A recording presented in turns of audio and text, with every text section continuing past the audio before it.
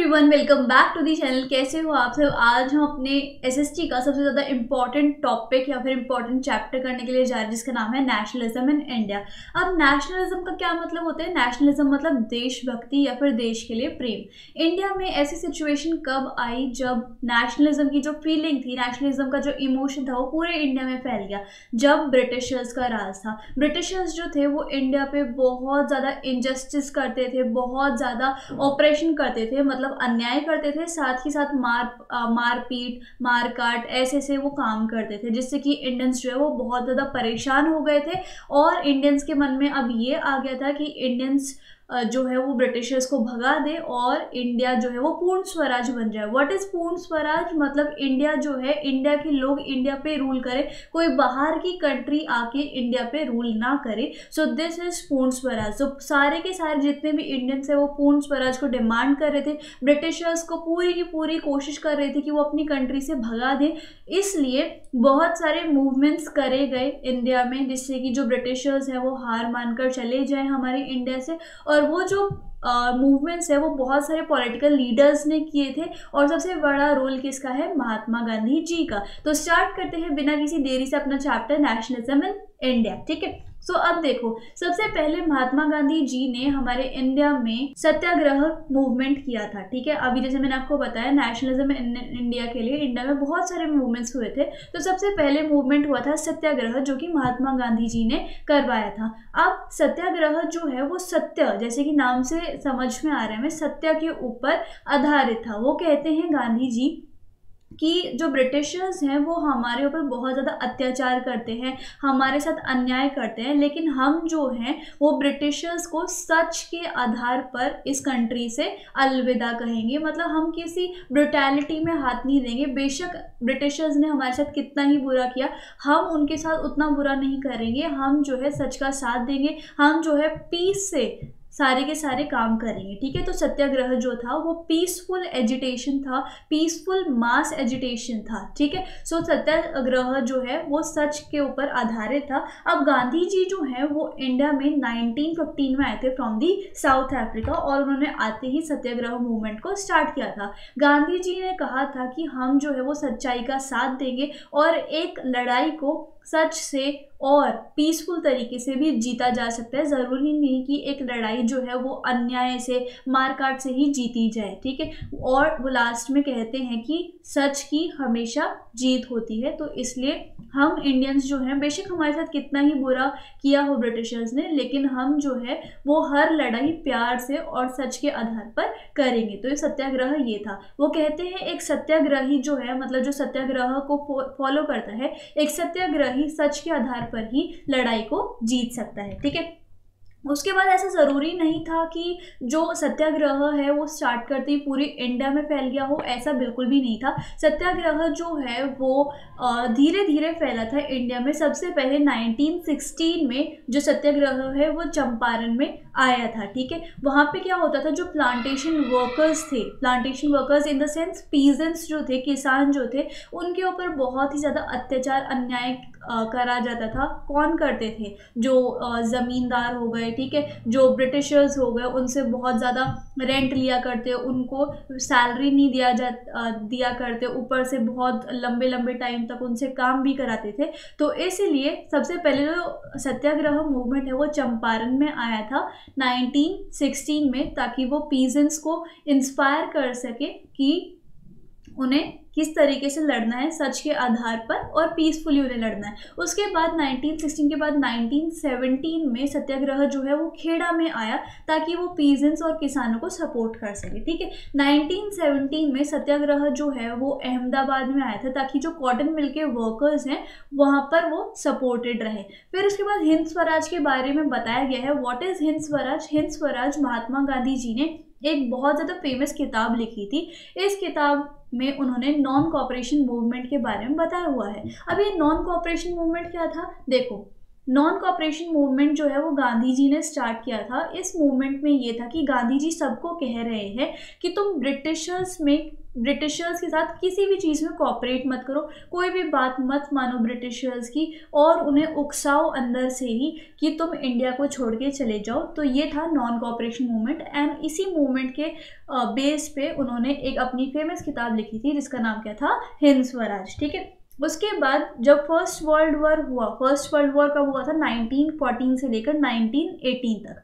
First world war में कुछ नई इकोनॉमिकल एंड पॉलिटिकल सिचुएशंस आ गई थी इंडिया में। अब वो कौन कौन सी नई इकोनॉमिकल एंड पॉलिटिकल सिचुएशन थी, वो हमें पढ़नी है।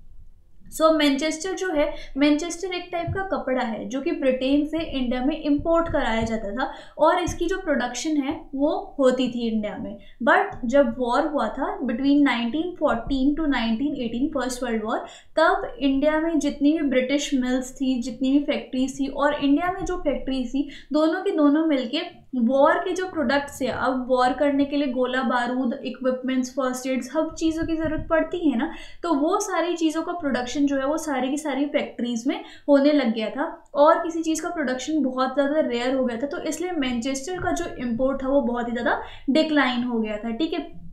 और जो भी वॉर नीड्स थी वो सारी की सारी मिल्स में प्रोड्यूस होती थी। एज अ रिज़ल्ट जो नई नई फैक्ट्रीज है वो आने लग गई थी इंडिया में, जिससे कि नए नए लोगों को नए नए एम्प्लॉय एम्प्लॉयज़ को जॉब मिलने लग गई थी और उन एम्प्लॉयज़ को ज़्यादा ज़्यादा टाइम के लिए काम कराया जाता था। उसके बाद जो कॉटन की प्रोडक्शन है, वो भी उसकी भी मार्केट चली गई थी इंडिया से और जो एक्सपोर्ट था कॉटन क्लोथ का ब्रिटेन से, वो भी बिल्कुल ही कम हो गया था बिकॉज़ ऑफ़ वॉर ठीक है? तो वॉर के बाद बिल्कुल ही कॉटन प्रोडक्शन जो है, वो बहुत गिर गया था और जिससे कि ये बहुत ही ज़्यादा मुश्किल हो गया था कि यूएस जर्मनी जापान से कॉम्पीट किया जाए, ठीक है? तो कॉटन की जो प्रोडक्शन थी, वो भी बिल्कुल ही कम हो गई थी। अब हम बात करते हैं और कौन कौन से मूवमेंट या फिर कौन कौन से एक्ट आए थे ड्यूरिंग नेशनलिज्म इन इंडिया ठीक है? The next is Rowlatt Act the Rowlatt Act इसमें क्या हुआ था? ब्रिटिशर्स के हाथ में बहुत ज़्यादा पार आ गई थी, बहुत ज़्यादा शक्ति या फिर एक इनॉर्मस पार आ गई थी जिससे जिसके थ्रू वो किसी को भी अरेस्ट कर सकते थे विदाउट अरेस्ट वारंट और वो उसको अपनी जेल में रख सकते थे दो सालों के लिए और उस पर बहुत ज़्यादा अत्याचार करते थे। तो ये था Rowlatt Act nineteen next is Jallianwala Bagh incident Jallianwala Bagh incident से तो हम सभी वाकिफ हैं। ये कब हुआ था? 13 अप्रैल 1919 को, जिसमें जो विलेजर्स थे, वो बहुत ज़्यादा ग्रुप में थे, बहुत ज़्यादा भीड़ हो रखी थी। वो सभी लोग बैसाखी के मेले का आनंद लेने आए थे उसको अटेंड करने आए थे। और ये जो बैसाखी का मेला है ना, वो जलियाबाग के जलियावाला बाग के ग्राउंड में हो रहा था। तो किसी भी विलेजर को ये नहीं पता था कि वहाँ पे मार्शल लॉ लगा हुआ है। मार्शल लॉ क्या होता है कि किसी भी एक एरिया को आर्मी जो है, कब्जा लेती है या फिर उसकी निगरानी करती रहती है, ठीक है? और कंट्रोल में रखती है उस एरिया को। तो जलियावाला बाग के ग्राउंड में बहुत ज़्यादा मार्शल लॉ लगा हुआ था एंड किसी भी विलेजर को पता नहीं था। बैसाखी फेयर उसी ग्राउंड में हो रहा था। तो फिर क्या हुआ? अचानक से जनरल डायर आए अपने ब्रिटिश ट्रूप्स या फिर आर्मीज़ के साथ और सारे के साथ जितने भी गेट थे एग्जिट पॉइंट्स थे, वो बिल्कुल ही बंद कर दिए ताकि कोई भी बाहर ना जा सके। उसके बाद जनरल डायर एंड उनके ब्रिटिश ट्रूप्स ने ओपन फायर कर दी जिससे कि बहुत सारे लोगों की जान चली गई। फिर जैसे जैसे ये जो बातें थी कि जलियावाला बाग में ऐसा ऐसा हुआ। इसकी सारी जगह न्यूज़ फैली है, जिससे कि नॉर्थ इंडिया के जितने भी टाउन से जितने भी इलाके थे, उनकी गलियों में बहुत ज़्यादा भीड़ होने लगी थी। लोगों में इतना गुस्सा आ गया था कि उन्होंने बहुत सारे हड़ताल किए, मारकाट की एंड उसके बाद जो गवर्नमेंट बिल्डिंग्स हैं, उस पर अटैक भी किए थे। ठीक है? उसके बाद नॉन कॉपरेशन मूवमेंट मैंने आपको बताया था। Non cooperation movement Gandhi ji ने स्टार्ट किया था कि तुम ब्रिटिशर्स की कोई भी बात मत मानो एंड ब्रिटिशर्स को प्रोवोक करो कि वो इंडिया से चले जाएँ। तो ये जो नॉन कॉपरेशन मूवमेंट था, वो नागपुर में दिसंबर 1920 में अडॉप्ट किया गया था। अब नॉन कॉपरेशन मूवमेंट के कुछ ना कुछ इफ़ेक्ट तो होंगी तो उसके क्या इफ़ेक्ट पड़े? इंडिया की इकोनॉमी पर वो हमें पढ़ना है। जो फॉरन गुड्स थे, जो बाहर के चीज़ें थी, वो सारी इंडिया में बॉयकॉट कर दी गई थी। जो लीकर शॉप्स थी, यानी कि शराब की जो दुकानें थी, वो उन पे धरना दे दिया गया था। जो फॉरेन क्लॉथ्स थे, उनको जला दिया गया था। जो फॉरेन क्लॉथ का इम्पोर्ट था, वो बिल्कुल आधा हो गया था इन 1921 से 22 तक, और उसकी वैल्यू जो है, वो 102 करोड़ से 57 करोड़ पे आ गई थी। क्यों आ गई थी? अब इतना सारा ब्रिटिशर्स इंडियन के साथ बुरा कर रहे हैं तो ऑब्वियसली इंडियंस जो है वो ब्रिटिशर्स के खिलाफ भड़केंगे और फिर नॉन कॉपरेशन मूवमेंट स्टार्ट हो गया था, इस तरीके से, ठीक है? फिर बहुत सारे मर्चेंट्स और ट्रेडर्स जो थे, जो बिज़नेस लाइन में थे बेसिकली उन्होंने फॉरेन गुड्स के साथ ट्रेड करने के लिए मना कर दिया और फाइनेंस के लिए भी मना कर दिया कि हमें इसमें कोई भी टिकन भी नहीं लगाएँगे और उन्होंने फॉरेन गुड्स का ट्रेड भी मना कर दिया था। उसके बाद जो लोग थे, उन्होंने इम्पोर्टेंट इम्पोर्टेड क्लोथ्स को पहनना बिल्कुल छोड़ दिया था और उन्होंने इंडियन क्लोथ्स जो होते थे, उनको पहनना चालू किया था। फिर इंडियन टेक्सटाइल जो मिल्स थी, उसकी प्रोडक्शन जो है वो काफ़ी बढ़ गई। हैंडलूम्स जो है, उनकी भी प्रोडक्शन उनके अंदर प्रोडक्शन होने लग गई और जो खादी था, वो पॉपुलराइज होने लग गया था। खादी जो है, वो एक ऐसा कपड़ा है जो कि इंडिया में बना हुआ है एंड खादी एक ऐसा स्पेशल कपड़ा है जो गर्मियों में ठंडा रहता है एंड सर्दियों में गर्म रहता है। तो ये उसकी खासियत थी। तो उसका जो यूज़ है वो काफ़ी ज़्यादा पॉपुलराइज होने लग गया था। अब non cooperation movement countryside पे कैसा था? मतलब कंट्री के बाकी इलाकों में कैसा था नॉन कॉपरेशन मूवमेंट वो देख लेते हैं। अवध में जो पीजेंट्स थे, ठीक है? अवध में एक पीजेंट मूवमेंट स्टार्ट किया था, किसने? बाबा रामचंद्र ने। किसके खिलाफ चालू किया था? जो ज़मींदार होते थे लैंडलॉर्ड्स या फिर तालुकदार होते थे ना, उनके खिलाफ बाबा रामचंद्र ने एक पीजेंट मूवमेंट को स्टार्ट किया था। उसमें क्या था? जो ज़मींदार होते थे, वो बेचारे पीजेंट से बहुत हाई रेंट मांगते थे और टैक्सेस कहते थे कि भाई तुम टैक्सेस भरो और उनको बहुत लंबे लंबे टाइम तक काम कराते थे और उनकी सैलरी भी नहीं देते थे, ठीक है? जैसे आज के ज़माने में तो अगर आप कहीं जॉब कर रहे हो तो एक बहुत अच्छा सा कॉन्ट्रैक्ट आता है कि आप इतने टाइम से इतने टाइम तक काम कर सकते हो या फिर सब कुछ लिखा होता है इस कॉन्ट्रैक्ट में, लेकिन पहले अगर पीजेंट किसी भी, किसी की भी ज़मीन पे लीज लैंड पे काम करते थे तो उनको कोई जॉब सिक्योरिटी नहीं थी, ना ही उनके पास कोई कॉन्ट्रैक्ट होता था, कोई भी मतलब जॉब सिक्योरिटी नहीं होती थी उनके पास। तो द पीजेंट मूवमेंट में जो पीजेंट्स की डिमांड थी वो क्या क्या थी कि उनका रेवेन्यू जो है वो रिड्यूस कर रखा है और बेगाज जो है वो उनको मिलती नहीं है एंड जो ओप्रेसिव लैंडलॉर्ड्स हैं उनका बॉयकॉट होना चाहिए। मतलब वो बहुत मारपीट कर सक, करते हैं हमारे साथ तो उनको बॉयकॉट करना चाहिए। अब ऐसे ही सेम आंध्र प्रदेश के गुडम हिल्स में हुआ था।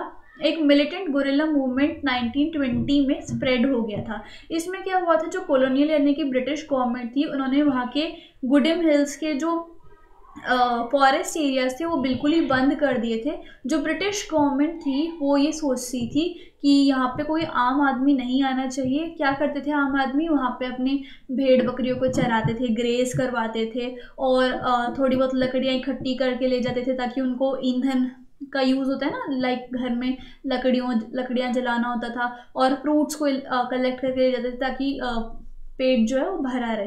तो ब्रिटिशर्स ने क्या किया, जो सारे के सारे फॉरेस्ट एरिया थे, उनको बंद कर दिए, जिससे कि वहाँ के लोग क्या लगा कि उनके जो बेसिक हक है, वो उनसे छीने गए हैं, ठीक है? उसके बाद असम में जो प्लांटेशन वर्कर्स थे, उनके लिए फ्रीडम का क्या मतलब है कि वो जिस विलेज से बिलोंग करते हैं, वहाँ पे वो इजीली जा सकते जा सकें, वहाँ पे वो लिंक रखें और अगर उनका कहीं पे भी जाने का मन है तो वो आराम से आ जा सके। लेकिन बाद में एक उससे पहले एक इनलैंड इमिग्रेशन एक्ट था 1859 का। उसमें क्या था? प्लांटेशन वर्कर्स को ना परमिशन लेनी पड़ती थी टी गार्डन टी गार्डन को लीव करने के लिए, ठीक है? पहले परमिशन लोगे, तब तुम टी गार्डन से निकलोगे, वरना नहीं निकलोगे। कहीं पे जाना होता था, तब भी उनको परमिशन लेके जानी पड़ती थी। और अगर वो बिना परमिशन के ही निकल जाते थे टी गार्डन से तो फिर क्या होता था? उनको पनिशमेंट मिलती थी। और अगर मान लो कोई परमिशन लेता भी था कि भाई वहाँ पे जाना तो उन्हें परमिशन बहुत मुश्किल से मिला करती थी। तो इससे क्या हुआ? वहाँ के लोग बहुत ज़्यादा परेशान हो गए थे इस चीज़ से तो इस बंदिश से। तो फिर क्या हुआ? नॉन कॉपरेशन मूवमेंट के बारे में उन लोगों को पता चला आसाम के लोगों को। उन्होंने क्या किया? बहुत सारे थाउजेंड्स ऑफ़ वर्कर्स को जब ये पता चला कि ऐसे ऐसे नॉन कॉपरेशन मूवमेंट फैल रहा है, हमें ब्रिटिशर्स की बात नहीं सुननी है तो वो क्या करते थे, जो अथॉरिटीज़ होती थी ब्रिटिश वाली, उनको मना कर देते थे और कहते थे, हम तो अपनी मर्ज़ी से जा रहे हैं और अपने घर चले जाते थे वो आराम से, बिना किसी परमिशन के, ठीक है? फिर अब जो नॉन कॉपरेशन मूवमेंट था, वो स्लो डाउन हो रहा था थोड़ा थोड़ा पहले तो बहुत पीक पे रहा, जैसे मैंने अभी आपको एग्जांपल दी कि कैसे कैसे वो पीक पे रहा, लेकिन अब जो है वो कम होता जा रहा था। कैसे खादी क्लोथ जो था ना, जो इंडिया का फ़ेमस क्लोथ है, वो बहुत ही ज़्यादा महँगा था, जिससे कि जो गरीब लोग थे, वो उसको बाय नहीं कर पा रहे थे अफोर्ड नहीं कर पा रहे थे तो इसीलिए वो बाहर के जो क्लॉथ्स थे, उसको ज़्यादा देर तक बॉयकॉट नहीं कर पाए थे। साथ ही साथ जो इंडियन इंस्टीट्यूशन थे, वो थे ही नहीं। सारे के सारे ब्रिटिश इंस्टीट्यूशन थे, चाहे वो ब्रिटिश स्कूल हो इंग्लिश मीडियम हो गवर्नमेंट स्कूल हो, सारे के सारे ब्रिटिश का था। एंड कोर्ट्स भी सारी की सारी गवर्नमेंट कोर्स जो थी, वो सारी की सारी ब्रिटिशर्स की थी। इंडिया में इतने सारे इंस्टीट्यूशंस नहीं थे। तो जो बच्चे और टीचर्स थे, वो बाद में दोबारा से गवर्नमेंट स्कूल जाने लग गए और लॉयर्स ने भी गवर्नमेंट कोर्स को ज्वाइन कर लिया था। The next is Khilafat movement अब खिलाफत मूवमेंट जो है, वो महात्मा गांधी एंड जो अली ब्रदर्स थे कौन कौन से? मोहम्मद अली एंड शौकत अली, ये दोनों भाई भाई थे, ठीक है? तो महात्मा गांधी जी ने इन अली ब्रदर्स के साथ मिलके एक खिलाफत मूवमेंट को स्टार्ट किया था। इस मूवमेंट में क्या था? एक ओटोमन एम्पायर है जो कि टर्की में है। जो ओटोमन एम्पायर के राजा हैं ना उनके साथ बहुत ही ज़्यादा हार्श बिहेवियर किया था ब्रिटिशर्स ने। बहुत ज़्यादा क्रूवालिटी शो की थी उनको। एंड uh, जो मुस्लिम वर्ल्ड है जो मुस्लिम uh, लोग हैं उनको जो ओटोमन के एम्पायर थे, वो उनके स्पिरिचुअल हेड थे जस्ट लाइक अ खलीफा थे, ठीक है? तो फिर ब्रिटिश तो फिर मुस्लिम लोगों को ये बिल्कुल भी पसंद नहीं आ रहा था कि उनके स्पिरिचुअल हेड या फिर उनके खलीफा के साथ कितना ज़्यादा ब्रूटल तरीके से व्यवहार किया जा रहा है ब्रिटिशर्स द्वारा, ठीक है? एंड साथ ही साथ गांधी जी ये सोचते थे कि मैं जो भी मूवमेंट स्टार्ट करता हूँ वो पूरे इंडिया में फैलना चाहिए। ऐसा नहीं होना चाहिए कि कुछ कुछ पार्ट में फैला और छुट्टी हो गई वो पूरे इंडिया में होना चाहिए तभी ब्रिटिश यहाँ से भागेंगे। और इस काम को करने के लिए जो आ, महात्मा गांधी जी उन्होंने सोचा कि इस काम को करने के लिए हिंदू एंड मुस्लिम दोनों का आना आ, साथ साथ बहुत ज़्यादा ज़रूरी है। तो महात्मा गांधी जी ने ब्रिटिशर्स को ब्रिटिशर्स के लिए ब्रिटिशर्स को भगाने के लिए ये खिलाफत मूवमेंट स्टार्ट की with the Ali brothers and Ali brothers ने भी ये कहा कि हम जो है ब्रिटिशर्स के खिलाफ जो है वो जाएँगे क्योंकि उन्होंने हमारे स्पिरिचुअल हेड के साथ गलत किया है। एंड uh, हम सारे मिलकर उनको भगाने में हेल्प ज़रूर करेंगे ठीक है? तो इस तरीके से हिंदू एंड मुस्लिम जो है वो इकट्ठे आए एंड धीरे धीरे जो है वो uh, हर चीज़ प्रोसेस में आने लगी नेक्स्ट क्या था? चौरा चौरी चौरा इंसिडेंट ये फेबररी 1922 में हुआ था।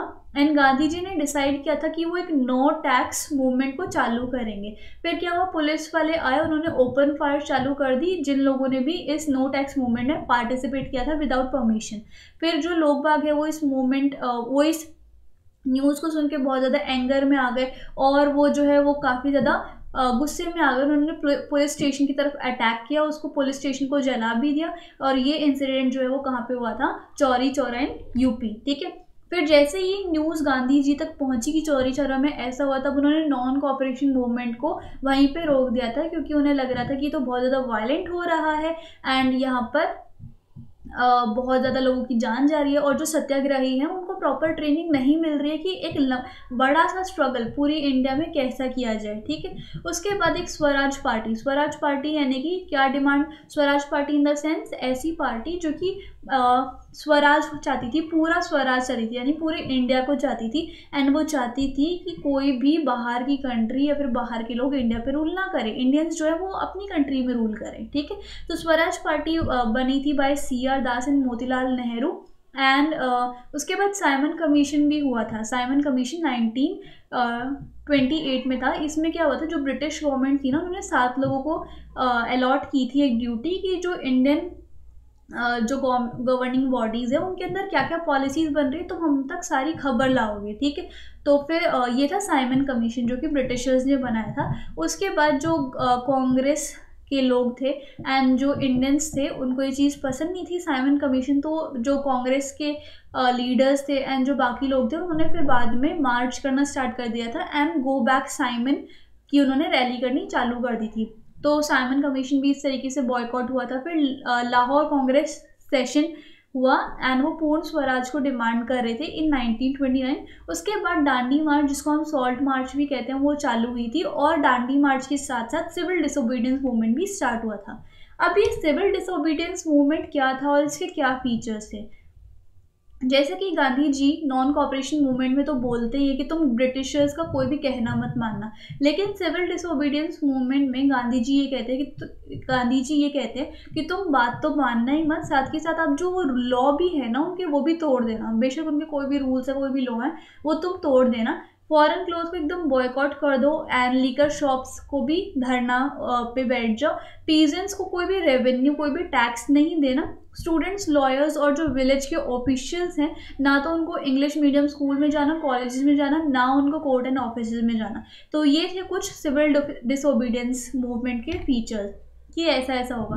देन आता है सॉल्ट मार्च जिसको हम डांडी मार्च भी बोलते हैं। ये हुआ था 31 जनवरी 1930 को, जिसमें महात्मा गांधी, लॉर्ड या फिर वाइसरॉय इरविन को एक लेटर लिखते हैं एज अ वार्निंग एंड उस लेटर में ना ग्यारह डिमांड होती हैं, जिसमें से एक डिमांड ये थी कि सॉल्ट के ऊपर जो टैक्स लगाया ना तुमने, उसको एबॉलिश कर दो। सॉल्ट जो है वो सबकी एक बेसिक इसेंशियल नीड है। सब, चाहे वो अमीर है, चाहे वो गरीब है, चाहे वो मिडिल क्लास है, सबके लिए नमक जो है वो बहुत ज़्यादा ज़रूरी है इसेंशियल आइटम है। और तुम इसी के ऊपर टैक्स लगाओगे तो ये हमारा अपमान होगा, हमारे देश का अपमान होगा। एंड ये एक तरीके का अत्याचार होगा तो तुम इस टैक्स को हटा लो।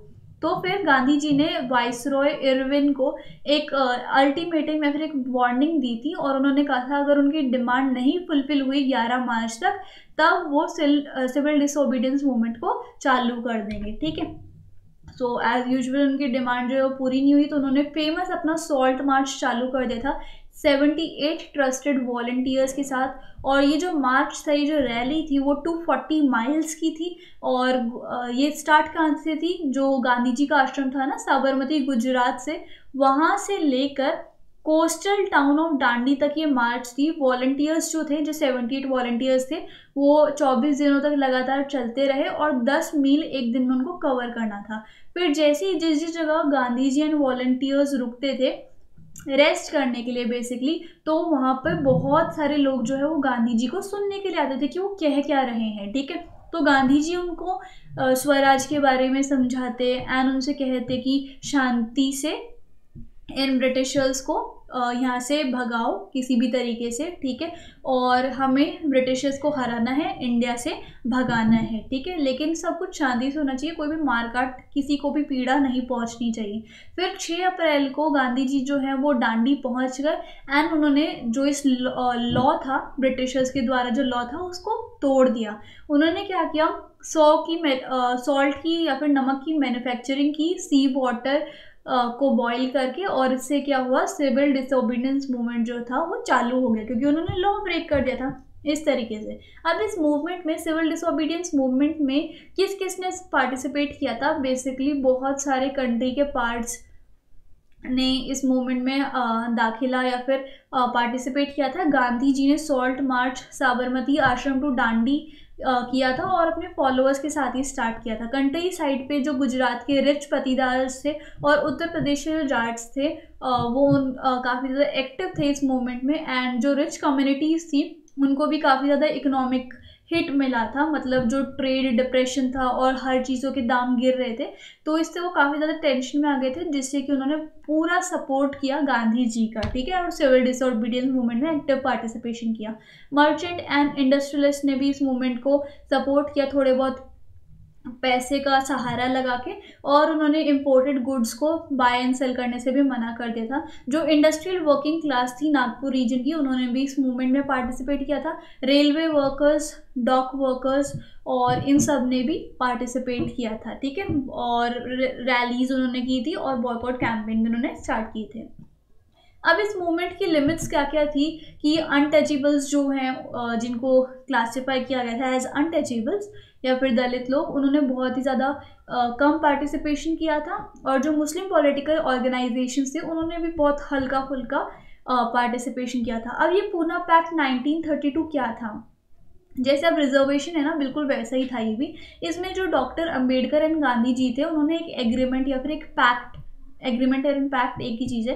अंबेडकर जी ने एंड गांधी जी ने एक एग्रीमेंट या फिर पैक्ट को साइन किया था, जिसमें जो डिसएडवांटेज uh, या फिर डिप्रेस क्लास है जिनको कोई भी एडवांटेज नहीं मिलता उनके लिए सेंट्रल प्रोविंशियल काउंसिल में ये गवर्निंग बॉडी थी उसमें रिज़र्व सीट उन्होंने करवाई थी फॉर डिप्रेस क्लासेस और जो जनरल इलेक्ट्रोट इलेक्टोरेट थे वो वोट करके uh, किसी डिप्रेस्ड क्लास के मेंबर को चुनेंगे ठीक है? अच्छा अब हमारा लास्ट टॉपिक ये है कि the sense of collective belonging अब देश में इतना सब कुछ चल रहा था तो सबको यूनाइट करने के लिए कुछ ना कुछ चीज़ें ऐसी थी। अब जैसे हम अगर कोई काम करने जाते तो हमें थोड़ी बहुत मोटिवेशन की ज़रूरत होती है ना, और एंड उस मोटिवेशन के कारण ही हम कोई काम कर पाते हैं राइट तो फिर the sense of collecting collective belonging अब सबके सब इंडियंस चाहते थे कि हमारी जो इंडिया है, वो फ्री हो जाए, पूर्ण स्वराज हो जाए। तो फिर सबको यूनाइट करने के लिए कुछ कुछ चीज़ें होती थी। जैसे कि जब नेशनलिज्म फैला तो बहुत सारे कल्चरल प्रैक्टिसेस होने लग गई थी। जैसे कि मैं आपको बताती हूँ use of figures and images India जो है, वो यूनाइट हो जाता है जब भी भारत माता की बात आती है तो ठीक है? एक मदर फिगर की तरफ़ डिवोशन होता था, ठीक है? तो जैसे ही भारत माता की पिक्चर वो देखते थे एंड भारत माता के नारे लगते थे, तब सारे के सारे कलेक्ट यूनाइट हो जाते थे कलेक्टिव बिलोंगिंगनेस आ जाती थी okay next is Indian folklore जैसे कि इंडियन फोकलोर लाइक गाने वगैरह और जो टेल्स थी, जब वो लोग सुनते थे रिकॉर्डिंग सुनते थे, तब भी वो यूनाइट हो जाते थे, है ना? तो ये सब कुछ चीज़ें थी and use of icons and symbol in form of flag एक ट्राई कलर फ्लैग को कैरी करना जब भी रैलीज या फिर मार्च होते थे उसको होल्ड करना तो वो भी एक कलेक्टिव बिलोंगिंगनेस का पार्ट था। और उसके बाद इंडियंस जो थे वो थोड़ा बहुत पास्ट में भी देखते थे कि कैसे इंडियंस ने एंशियन टाइम में कितनी ज़्यादा डेवलपमेंट की in the field of science art mathematic region religion and culture ठीक है? और ये इस ग्लोरियस टाइम को याद करते थे हिस्ट्री के ठीक है? और uh, उसके बाद फिर इंडियन की हिस्ट्री को याद कर करके वो और ज़्यादा मोटिवेटेड हो जाते थे, ठीक है? तो इसी के साथ साथ हमारा जो ये चैप्टर है, वो पूरा कंप्लीट होता है। आज हम करेंगे अपना जोग्राफी का chapter life lines of national economy ठीक है? बहुत ईजी सा चैप्टर है वन शॉट में ही कंप्लीट कर देंगे। इंपॉर्टेंट आपके टर्म टू के एग्ज़ाम में आ रहा है, ठीक है? तो बिना किसी देरी के स्टार्ट करते हैं अपना चैप्टर बस एक बार आप डिस्क्रिप्शन बॉक्स ज़रूर चेक कर लेना। एंड वहाँ पे आपको टेलीग्राम की लिंक मिलेगी जहाँ पर मैंने सारे के सारे नोट्स जिससे मैं पढ़ा रही हूँ वो मैंने अपलोड कर दिया और काफ़ी सारा एजुकेशनल स्टफ़ वहाँ पे आपको मिलेगा तो जल्दी से फॉलो कर लो। एंड इंस्टाग्राम पे अगर आपको कोई भी डाउट हो तो मुझसे पूछ लेना डाउट डीएम करके ठीक है? सो उन दोनों को फॉलो कर लो जल्दी से। And now will start our chapter तो देखो life lines of national economy सबसे पहले तो हम इकोनॉमी का मतलब जान लेते हैं कि वॉट इज़ इकोनॉमी इकोनॉमी ना कुछ चीज़ों से बना होता है जिसमें पैसा होता है ठीक है? मनी और जिसमें बिज़नेस होता है, व्यापार और जिसमें ट्रेडिंग होती है, यानी कि जो गुड्स एंड सर्विसेज़ होती है, जिसका लेन देन होता है। तो मतलब इन तीनों चीज़ों से हमारी पूरी इकोनॉमी बनती है, जिसके अंदर factories industries money business trading सब कुछ आ जाता है। तो ये पूरा मिलके क्या बनता है? इकोनॉमी अब हम जो ह्यूमंस होते हैं, हमारी ह्यूमंस की क्या लाइफ लाइन्स होती है? रोटी, कपड़ा, मकान, ये सारी चीज़ें हमें चाहिए ही चाहिए। वैसे ही हमारे इकोनॉमी की क्या लाइफ लाइन्स होती होंगी, जिससे कि इकोनॉमी सर्वाइव कर पाए, जी पाए, ठीक है? तो उसकी लाइफ लाइन्स जो हैं, वो हैं जैसे कि transportation banking insurance communication telecom services और आपका इंश्योरेंस ठीक है?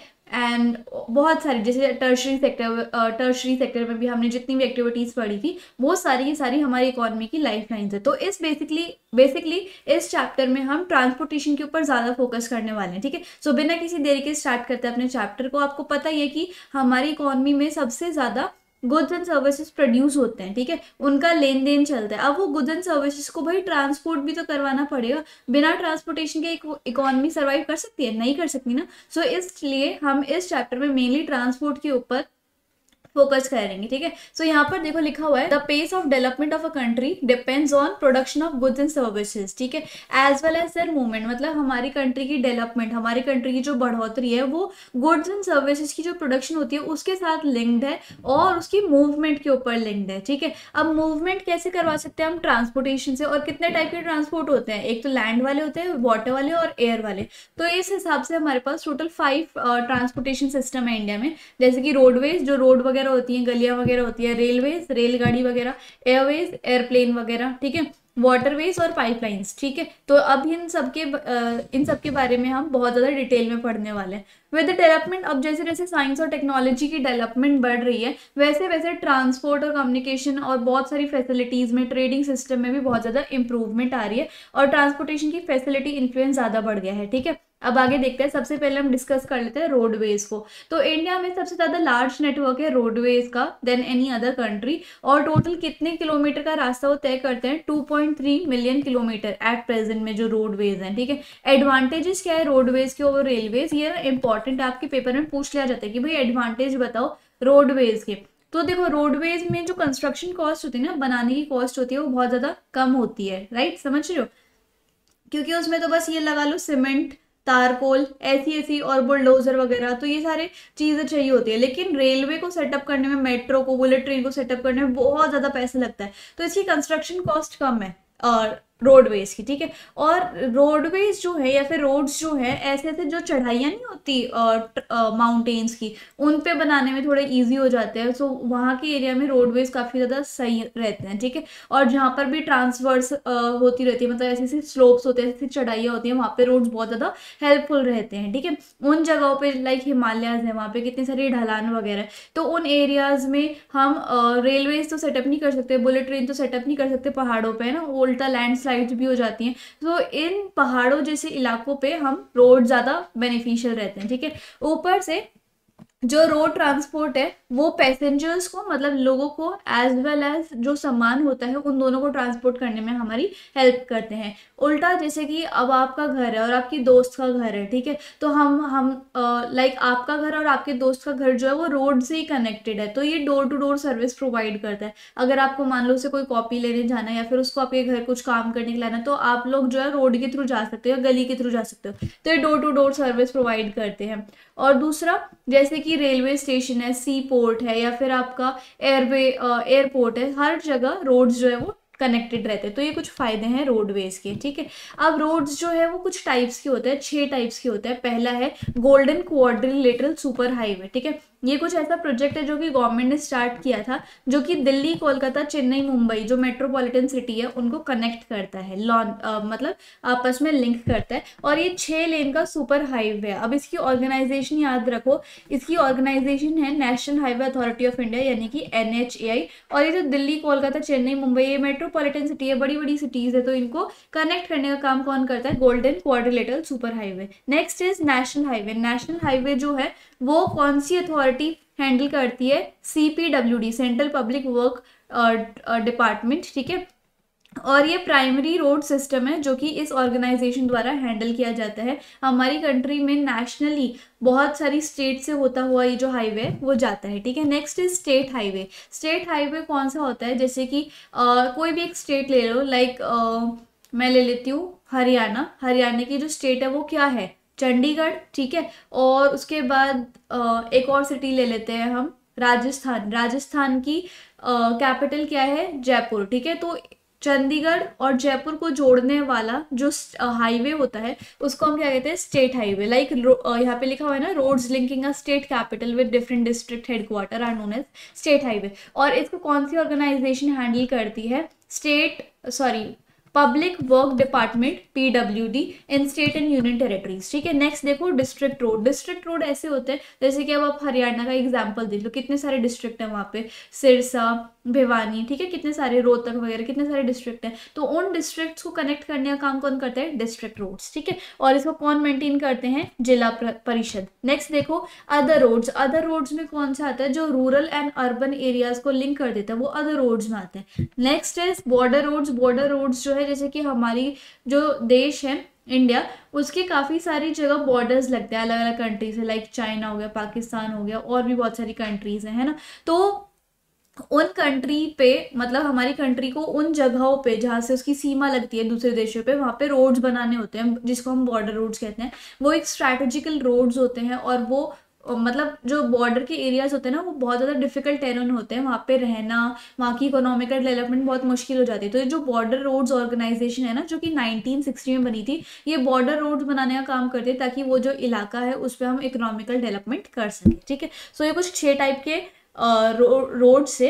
अब हम ये बच्चे भूल जाते हैं पढ़ना। Classification of roads on the basis of material use for construction construction में जो मटेरियल यूज़ होता है, उसके हिसाब से भी दो रोड्स क्लासिफाई किए गए हैं। एक मेटल जो कि सीमेंट कंक्रीट और कोल से बनता है, ठीक है? और एक होता है अनमेटल्ड जो कि मतलब ग्रेवल जिसको हम कंकड़ वगैरह कहते हैं और मिट्टी से बनता है, जो कि रूरल एरियाज़ में हमें मिलता है। तो ये रोड से क्लासिफिकेशन थे। रोड डेंसिटी क्या होती है? इसकी एक डेफिनेशन याद करना है। The length of road per hundred ये हंड्रेड है, ठीक है? Hundred kilometre of area is known as road density तो ये कुछ आपको डेफिनेशन याद करनी है।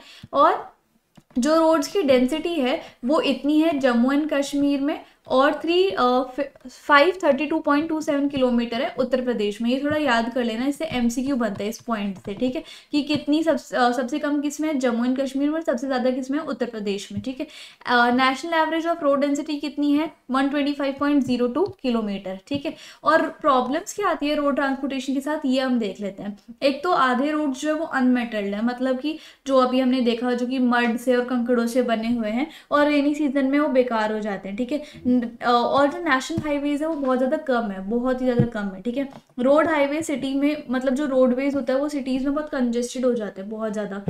कोई वहाँ पे मतलब बहुत सारे बाज़ार वगैरह लगे रहते तो पतले हो जाते हैं ठीक है? और कई कई लोग जो है वो आगे आगे तक घर बनाते बना देते हैं जिससे कि रोड जो है बहुत ज़्यादा पतले पतले हो जाते हैं समझ रहे हो? और आ, कई जो ब्रिजेस होते हैं और कलवर्ट्स होते हैं वो बहुत ज़्यादा पतले और नैरो होते हैं तो उस जगह पे रोडवेज़ जो है उनको सेटअप करना मुश्किल हो जाता है। तो रोडवेज़ हो गया, अब हम आते हैं रेलवेज की तरफ़, ठीक है? तो रेलवेज जो है वो एक प्रिंसिपल मोड ऑफ़ ट्रांसपोर्टेशन है। चाहे आपका वो गुड्स एंड सर्विसेज़ हो, चाहे वो पैसेंजर हो सबको ये रेलवेज हैंडल कर लेता है। तो और ये बहुत सारी एक्टिविटीज़ में काम आ जाता है, जैसे कि बिज़नेस के लिए, और अगर हमें आसपास के नज़ारे देखने साइट सीइंग के लिए पिलग्रिमेज मतलब श्रद्धालुओं के लिए, जैसे कई लोग चार धाम की यात्रा करने, ओडिशा जाते हैं ना और मतलब उड़ीसा जाते हैं भगवान के दर्शन करने और चार धाम की यात्रा करने और भी राजस्थान जाते हैं ना तो पिलग्रिमेज श्रद्धालुओं के लिए भी जो रेलवेज है वो एक अच्छा ट्रांसपोर्ट का मीडियम है। अब यहाँ पे कुछ आपको स्टैट्स दिया हुआ है, जैसे कि इंडियन रेलवेज के इतने सारे स्टेशन हैं, इतने लेंथ है, इतने लोकोमोटिव्स हैं, इतने पैसेंजर सर्विस व्हीकल्स हैं, इतने अदर कोच है और इतने वेगन्स है एज पर मार्च टू तो ये जो है ना, वो थोड़ा बहुत याद करने पड़ेंगे आपको कि कितना क्या है, ओके? ओके थोड़ा सा दिमाग में डाल लेना। इंडियन रेलवेज जो है, वो अब 16 जोन्स में बढ़ चुकी है and distribution of railway network of the country has been मतलब जिस भी एरिया में सबसे ज़्यादा फैक्टर्स सूटेबल होंगे, उस एरिया में रेलवे सेटअप हो जाएगी। जैसे अब नॉर्दर्न प्लेन्स में सबसे ज़्यादा रेलवेज है तो नॉर्दर्न प्लेन्स में देखो, हमारे पास डेंस पॉपुलेशन है और प्लेन्स सबसे ज़्यादा फैले हुए हैं, बहुत ज़्यादा इकोनॉमिकल भी है तो वहाँ पे इन फैक्टर्स में रेलवेज जो है उसी जगह पे ज़्यादा सेटअप की जाती है, ठीक है? हमारे देश की इकोनॉमी के लिए रेलवेज जो है बहुत ज़्यादा इंपॉर्टेंट है, सबसे ज़्यादा इंपॉर्टेंट मीन्स ऑफ़ ट्रांसपोर्ट है, ठीक है? अच्छा प्रॉब्लम्स क्या है रेलवे ट्रांसपोर्टेशन में? अब ये देख लेते हैं। बहुत सारे पैसेंजर्स बिना टिकट के ट्रैवल करते हैं और वो सीटों के नीचे छुप जाते हैं जब टिकट वहाँ से टिकट लेने के लिए आते हैं, समझ रहे हो? तो ये प्रॉब्लम है। कई कई जगह पर तो चोरियाँ भी हो जाती हैं फटाफट। वो चिट्टी वाली फ़िल्म देखिए, रोबोट वाली, उसमें चोरी कर लेते हैं ना? तो रेल में बैठ के थेफ्ट हो जाते हैं, हमारी रेलवे की प्रॉपर्टी को डैमेज कर देते हैं। और कभी कभी वो देखिए आपने ट्रेन में चेन लगी रहती है, उस चेन को कोई भी जना मतलब मज़ाक मज़ाक में खींच देता है, जिससे कि रेलवे को बहुत ज़्यादा डैमेज हो जाता है, ठीक है? तो इस तरीके से। नेक्स्ट आते हैं हम पाइपलाइंस पे। पाइपलाइंस आपको यहाँ पे देखो, ये इतनी सारी पाइपलाइंस आपको दिख रही है। पाइपलाइंस की टेक्नोलॉजी नहीं है इंडिया में, ठीक है? न्यू टेक्नोलॉजी है। और ये पाइपलाइंस को मतलब थोड़ा लिक्विड जो पार्ट होता है ना, उसको ट्रांसफ़र करने में हेल्प करती है। जैसे कि आपका पेट्रोलियम हो गया क्रूड ऑयल हो गया नेचुरल गैस हो गया और from oil and natural gas से और रिफाइनरीज फर्टिलाइज़र फैक्ट्रीज और बिग थर्मल पावर प्लांट्स तक ये सारी चीज़ें जो है पहुँचाने का काम कौन करती है? पाइपलाइंस करती है, ठीक है? अच्छा थ्री इंपॉर्टेंट नेटवर्क्स हैं पाइपलाइंस के ट्रांसपोर्टेशन इन अ कंट्री पहला है oil field in upper Assam to Kanpur Uttar Pradesh और वाया के बाद आपको खुद पढ़ना है कि कहाँ कहाँ से होता है ठीक है? बट मेन जो है वो ये है from oil field in upper Assam to Kanpur Uttar Pradesh ये नोट्स चाहिए तो टेलीग्राम पे फॉलो कर लेना, ठीक है? और नेक्स्ट है Salaya in Gujarat to Jalandhar in Punjab ये नेक्स्ट पाइपलाइन है। और नेक्स्ट गैस पाइपलाइन है from Hazira in Gujarat connect Jagdishpur in Uttar Pradesh ये है तीसरी पाइपलाइन तो ये तीन पाइपलाइन बहुत ज़्यादा मेन है। और वाया अगर आपको याद हो तो वेल एंड गुड वरना इतनी ज़्यादा याद करने की ज़रूरत नहीं है, ठीक है? बस ये तीन स्टार्टिंग के याद कर लेना। अगला हम आते हैं वाटर बेस पे। वाटरवेज जो है वो बहुत सस्ते हैं। चीपेस्ट मीन्स ऑफ़ ट्रांसपोर्ट है। बाकी ट्रांसपोर्टेशन को देखे तो ठीक है? और ये बहुत ज़्यादा सुटेबल है, अगर मतलब भारी भरकम गुड्स कैरी करने हो तो ये बहुत बढ़िया रहते हैं इनके लिए। फ्यूल एफिशिएंट है इन्वायरमेंट फ्रेंडली है, कोई भी नुकसान नहीं पहुंचाते इन्वायरमेंट को। अब वाटरवेज जो है, वो हमारी गवर्नमेंट ने नेशनल वाटरवेज डिक्लेयर कर दिए हैं। जैसे कि थोड़े बहुत ही किए हैं, जैसे कि Ganga river between Allahabad and Haldia Brahmaputra river between Sadiya and Dhubri west coast canal in Kerala ठीक है? और specified stretches of Godavari and Krishna river along with Kakinada Puducherry stretches of canal और specified stretches of river Brahmani along with Matai river delta channels of Mahanadi and Brahmani rivers and east coast canal तो ये जो है वो थोड़ा बहुत आपको दिमाग में डालना पड़ेगा, क्योंकि क्या पता बोर्ड ये आपसे क्वेश्चन दे दी, ठीक है? हम रिस्क नहीं ले सकते। Okay India trade with foreign countries is carried out port मतलब जब भी हम फॉरेन ट्रेड करते हैं फॉरेन कंट्रीज़ के साथ ट्रेडिंग करते हैं इंटरनेशनल ट्रेडिंग करते हैं तो पोर्ट से ही लिंकेज होता है, क्योंकि वहाँ के भारी भारी जो भरकम गुड्स होते हैं, वो इंडिया में पोर्ट के थ्रू ही आते हैं। उनके पोर्ट से हमारे पोर्ट तक, ठीक है? नाइन्टी फाइव इससे ना एमसीक्यू बनता है इस पॉइंट से। तो ये यहाँ पे लिखा हुआ है। 95 percent of the country trade volume और 68 परसेंट वैल्यू की टर्म में सी से ही मूव किया जाता है। तो ये पॉइंट याद रख लेना। मेजर सी पोर्ट्स देखो इंडिया की ना सबसे लंबी कोस्ट लाइन है। मतलब सबसे ज़्यादा कोस्ट लाइन क्या होती है? जहाँ पर समुंदर होते हैं। तो ये जितना भी एरिया है, ये सारा समुंदर से कवर है इंडिया का। तो इंडिया की जो कोस्ट लाइन होती है मतलब ये वाली जो कि समुद्र के इलाके से टच होती है, वो सबसे ज़्यादा लंबी है। कितनी लंबी है? Seven five one six point six kilometre बारह मेजर पोर्ट्स है बड़े बड़े और वन एटी सेवन छोटे छोटे पोर्ट्स हैं, ठीक है? मतलब बंदरगाह जिसको हम बोलते हैं, जहाँ पे शिप्स वगैरह बोट्स वगैरह खड़ी होती हैं, ठीक है? मेजर पोर्ट्स जो हैं, वो सेवेंटी फाइव परसेंट इंडिया की फॉरन ट्रेड को हैंडल करते हैं। मुंबई जो है, वो सबसे ज़्यादा बड़ा पोर्ट है, और स्पेसिएशन स्पेसियस भी है नेचुरल वेल्थ शेल्टर्ड बंदरगाह है वो, ठीक है? बहुत अच्छे से शेल्टर किया हुआ है। अब सी पोर्ट्स देखो वेस्टर्न कोस्ट पे ये सारे सी पोर्ट्स हैं मतलब गुजरात की साइड पे और ईस्टर्न साइड पे, असम वगैरह की साइड पे ये सारे कोस्ट है। ये आपका मैप में आएगा मैप में ऑलरेडी करवा चुकी हूँ। प्लेलिस्ट की लिंक आपको डिस्क्रिप्शन में मिल जाएगी। तो ये मैप के क्वेश्चन है। अब आते हैं हम एयरवेज पे। आई वुड सजेस्ट कि मैं जैसे एक बार समझा दूँ एक बार आप एन सी आर टी की थोरो रीडिंग भी ले लेना तो ज़्यादा अच्छी से पक्की तैयारी हो जाएगी ठीक है? एयरवेज जो है सबसे ज़्यादा फास्ट है मोस्ट कंफर्टेबल है और प्रेस्टिजियस मोड ऑफ़ ट्रांसपोर्ट है ठीक है? और बहुत सारे अलग अलग टेरेन्स जो हैं जैसे कि माउंटेन्स डेजर्ट डेंस फॉरेस्ट और ओशनिक स्ट्रेंच जो लंबे लंबे जैसे सात समुंदर नहीं होते वैसे बड़े बड़े ओशनिक स्ट्रेच जो होते हैं उन जगह पे कोई भी रोड या फिर uh, कोई भी रेलवेज या फिर कोई भी पाइपलाइन का जाना बहुत ज़्यादा मुश्किल है तो ऐसी ऐसी जगह पे एयरवेज जो है वो हमारे काम आते हैं, ठीक है? एयर ट्रांसपोर्ट जो है वो नेशनलाइज हुआ था नाइनटीन 53 में और Indian Airlines Alliance Air private scheduled airlines and non scheduled operators जो हैं वो डोमेस्टिक एयर सर्विसेज़ भी प्रोवाइड करते हैं, ठीक है? सबसे अच्छा इसका ये इंपॉर्टेंट है, पवन हंस हेलीकॉप्टर लिमिटेड जो है, वो हेलीकॉप्टर सर्विसेज़ प्रोवाइड की थी की थी उन्होंने पहली बार oil and natural gas commission को, और उन्होंने अपने ऑपरेशंस के लिए पवन हंस हेलीकॉप्टर लिमिटेड से हेलीकॉप्टर सर्विसेज़ ली थी, और उन्हें मतलब natural oil and natural gas commission को अलग अलग डिफ़िकल्ट डिफ़िकल्ट एरियाज़ तक पहुँचना था। जैसे कि डेजर्ट हो गया आपका, और यहाँ पर हाई माउंटेन्स हो गए तो इसलिए पवन हंस लिमिटेड ने, पवन हंस हेलीकॉप्टर लिमिटेड ने वहाँ पे अपनी हेलीकॉप्टर सर्विस से उनका काम कराया था। दो टाइप के एयरपोर्ट्स है इंडिया में इंटरनेशनल एंड डोमेस्टिक ये तो हम सबको पता है। अब आते हैं चैप्टर के लास्ट पार्ट की तरफ़, जो कि है पहला कम्युनिकेशन उसके बाद ट्रेड बच गया and then last is tourism तो जल्दी जल्दी से कंप्लीट कर लेते हैं। वीडियो के साथ बने रहना, बस होने वाला चैप्टर कंप्लीट ठीक है? नाउ कम्युनिकेशन अब जो हम वार्तालाप कर रहे हैं, मैं आपसे वार्तालाप कर रही हूँ तो ये क्या होता है? कम्युनिकेशन होता है, ठीक है? दो टाइप का कम्युनिकेशन होता है। एक होता है पर्सनल कम्युनिकेशन और एक होता है मास कम्युनिकेशन पर्सनल कम्युनिकेशन जैसे कि मैं आपसे बात कर रही हूँ पोस्ट कार्ड से लेटर से टेलीग्राम से। टेलीग्राम से याद है? फॉलो कर लेना डिस्क्रिप्शन में, ठीक है? टेलीग्राम से और इंस्टा को भी। और टेलीफोन से हम लोग बात कर रहे हैं ईमेल के थ्रू हम बात कर रहे हैं तो पर्सनल कम्युनिकेशन है। मास कम्युनिकेशन क्या होता है? मास कम्युनिकेशन जैसे कि जो बहुत सारे लोगों को पता चल जाए। लाइक आपका मैगजीन हो गया newspaper radio television press and film हो गया तो ये मास कम्युनिकेशन हो गया, ठीक है? अगला देखो पर्सनल रिटर्न कम्युनिकेशन में दो चीज़ आती हैं।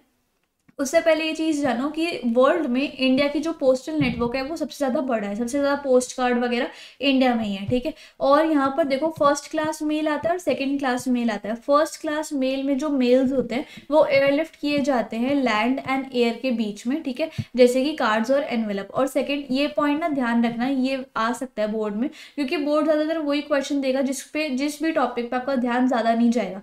तो याद करके चलना, ये वाले नोट्स चाहिए तो टेलीग्राम पर फॉलो कर लो, ठीक है? वहाँ पे मैंने ऑलरेडी अपलोड कर दिए। सेकेंड क्लास मेल जो है वो लैंड वाटर ट्रांसपोर्ट के uh, बीच में ट्रैवल करता है। जैसे कि package registered newspaper and periodicals ठीक है? सो ये था कम्युनिकेशन के बारे में। और देखो India has largest telecom networks ये आपको टेलीकॉम नेटवर्क्स दिख रहे हैं? सबसे ज़्यादा एशिया में इंडिया के पास लार्जेस्ट टेलीकॉम नेटवर्क्स होते हैं। मास कम्युनिकेशन क्या करता है? हमें एंटरटेनमेंट प्रोवाइड करता है। हम लोग सास बहू के नाटक नहीं देखते हैं। फिल्म्स देखते हैं न्यूज़ वगैरह देखते हैं और भी कार्टून्स देखते हैं। तो मास कम्युनिकेशन जैसे कि टीवी रेडियो वगैरह हो गया, ये सब हमें एंटरटेनमेंट प्रोवाइड करते हैं। अवेयरनेस हमें जगा अवेयर अवेयर करते हैं हमें। अलग अलग प्रोग्राम्स एंड पॉलिसीज़ के लिए, ठीक है? और मास कम्युनिकेशन में क्या क्या आएगा वही रेडियो रेडियो को हिंदी में पता है क्या बोलते हैं? आकाशवाणी ये ध्यान रखना ठीक है? रेडियो को आकाशवाणी बोलते हैं। वो अलग अलग नेशनल रीजनल लोकल लैंग्वेजेस और डिफरेंट कैटेगरीज ऑफ़ पीपल बहुत सारे अवेयरनेस पूरी कंट्री के अलग अलग पार्ट में पहुँच जाते हैं। उसके बाद आता है टीवी जिसको हम पहले uh, हिंदी में दूरदर्शन बोलते थे और संस्कृत में भी ठीक है?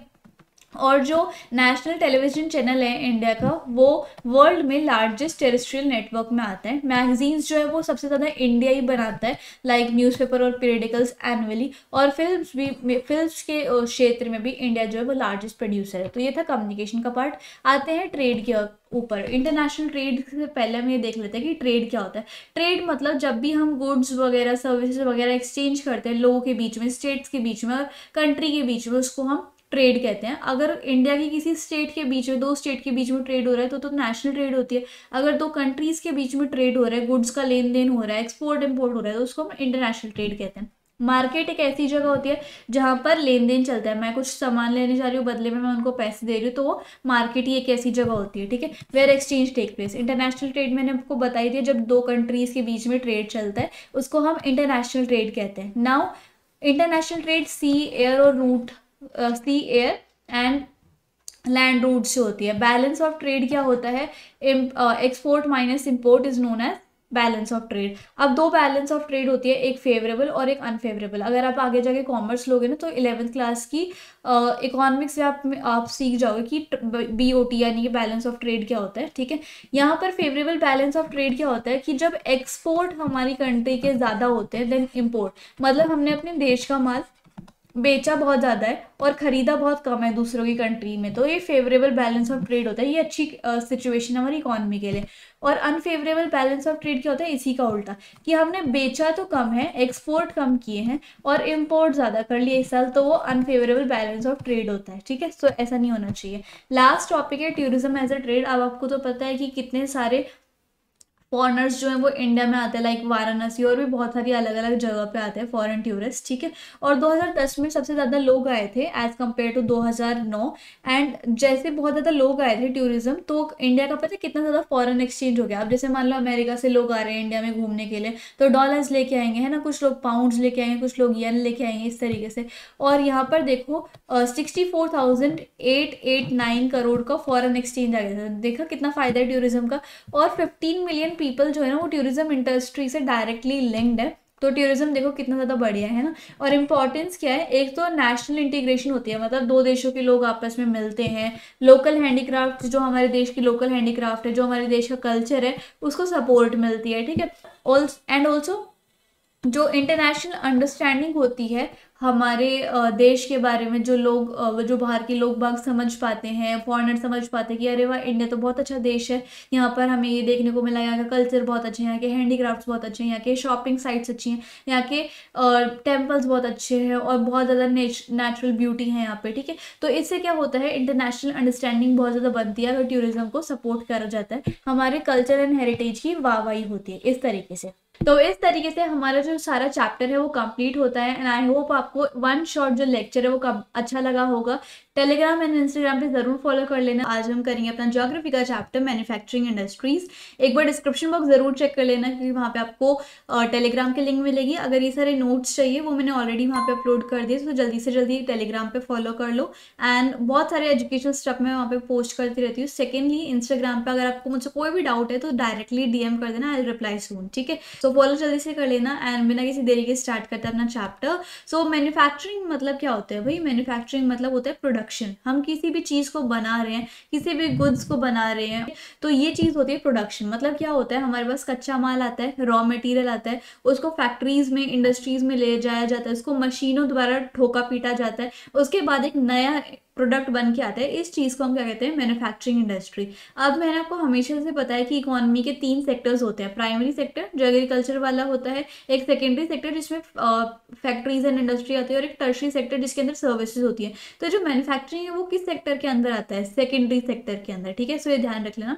हमारे देश की जो इकोनॉमी होती है, वो कैसे बढ़ती है या फिर कैसे उसकी बढ़ोतरी होती है, जितनी ज़्यादा हमारे पास मैन्युफैक्चरिंग इंडस्ट्रीज़ होंगी, उतनी ज़्यादा हमारे देश की इकॉनमी बढ़ेगी। क्योंकि सबसे ज़्यादा गुड्स वही बनेंगे मैन्युफैक्चरिंग इंडस्ट्रीज़ ठीक है? उसके बाद उनका ट्रांसपोर्टेशन होगा, उसके बाद वो मार्केट में आएँगी, फिर उससे ट्रेडिंग स्टार्ट वगैरह होगी, ठीक है? अब हम देख लेते हैं कि मैन्युफैक्चरिंग इंडस्ट्रीज़ की इंडिया में क्या इंपॉर्टेंस है, ठीक है? तो देखो, जो मैन्युफैक्चरिंग सेक्टर होता है लाइक हमारे इंसानों के अंदर वो रीढ़ की हड्डी होती है ना पीछे, वो हमें अच्छे से बैठने में, लेटने में, उठने में, चलने में हेल्प करती है, वो हमें बैलेंस कर लेती है। ऐसे ही हमारी इकॉनमी को बैलेंस करने के लिए जो मैन्युफैक्चरिंग इंडस्ट्रीज़ होती है, उनका बहुत बड़ा रोल रहता है, ठीक है? कैसे? एक तो ये एग्रीकल्चर को मॉडर्नाइज कर देती है, काफ़ी अच्छे सा बढ़ोतरी वाला मॉडर्न बना देती हैं, और हमारे देश की इकॉनमी की ये बैकबोन रीढ़ की हड्डी है, ठीक है? ये जो मैन्युफैक्चरिंग इंडस्ट्री है, हमारे देश को बहुत स्ट्रांग बनाती है। और ओके एंड जैसे कि सबसे पहले हमारी जब इंडिपेंडेंस हुई थी हमारे देश की, तब सबसे ज़्यादा लोग जो है वो एग्रीकल्चर सेक्टर में थे। लेकिन अब जब से ये सेकेंडरी सेक्टर आया है मैन्युफैक्चरिंग इंडस्ट्री आई है, तब लोग बाग एग्रीकल्चर इनकम से उनके पास एक और सब्सिट्यूट आ गया है। वो अब अलग अलग सेक्टर्स में, जैसे कि सेकेंडरी और टर्शरी सेक्टर में भी जॉब पा सकते हैं। तो ये फ़ायदा है एक तो। ऑल्सो जो हमारे देश में अनएम्प्लॉयमेंट की प्रॉब्लम थी कि लोगों को जॉब नहीं मिल पा रही, उसकी ये चीज़, उस चीज़ को ये इरेडिकेट करती है, उस चीज़ को ये रिमूव करती है और हमारे देश से जो गरीबी है, वो भगाती है, ठीक है? क्योंकि लेबर्स को चाहे वो स्किल्ड है, चाहे वो अनस्किल्ड है, सबको जॉब मिल जाती है फैक्ट्रीज वगैरह में। ऑल्सो जो मैन्युफैक्चर्ड गुड्स हैं, उनका एक्सपोर्ट जब होता है, जब हम उसको दूसरी कंट्री में बेचते हैं, हमारी कंट्री के बने हुए कुछ, उससे हम फॉरेन एक्सचेंज कमा पाते हैं। और देखो रॉ मटेरियल्स को हम बहुत सारे फिनिश्ड गुड्स में बदल सकते हैं। जैसे कि गेहूँ है, गेहूँ से हमने आटा बना दिया। आटा एक खुद का प्रोडक्ट है, ठीक है? आटे के बाद फिर ब्रेड बन गई, और भी बहुत सारी चीज़ें बन गई, है ना? तो उससे हायर वैल्यू मिलती है। और देखो एग्रीकल्चर जो है और इंडस्ट्री जो है इंडिया में, वो आपस में एक दूसरे के ऊपर डिपेंडेंट है। कैसे? इंडस्ट्री को एग्रीकल्चर से रॉ मटेरियल मिलता है और इंडस्ट्री जो है अपने खुद के प्रोडक्ट्स जैसे कि फर्टिलाइज़र हो गए और कोई उनके इक्विपमेंट्स हो गए, वो एग्रीकल्चर वालों को एग्रीकल्चर फार्मर्स को या फिर प्लांटेशन वर्कर्स को प्रोवाइड करती है। तो इससे क्या होता है, दोनों एक दूसरे के ऊपर डिपेंडेंट है। इंडस्ट्री भी एग्रीकल्चर पर डिपेंडेंट है as raw material for raw material and agriculture भी इंडस्ट्री पर डिपेंडेंट है। फॉर फर्टिलाइज़र हो गए और काफ़ी सारी चीज़ें जैसे कि इरिगेशन पंप्स हो गए insecticide pesticide plastic PVC pipe machines and tools बहुत सारी चीज़ें ठीक है? सो ये आपस में इंटर रिलेटेड है। दूसरा देखो जब कंट्रीब्यूशन uh, क्या है इंडस्ट्री का नेशनल इकोनॉमी में तो, तो ये जो इंडस्ट्रीज़ हैं जो ये मैन्युफैक्चरिंग इंडस्ट्रीज़ है हमारी वो जीडीपी में बहुत कम हिस्सा देती हैं इंडिया में as compare to east Asian countries जो ईस्ट एशिया की कंट्रीज़ हैं, जैसे कि आपकी इंडोनेशिया हो गई फिलीपींस हो गई ताइवान हो गई तो ये जो है इंडस्ट्रीज़ जो इनके अंदर होती हैं इन देशों के अंदर थाईलैंड हो गई, वो बहुत ज़्यादा जीडीपी में रोल प्रोवाइड करती है, बहुत ज़्यादा जीडीपी को बढ़ाने का काम करती है बट लेकिन जो इंडिया में इंडस्ट्रीज़ हैं, वो जीडीपी में इतना ज़्यादा सुधार नहीं दिखा पाई, वो अभी लो हैं as compare to east Asian countries the national manufacturing competitiveness council NMCC जो कि गवर्नमेंट ने सेटअप की थी, उन्होंने ये इंडस्ट्री ये ऑर्गेनाइजेशन को क्यों सेटअप किया? ताकि वो अच्छे से पॉलिसीज़ बना सके, ताकि मैन्युफैक्चरिंग इंडस्ट्री जो प्रोडक्टिविटी है, वो ज़्यादा इंप्रूव हो जाए हमारी जीडीपी जो है, वो इंडस्ट्रीज़ के थ्रू बढ़ जाए, ठीक है? ओके नेक्स्ट देखो, अब कोई भी इंडस्ट्री है, ठीक है, आप उसको कहाँ पे सेटअप करोगे जहाँ पे कुछ सुटेबल फैक्टर्स होंगे? जैसे कि जहाँ पर उनको रॉ मटेरियल मिल जाए, जहाँ पर उनको लेबर मिल जाए सस्ते दाम पे, और जहाँ पर उनको सप्लाई ऑफ़ पावर मिल जाए इलेक्ट्रिसिटी वगैरह मिल जाए, पानी वगैरह मिल जाए, जहाँ पर उनको कैपिटल मिल जाए मतलब थोड़ा बहुत पैसा मिल जाए, ठीक है? लाइक बैंकिंग और इंश्योरेंस फैसिलिटी मिल जाए गवर्नमेंट की सूटेबल पॉलिसीज़ मिल जाए, वहाँ पे उस जगह पे इंडस्ट्री जो है वो सेटअप होगी। अब इंडिया में पाँच तरीके की इंडस्ट्रीज़ हैं। अलग अलग तरीके से उसको क्लासिफाई किया गया है। On the basis of raw material दो टाइप की इंडस्ट्री होती है। एक एग्रो बेस्ड और एक मिनरल बेस्ड ठीक है? ये वाली जो इंडस्ट्रीज़ है ना एग्रो बेस्ड और मिनरल बेस्ड हमें सिर्फ़ इनके बारे में डिटेल में पढ़ना है एनसीईआरटी में। बाकी जो इंडस्ट्रीज़ हैं, वो हमें छोटी छोटी पढ़नी है, बस उनकी डेफिनेशन दैट्स इट ठीक है? मेन रोल के आधार पे दो टाइप की इंडस्ट्री होती हैं, एक बेसिक या फिर की इंडस्ट्री ये ऐसी इंडस्ट्रीज़ होती हैं जो कि अपने रॉ मटेरियल्स को सप्लाई करती हैं ताकि नए नए गुड्स बन सके। जैसे कि आयरन एंड स्टील इंडस्ट्री और कॉपर स्मेल्टिंग इंडस्ट्री जो होती है, वो अपने प्रोडक्ट्स को प्रोवाइड करती है ताकि उनसे वायर बन जाए मशीनरी के प्रोडक्ट्स बन जाए, इस तरीके से। और कंज्यूमर इंडस्ट्री कौन सी होती है जो ऐसे गुड्स बनाती है जो डायरेक्टली कंज्यूमर जो है वो यूज़ कर ले like sugar toothpaste and all ठीक है?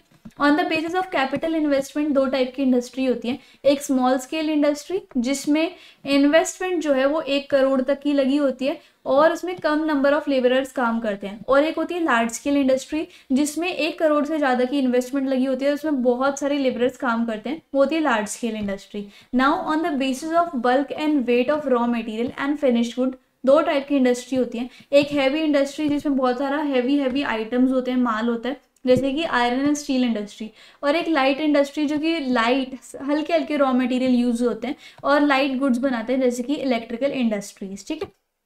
अब फोर टाइप की इंडस्ट्रीज़ होती है on the basis of ownership पहली है पब्लिक सेक्टर इंडस्ट्रीज़ जो कि गवर्नमेंट हैंडल करती है लाइक भेल, सेल, और दूसरी है प्राइवेट सेक्टर इंडस्ट्रीज़ जो कि कोई इंडिविजुअल या फिर ग्रुप ऑफ़ इंडिविजुअल ऑपरेट कर रहे हैं प्राइवेटली जैसे कि TISCO Bajaj auto limited Dabur industries है ना?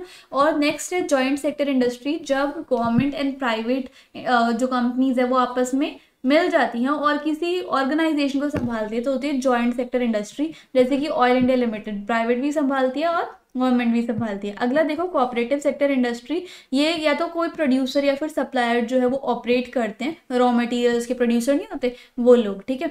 और इनके पास बहुत सारे रिसोर्सेज रहते हैं प्रॉफिट एंड लॉस जो है, वो वो हिसाब के अकॉर्डिंग शेयर होते हैं, ठीक है? जैसे कि शुगर इंडस्ट्री है महाराष्ट्र में और ऑयल इंडस्ट्री केरला में तो ये कोऑपरेटिव सेक्टर इंडस्ट्रीज़ होती हैं, ठीक है? तो ये हमारी कुछ इंडस्ट्रीज़ की क्लासिफिकेशन थी। अब हम आते हैं एग्रो बेस्ड इंडस्ट्री के ऊपर, जो इंडस्ट्रीज़ एग्रीकल्चर के रॉ मटेरियल पे डिपेंड रहती हैं, उसको हम एग्रो बेस्ड इंडस्ट्री कहते हैं। अब इसके अंदर हमें कुछ इंडस्ट्रीज़ पढ़नी है तो पहली इंडस्ट्री हमारी टेक्सटाइल इंडस्ट्री इसके बारे में, इन सभी इंडस्ट्रीज़ के बारे में हमें थोड़ा थोड़ा फैक्ट्स याद करने पड़ेंगे, वो फैक्ट्स मैंने यहाँ पे लिखे हुए हैं सो मैं आपको बताती रहती हूँ, ठीक है? टेक्सटाइल इंडस्ट्री का मतलब होता है कपड़े का व्यापार, कपड़े का बिज़नेस ठीक है? अच्छा ये जो टेक्सटाइल इंडस्ट्री है, वो चार परसेंट जीडीपी को प्रोवाइड करती है। ये ऐसी इंडस्ट्री है हमारे पूरे कंट्री में, जो कि सेल्फ रिलायंट है मतलब खुद पे ही निर्भर है, इसको किसी और की ज़रूरत नहीं है, और कंप्लीट वैल्यू चेन यानी कि from raw material to highest value added product यानी कि इस इंडस्ट्री में सबसे ज़्यादा हमें प्रॉफिट देखने को मिल मिला है, ठीक है? Largest second largest employment generator sector है इंडिया में। मतलब इसने 35 मिलियन पीपल को पर्सन को एम्प्लॉयमेंट दी है आफ्टर द एग्रीकल्चर इस वाले पॉइंट से क्वेश्चन बनता है कि कितने सारे लोगों को इन्होंने एम्प्लॉयमेंट दी है। तो आपको याद होना चाहिए कि 35 मिलियन पर्सन को दिए हुए ठीक है? नेक्स्ट देखो आप सेकेंड वाली कॉटन टेक्सटाइल कॉटन टेक्सटाइल ना बहुत पहले से ही, बहुत पहले से एंशियंट टाइम से यूज़ होती आ रही है। पहले जब हम चरखा चलाते थे हमारे इंडिया वाले, तब भी कॉटन टेक्सटाइल्स थी, ठीक है? फिर उसके बाद हैंडलूम आ गई, वो मशीन्स देखी आपने? जो कि जिसके अंदर कॉटन का यार्न जो है वो फिट कर दिया जाता था, धागा फिट कर दिया जाता था, और उससे फिर उस मशीन से पूरा पूरा जो हाथ से चलाते थे बेसिकली उससे पूरा का पूरा कपड़ा बन के आ जाता था, ठीक है? उसके बाद वीविंग टेक्निक्स भी होती थी। तो कॉटन टेक्सटाइल जो है, वो इंडिया में बहुत पहले से है। एटीन सेंचुरी के बाद पार्लूम्स आने लग गए थे, जो कि बिजली से चलते थे, ठीक है? जिससे कि ट्रेडिशनल इंडस्ट्री जो है, उनको बहुत ज़्यादा नुकसान हुआ था। पहली सक्सेसफुल टेक्सटाइल मिल जो है, वो मुंबई में सेटअप हुई थी इन 1854 ठीक है? और इससे इस वाले पॉइंट से क्वेश्चन ज़रूर आता है, ठीक है? ये ध्यान रखना। और पहले के सालों में कॉटन टेक्सटाइल इंडस्ट्री जो है वो महाराष्ट्र एंड गुजरात में ज़्यादा होती थी। ये ज़्यादा ग्रोइंग बेल्ट थी Maharashtra and Gujarat cotton textile के मामले में, क्योंकि वहाँ पे सबसे ज़्यादा रॉ कॉटन मार्केट था ट्रांसपोर्ट भी था, बहुत सारे port facilities labour most climate भी था कॉटन को उगाने के लिए। स्पिनिंग जो है, वो महाराष्ट्र, गुजरात और तमिलनाडु में कंटिन्यू रही, लेकिन जो वीविंग होती है मतलब हाथ की जो बुनाई होती है, वो बहुत ज़्यादा उसका स्कोप कम हो गया था, ठीक है? और वीविंग बस जैसे डिज़ाइंस बनाने के लिए एम्ब्रॉयडरी करने में, जरी करने के लिए, कढ़ाई करने के लिए सिर्फ़ उसके लिए काम आने लग गई थी। बाकी इसका रोल ख़त्म हो गया था कपड़ा बनाने के लिए, ठीक है? इंडिया के पास वर्ल्ड क्लास फैसिलिटी है। स्पिनिंग के लिए, लेकिन वीविंग जो है वो कम हो गई थी, उससे कम अच्छा फैब्रिक भी नहीं बनता था पूरा अच्छा सा, ठीक है? इंडिया का जो एक्सपोर्ट है यार्न का, वो जापान में जाता है, और भी बहुत सारे कॉटन के गुड्स जहाँ पे हम एक्सपोर्ट करते हैं, वो कौन कौन सी कंट्रीज़ हैं? USA UK Russia France east European countries Nepal Singapore Sri Lanka and African countries ठीक है? और इंडिया जो है वो सेकेंड लार्जेस्ट इंस्टॉल्ड कैपेसिटी है स्पिंडल्स के लिए। मतलब जो कि स्पिनिंग में टूल्स यूज़ नहीं होते उसके इंडिया के पास बहुत ज़्यादा uh, इस चीज़ के इंस्टॉल्ड कैपिटल स्पिंडल्स हैं in the world after China first पे चाइना है ठीक है? इंडिया जो है वो लार्जेस्ट शेयर वर्ल्ड में सपोर्ट करता है कॉटन यार्न के लिए but about one fourth of the total trade ठीक है? और हावे वो आवर ट्रेड इन गारमेंट्स लेकिन हमारा सिर्फ़ ट्रेड में जो गारमेंट है, वो सिर्फ़ फोर परसेंट है इन द वर्ल्ड थोड़ा सा ये अलग आपको दिख रहा होगा, क्योंकि इसमें जो ये ना पॉइंट्स आपको थोड़े बहुत याद करने पड़ेंगे. तो आई वुड सजेस्ट कि आप ये जो पॉइंट्स हैं, वो पेपर से पहले याद कर लो. अगर पेपर वाले दिन याद कर रहे हो तो थोड़ा सा याद यहीं से कर लेना, ठीक है? इन्हीं पॉइंट्स में से। और बाकी कोई दिक्कत नहीं है। कॉटन टेक्सटाइल प्रॉब्लम्स कौन कौन सी होती है? कॉटन टेक्सटाइल में भी अब प्रॉब्लम्स होती हैं। जैसे कि कभी कभी सप्लाई की शॉर्टेज है कभी कभी इंडस्ट मशीनरी पुरानी हो गई लेबर नहीं आ पाते। टफ कॉम्पिटिशन है सिंथेटिक फाइबर इंडस्ट्री से अब ऐसे थोड़े ना सिर्फ़ कॉटन कॉटन के कपड़े आते हैं। बहुत सारे टाइप के कपड़े आते हैं। हॉजरी के कपड़े आते हैं जॉर्जेट के कपड़े आते हैं सिल्क के कपड़े आते हैं तो बहुत सारे कॉम्पिटिटर्स हैं राइट अगला देखो तीसरी टाइप की टेक्सटाइल जूट टेक्सटाइल ये जो है इंडिया लार्जेस्ट प्रोड्यूसर है रॉ जूट एंड जूट के गुड्स का. बहुत सारी जूट मिल्स इंडिया में वेस्ट बंगाल में, हुगली रिवर के पास शिफ्ट हैं मतलब वहीं पे क्योंकि वहाँ पे सबसे ज़्यादा हमें जूट प्रोडक्शन होता है, ठीक है? जूट बनता है वहाँ पे. फ़र्स्ट जूट मिल जो है वो सेटअप हुई थी कोलकाता में 1859 रिश्रा के पास. इससे क्वेश्चन बनता है राइट और देखो फैक्टर्स कौन से रिस्पॉन्सिबल है कि सिर्फ़ हुगली बेसिन के पास ही जूट इंडस्ट्रीज़ जो है वो सेटअप होती हैं। वो कौन कौन से फैक्टर्स हैं? क्योंकि सबसे ज़्यादा वहीं पे जूट प्रोड्यूस होते हैं, ठीक है? वहाँ पे सबसे ज़्यादा चीपेस्ट मतलब बहुत सस्ते में वाटर ट्रांसपोर्ट मिल जाते हैं और गुड नेटवर्क ऑफ़ रेलवेज़ है वाटरवेज़ का है रोडवेज़ का है, ताकि रॉ मटेरियल का सप्लाई हो जाए मिल्स में। बहुत सारा पानी है जिससे कि रॉ जूट की प्रोसेसिंग हो जाए। बहुत सस्ती लेबर है वेस्ट बंगाल में और बिहार उड़ीसा उत्तर प्रदेश से उसके इन स्टेट से वो ज्वाइन भी होती है वेस्ट बंगाल ठीक है? कोलकाता जो है, वो लार्ज अर्बन सेंटर है बैंकिंग का इंश्योरेंस का पोर्ट फैसिलिटीज़ और जूट गुड्स का, ठीक है? और ये जो जूट इंडस्ट्री है, इसको भी कुछ चैलेंजेस फेस करने पड़ते हैं, जैसे कि बहुत सारे स्टिफ कॉम्पिटिशन आते हैं इंटरनेशनल मार्केट से, बहुत सारे सिंथेटिक सब्सटीट्यूट्स है कॉटन या फिर जूट की जगह, जैसे कि बांग्लादेश से आते हैं, ब्राज़ील से आते हैं, फिलीपींस, इजिप्ट एंड थाईलैंड से, ठीक है? तो ये कुछ प्रॉब्लम्स है। उसके बाद एक नेशनल जूट पॉलिसी आई थी 2005 में। इसमें क्या है, जो जूट है, उसकी प्रोडक्टिविटी को इंक्रीज करने का ऑब्जेक्टिव है, इसका एम है इम्प्रूव करना है क्वालिटी को, और जूट फार्मर्स को गुड प्राइसेस पे उनको इंश्योर करना है कि हम आपको अच्छा दाम देंगे, आप जूट अच्छे से उगाओ, ठीक है? और यील्ड पर हेक्टर और ज़्यादा जूट की प्रोडक्शन करो। तो ये इस पॉलिसी का मानना है। Fourth and last agro based industry sugar industry India जो है वो सेकेंड नंबर पे है शुगर को प्रोड्यूस करने में, पूरे वर्ल्ड में। और फ़र्स्ट प्रोड्यूसर है गुड़ और खांडसरी को उगाने के लिए या फिर प्रोड्यूस करने के लिए, ठीक है? ये थोड़ा बहुत याद रख लेना कि रैंकिंग क्या है इनकी।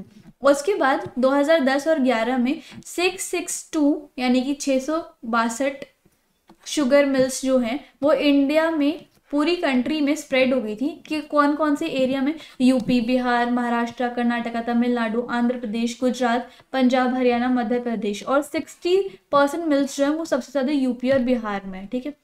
इन सालों में मिल्स जो हैं, वो साउथ और वेस्टर्न स्टेट्स में शिफ्ट हो गई हैं, क्योंकि स्पेशली महाराष्ट्र में, क्योंकि महाराष्ट्र में जो गन्ना होता है, उसके अंदर सबसे ज़्यादा सुक्रोज कंटेंट होता है, ठीक है? और इसके बाद वहाँ का क्लाइमेट भी कूलर रहता है, जिससे कि लंबा क्रशिंग सीज़न मिल जाता है। कोऑपरेटिव जो हैं, वो ज़्यादा सक्सेसफुल है इन स्टेट्स में। अब आते हैं हम मिनरल बेस्ड इंडस्ट्री पे, ठीक है? ये वाली जो इंडस्ट्रीज़ हैं, वो मिनरल्स मेटल्स को as a raw material use करती हैं और इसके कुछ टाइप्स हैं, जैसे कि पहला टाइप है आयरन एंड स्टील इंडस्ट्री ये जो है ना हैवी इंडस्ट्रीज़ होती हैं, भारी भरकम इंडस्ट्री होती हैं और iron and steel industry machinery को बनाने का बहुत हेल्प करती हैं दूसरी इंडस्ट्री में. स्टील जो है, वो बहुत सारे इंजीनियर इंजीनियरिंग गुड्स हो गए construction material defence medical telephonic scientific equipment and बहुत सारे गुड्स को प्रोड्यूस करते हैं, ठीक है?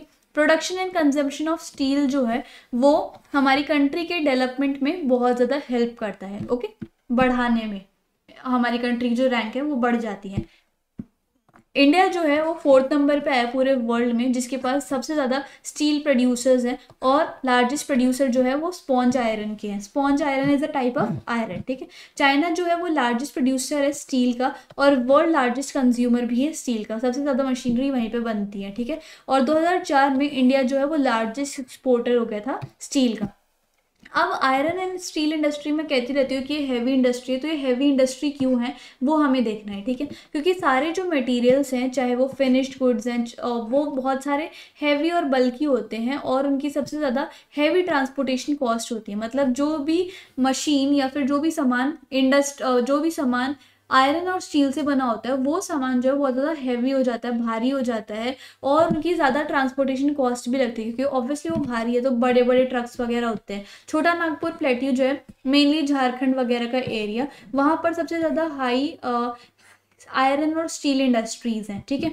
इंडिया जो है, वो फुल पोटेंशियल के साथ स्टील और आयरन का प्रोडक्शन नहीं कर सकता, क्योंकि वही कोल की कमी है लेबर नहीं आती एनर्जी की रेगुलर सप्लाई और पुअर इंफ्रास्ट्रक्चर है। तो इसलिए लिबरलाइजेशन और फॉरेन डायरेक्ट इन्वेस्टमेंट लिबरलाइजेशन में आपको बता चुकी हूँ जब ट्रेड बैरियर से फ्रीडम मिल जाती है, ठीक है? और फॉरेन डायरेक्ट इन्वेस्टमेंट मतलब बाहर की कंपनीज़ आके इंडिया में सेटअप होती है फॉरेन इन्वेस्टमेंट करती है। तो इससे क्या है, इस इंडस्ट्री को बूस्ट मिलता है और प्राइवेट एंटरप्रेन्योर्स भी इसमें पैसा लगाते हैं। तो इसलिए हैवी इंडस्ट्री है iron and steel industry next industry is aluminium smelting industry ये सबसे सेकेंड इंपॉर्टेंट मेटलर्जिकल इंडस्ट्री है इंडिया में एल्यूमिनियम के बहुत सारे काम होते हैं हमारे इंडिया में। जैसे कि इसमें जो रॉ मटेरियल यूज़ होता है स्मेल्टर्स में, यानी कि भट्टों में, वो होता है बॉक्साइट वो बहुत ज़्यादा हैवी वो बहुत ज़्यादा बल्कि डार्क रेडिश कलर का होता है। रॉक होती है एक टाइप की।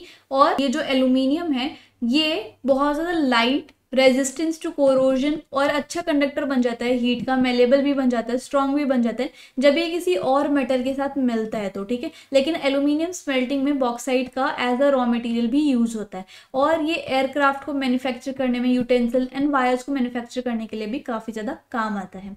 उसके बाद इसने पॉपुलरिटी कब गेन करी? अब हर जगह स्टील कॉपर जिंक और लेड तो यूज़ नहीं हो सकता। कुछ ना कुछ और भी होना चाहिए एज ए सब्सिट्यूट तो उस जगह एल्यूमिनियम यूज़ होता है।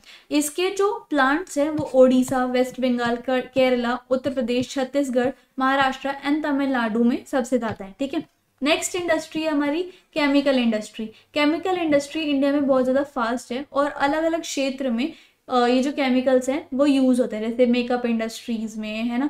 और आपके दवाइयों की इंडस्ट्रीज़ में फर्टिलाइज़र में, हर जगह केमिकल इंडस्ट्री का काम होता है और जीडीपी में थ्री परसेंट कॉन्ट्रीब्यूट करता है।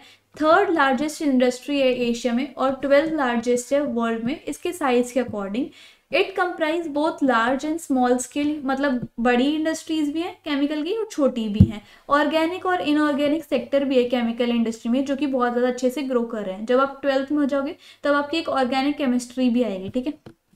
तो ऑर्गेनिक केमिकल्स में कौन कौन सी चीज़ें आती हैं? पेट्रोकेमिकल्स जो कि सिंथेटिक फाइबर को मैन्युफैक्चर करने में synthetic rubber plastic dye stuff drug और फार्मा क्यूट्रिकल्स को यूज़ करने में मतलब मैन्युफैक्चर करने में काम आता है। और इन ऑर्गेनिक केमिकल्स जैसे कि जिसमें सल्फ़र एसिड होता है लाइक वो मैन्युफैक्चर करने का काम आता है like fertiliser synthetic fibre plastic adhesive स्टो शेप um, जो फेविकॉल टाइप की होती हैं paints dye stuff nitric acid alkaline soda ash और सोडा ऐश जो है वो ग्लास सोप डिटर्जेंट पेपर और कॉस्टिक सोडा को बनाने के हेल्प आता है। सो so, ये कुछ होता है केमिकल इंडस्ट्री के बारे में। Now coming to words fertiliser industry fertiliser industry में निट्रोजनस फर्टिलाइजर्स को बनाने का काम होता है स्पेशली जिसको हम यूरिया कहते हैं। दो तीन टाइप के होते हैं और यूरिया के साथ साथ phosphatic fertiliser ammonium fertiliser, ammonium phosphate, जिसको हम डीएपी बोलते हैं, और बहुत सारे कॉम्प्लेक्स फर्टिलाइज़र जो कि तीन चीज़ से बनते हैं लाइक नाइट्रोजन फॉस्फेट और पोटैश ठीक है? इंडिया जो है, वो थर्ड लार्जेस्ट प्रोड्यूसर है नाइट्रोजनस फर्टिलाइज़र का, और इसके अंदर ये कुछ यूनिट्स हैं like fifty seven fertiliser units हैं नाइट्रोजनस और कॉम्प्लेक्स नाइट्रोजनस फर्टिलाइज़र के लिए ट्वेंटी नाइन यूरिया के लिए। नाइन जो है, वो प्रोडक्श प्रोड्यूसिंग एमोनियम सल्फेट और सिक्सटी एट जो है, वो super phosphate single super phosphate को प्रोड्यूस करने के काम आती है। और इसके कहाँ कहाँ पे इंडस्ट्रीज़ हैं, जैसे कि गुजरात तमिलनाडु यूपी पंजाब और केरला। एंड ये कुछ और एरियाज़ हैं जहाँ पर फर्टिलाइज़र इंडस्ट्री सेटअप है, ठीक है? अगली इंडस्ट्री है सीमेंट इंडस्ट्री ये बेसिकली जैसे कि हम house, factories, bridges, road, airport, dam और अलग अलग कमर्शियल इस्टेब्लिशमेंट में सीमेंट का काम तो होता ही होता है, ठीक है? ये इंडस्ट्री बहुत भारी है, भारी रॉ मटेरियल्स इसके अंदर होते हैं, जैसे कि किससे बनी हुई है? Lime stone silica aluminium gypsum से, ठीक है? इंडस्ट्री जो है, सबसे ज़्यादा इसके प्लांट्स गुजरात में है, ठीक है? फ़र्स्ट सीमेंट प्लांट जो है, वो चेन्नई में सेटअप हुआ था इन 1904 ये वाला पॉइंट इंपॉर्टेंट है और ये सेकेंड वाला पॉइंट इंपॉर्टेंट है कि ये जो इंडस्ट्री है, इसके अंदर रॉ मटेरियल कौन कौन से चाहिए होते हैं? तो ये इंपॉर्टेंट है, काफ़ी इसको याद कर लेना। उसके बाद प्राइस में कंट्रोल नहीं रहा और इसका जो डिस्ट्रीब्यूशन है 1989 से, वो थोड़ा सा अजीब सा हो गया था। फिर उसके बाद बहुत सारे पॉलिसी रिफॉर्म बने, जिससे कि केमिकल इंडस्ट्री में काफ़ी अच्छा प्रोग्रेस देखने को मिला था, ठीक है? इंडस्ट्री जो है, वो प्रोडक्शन और एक्सपोर्ट के टर्म्स में काफ़ी अच्छा परफॉर्म कर रही है। अगली इंडस्ट्री है ऑटोमोबाइल इंडस्ट्री ऑटोमोबाइल इंडस्ट्री जो है, वो लोगों को पैसेंजर्स को एंड लोगों को यानी कि पैसेंजर्स को फॉर व्हीकल्स uh, की या फिर कोई ट्रांसपोर्ट की अच्छी सर्विसेज़ देते हैं। ये इन्होंने लास्ट के पंद्रह सालों में काफ़ी अच्छी ग्रोथ देखने को मिली है।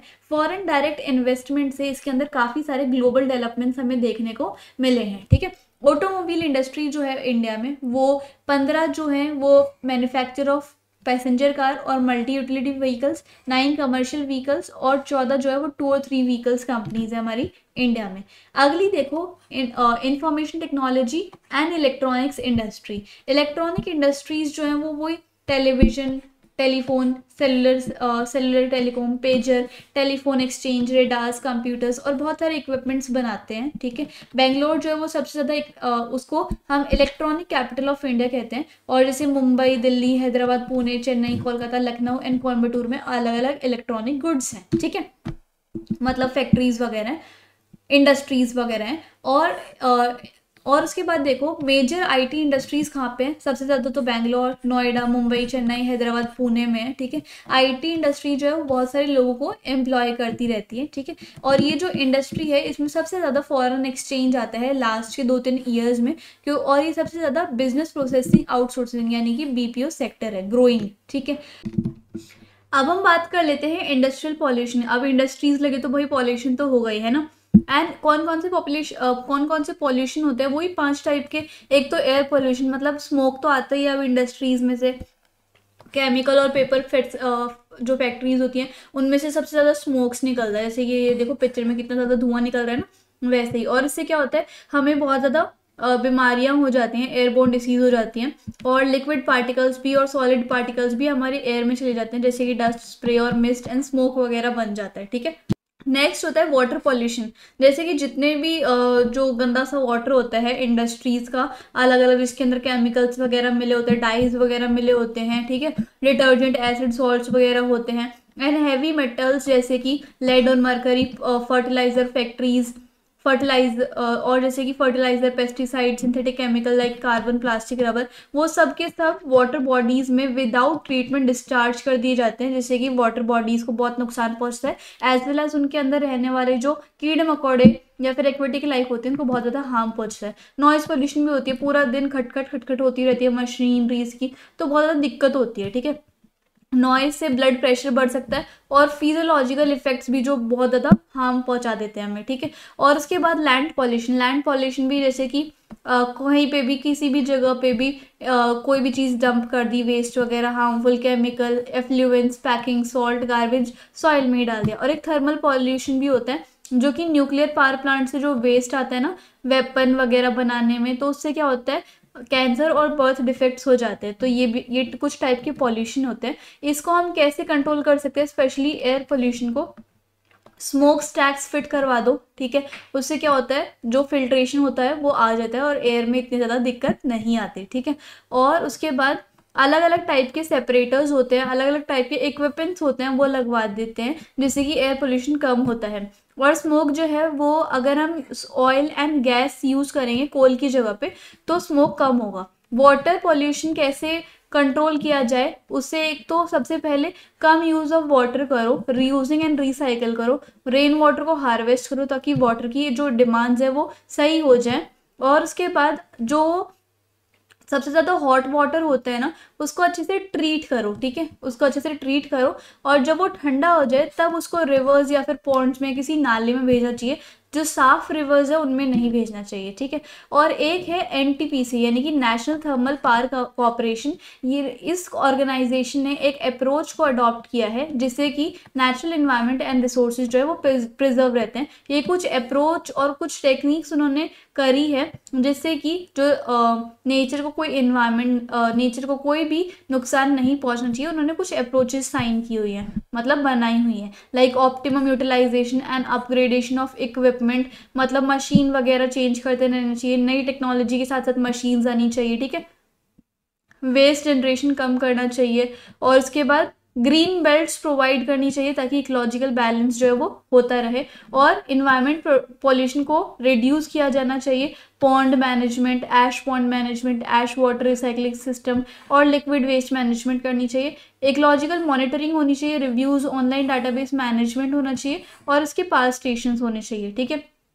सो so, इस तरीके से हमारा जो चैप्टर है वो कंप्लीट होता है। एंड आई होप आपको मेरी एक्सप्लेनेशन अच्छी लगी होगी। टेलीग्राम एंड इंस्टाग्राम पे ज़रूर फॉलो कर लेना। आई नो ये बहुत बड़ा चैप्टर है और बोरिंग सा भी चैप्टर है बट क्या करें पढ़ना तो पड़ेगा है ना? सो so, टेलीग्राम पे मैंने नोट शेयर कर दिए हैं। जल्दी से फॉलो कर लीजिए। इंस्टाग्राम पे डाउट पूछिए। आज हम करेंगे अपना सिविक्स का चैप्टर पॉलिटिकल पार्टी। बहुत आसान सा चैप्टर है एक ही लेक्चर में कंप्लीट हो जाएगा। सो बिना किसी देरी के स्टार्ट करते हैं अपना चैप्टर एक बार ना डिस्क्रिप्शन बॉक्स ज़रूर चेक कर लेना क्योंकि वहाँ पे आपको टेलीग्राम की लिंक मिलेगी। उसको सब्सक्राइब करो क्योंकि ये जो नोट्स है ना वो मैंने वहीं पर अपलोड किए हुए हैं। सो जल्दी से सब्सक्राइब कर लो। और भी इंपॉर्टेंट स्टफ़ मैं वहाँ पे अपलोड करती रहती हूँ। साथ ही साथ अगर आपको कोई भी डाउट है इंस्टाग्राम पे फॉलो करो मुझे डीएम करो I solve doubt as soon as possible ठीक है? सो so, बिना किसी देरी के स्टार्ट करते हैं। पॉलिटिकल पार्टीज़ क्या होता है भाई? पॉलिटिकल पार्टीज़ लोगों का एक ग्रुप होता है जो कि साथ में आते हैं इलेक्शंस कंटेस्ट करते हैं इलेक्शंस में पार्टिसिपेट करते हैं, कोई एक पॉलिटिकल पार्टी जीतती है, उसके हाथ में पार आती है और वो अपनी सरकार बनाती है गवर्नमेंट बनाती है। So that is political party ठीक है? अब आगे देखते हैं पॉलिटिकल पार्टीज़ के क्या फ़ंक्शंस होते हैं? एक तो सबसे पहला फ़ंक्शन ये है, एक तो सबसे पहले ये इलेक्शंस कंटेस्ट कराते हैं, ठीक है? और उसके बाद जो पार्टीज़ हैं, वो अलग अलग पॉलिसीज़ बनाती हैं प्रोग्राम्स बनाती हैं और वोटर्स को जोन सी पार्टी सबसे अच्छी लगती है, जिस भी पार्टी के उनको प्रोग्राम्स अच्छे लगते हैं और उन्हें तो लगता है कि हाँ भाई, इस पार्टी ने हमारे देश के लिए कुछ किया है, हमारे लिए कुछ किया है तो वोटर्स जो है, उन पार्टीज़ में से किसी एक पार्टी को चूज़ करती है, ठीक है? पार्टीज़ जो है, वो बहुत सारे ओपिनियंस लिख लेते हैं एक लिस्ट पे कि हमारे समाज में क्या क्या दिक्कतें हैं। उन दिक्कतों को वो सॉल्व करने पर लग जाती है, उनके लिए वो काम करने लग जाती है, जो मेजर दिक्कतें हैं, उन पर वो ज़्यादातर फोकस करती हैं और उन्हीं को वो ज़्यादातर आगे लेके आती है उस मुद्दे को एंड उसको वो सपोर्ट करते हैं। वोटर्स को वो चीज़ पसंद आती है। जिस भी वोटर को जो सी जोन सी पार्टी अच्छी लगी वो उसको वोट दे के आएगा, ठीक है? पार्टीज़ जो है, वो डिसीज़न रोल प्ले करती हैं हमारी कंट्री के लिए रोल प्ले लॉज बनाने के लिए। अब पॉलिटिकल पार्टीज़ हमारी कंट्री के लिए लॉज बनाती हैं, हमारी वेलफेयर के लिए कानून बनाती हैं, ठीक है? और उसमें काफ़ी सारे डिसीज़न होते हैं। ऐसा नहीं कि ऐसे ही लॉ बन जाए, बहुत सारे डिसीज़न होते हैं। हम लोगों का भी डिसीज़न होता है पार्टीज़ भी डिसीज़न लेती हैं रूलिंग पार्टी भी अपोजिशन पार्टी भी, ठीक है? पार्टीज़ बनती हैं, जो पार्टी जीतती है, और उसके बाद वो अपनी सरकार चलाती हैं, ठीक है? दोज पार्टी, जो कि इलेक्शंस में हार जाती हैं, वो अपोजिशन पार्टी बन जाती हैं और रूलिंग पार्टी के कारनामों पे रूलिंग पार्टी के वर्क्स पे जो जो फैसले वो ले रही है, जो जो लॉज बना रही है, उन सब पे वो नज़र रखते हैं। और अगर उन्हें कोई चीज़ सही नहीं लगती तो उसके लिए आवाज़ भी उठाते हैं, ठीक है? सो ये चीज़ होती है। हमारे पास कितनी पार्टीज़ है? देखो, तीन पार्टी सिस्टम होते हैं। एक होता है वन पार्टी सिस्टम जिसमें सिर्फ़ एक ही पार्टी होती है। लोगों के पास कोई चॉइस नहीं होती और हर बार वो ही सत्ता में आती है पावर में आती है। तो इसका सबसे परफेक्ट एग्ज़ाम्पल है चाइना का। चाइना में सिर्फ़ एक ही पार्टी है चाइना कम्युनिस्ट पार्टी तो वन पार्टी सिस्टम वहाँ पे होता है। टू पार्टी सिस्टम मतलब कि पार सिर्फ़ दो मेन पार्टीज़ के बीच में होती है। कोई एक पार्टी पार में आती है दोनों में से। तो ये टू पार्टी सिस्टम हो गया। उसके बाद मल्टी पार्टी सिस्टम का परफेक्ट एग्ज़ाम्पल है इंडिया ठीक है? इंडिया में बहुत सारी पार्टीज़ होती हैं जो कि कॉन्टेस्ट करती है इलेक्शंस काम करती हैं पब्लिक के लिए पब्लिक का मन जीतती हैं वोटर्स का मन जीतती हैं कॉन्टेस्ट करवाती हैं इलेक्शंस और उसके बाद जिस भी पार्टी को सबसे ज़्यादा वोट्स मिलते हैं वो पार में आती है, ठीक है? सो इसमें ऐसा होता है कि जिस भी पार्टी को सबसे ज़्यादा वोट मिलते हैं, वो आती है गवर्नमेंट में। अगर मान लो किसी पार्टी को बहुत पास वोट मिले मतलब जितने चाहिए थे वोट उससे, उसके पास मिले हैं तो वो क्या कर सकती है? वो पार्टी किसी और पार्टी से हैंडशेक करके या फिर उस पार्टी को मिक्स करके वो एक पार्टी जो है, वो बन जाती है। और अपनी गवर्नमेंट बनाती है। इस पार्टी को, इस टाइप की गवर्नमेंट को हम क्या बोलते हैं? अलायंस गवर्नमेंट ठीक है? यहाँ पर लिखा हुआ है अलायंस विद अदर्स मतलब वो मिल जाती है। जैसे कि यहाँ पर हम एग्ज़ाम्पल देख सकते हैं, आम आदमी पार्टी का। आम आदमी पार्टी ने कांग्रेस के साथ अलायंस की थी, अपनी वोट्स और अपनी सीट्स पूरी की थी, तब वो पार में आई थी इस तरीके से ठीक है? उसके बाद हम बात करते हैं इलेक्शन कमीशन ऑफ़ इंडिया ये एक बहुत बड़ी ऑर्गेनाइजेशन है हमारी इंडिया में ही जो कि इलेक्शंस को देखती है उसकी देख रेख करती है उसके रिलेटेड रूल्स बनाती है। हर पार्टी जितनी भी हमारे देश में या फिर इंडिया में जितनी भी पार्टीज़ बनती है पॉलिटिकल पार्टी उनको इलेक्शन कमीशन के द्वारा रजिस्टर करवाना पड़ता है ठीक है? और इलेक्शन जो है, वो हर पार्टी को इक्वली ट्रीट करता है, लेकिन जो बहुत नामी पार्टी हैं, जैसे कि हमारी कांग्रेस पार्टी है बीजेपी पार्टी है और बहुत सारी बीएसपी पार्टी है और अलग अलग आम आदमी पार्टी है, जो जिनका बहुत ज़्यादा ट्रेंड चला हुआ है, उनको वो थोड़ी ज़्यादा अच्छी फैसिलिटीज़ प्रोवाइड करते हैं, ठीक है? स्पेशल फैसिलिटीज़ प्रोवाइड करते हैं। और they are given a unique symbol and are called और उन पार्टीज़ को जो बहुत ज़्यादा बड़ी बड़ी पार्टीज़ है हमारे इंडिया में, उनको वो रिकोगनाइज पॉलिटिकल पार्टी के नाम से जाना जाता है। अब दो टाइप की पार्टीज़ होती हैं, एक स्टेट पार्टी और एक national party a party that secures at least six percent of total votes in an election to the legislative assembly of state और and wins at least two seats in the recognise state party एक तो उसको total votes का six percent मिल जाए legislative assembly में, ठीक है?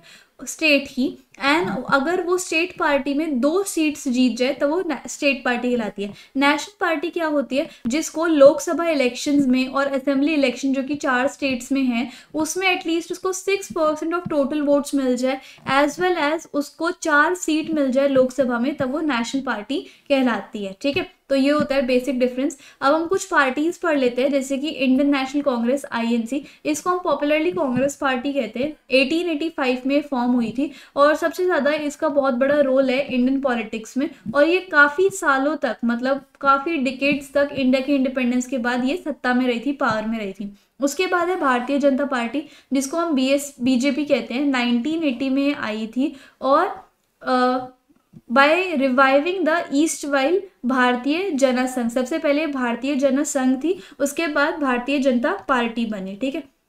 इनका मेन फ़ंक्शन क्या है? इन, कि ये कल्चरल नेशनलिज्म रखे मतलब देश के जितने भी लोग हैं, हिंदुस्तान के जितने भी लोग हैं, वो सब नेशनलिज्म के उससे रहे, सब कंबाइंड रहें, सब एक दूसरे से लिंक्ड रहें, ठीक है? कोई भी आ, किसी भी चीज़ से अलग ना हो सब के सब एक समान है। तो इनका ये मेन मोटिव है कि कल्चरल नेशनलिज्म बना रहे।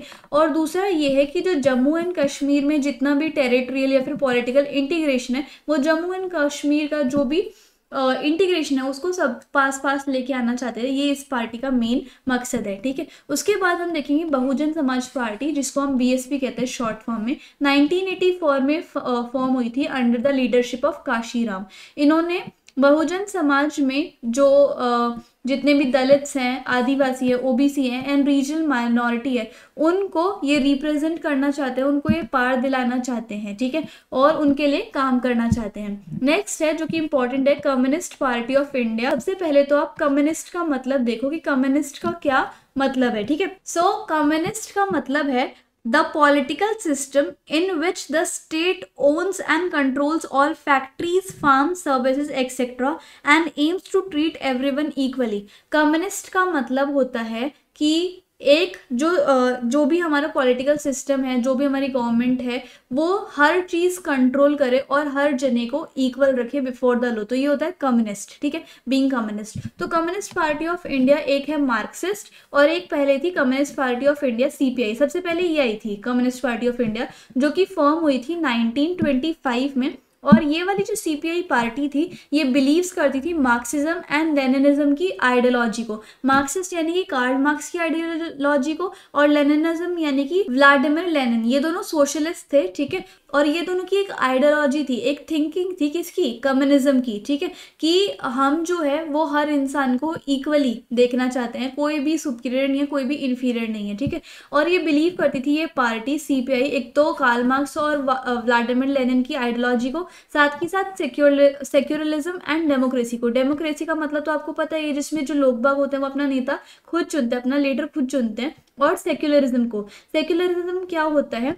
जिसमें ये बोला जाए कि सरकार पर शिक्षा पर और किसी भी चीज़ पर किसी भी रिलीजन का दबाव या फिर रिलीजन का इन्फ्लुएंस नहीं होना चाहिए तो ये होता है सेक्युलरिज्म ठीक है? उसके बाद कम्युनिस्ट पार्टी ऑफ़ इंडिया बनी, जिसके आगे मार्क्सिस्ट लग गया मतलब सीपीआई के बाद, और अब इसको बोलते हैं सीपीआई एम मार्क्सिस्ट ठीक है? ये फाउंड हुई थी 1964 में, ये मार्क्सिज्म एंड लेनिनिज्म की आइडियोलॉजी को बिलीव करती थी और सपोर्ट करती थी सोशलिज्म को। सोशलिज्म इन द सेंस कि हर जना सोसाइटी में एक है, सब मिलजुल के रहे सोशलिज्म को। सेक्युलरिज्म मैंने आपको बता दिया कि समाज पर, शिक्षा पर, सरकार पर किसी भी पर्टिकुलर रिलीजन का इन्फ्लुएंस नहीं होना चाहिए।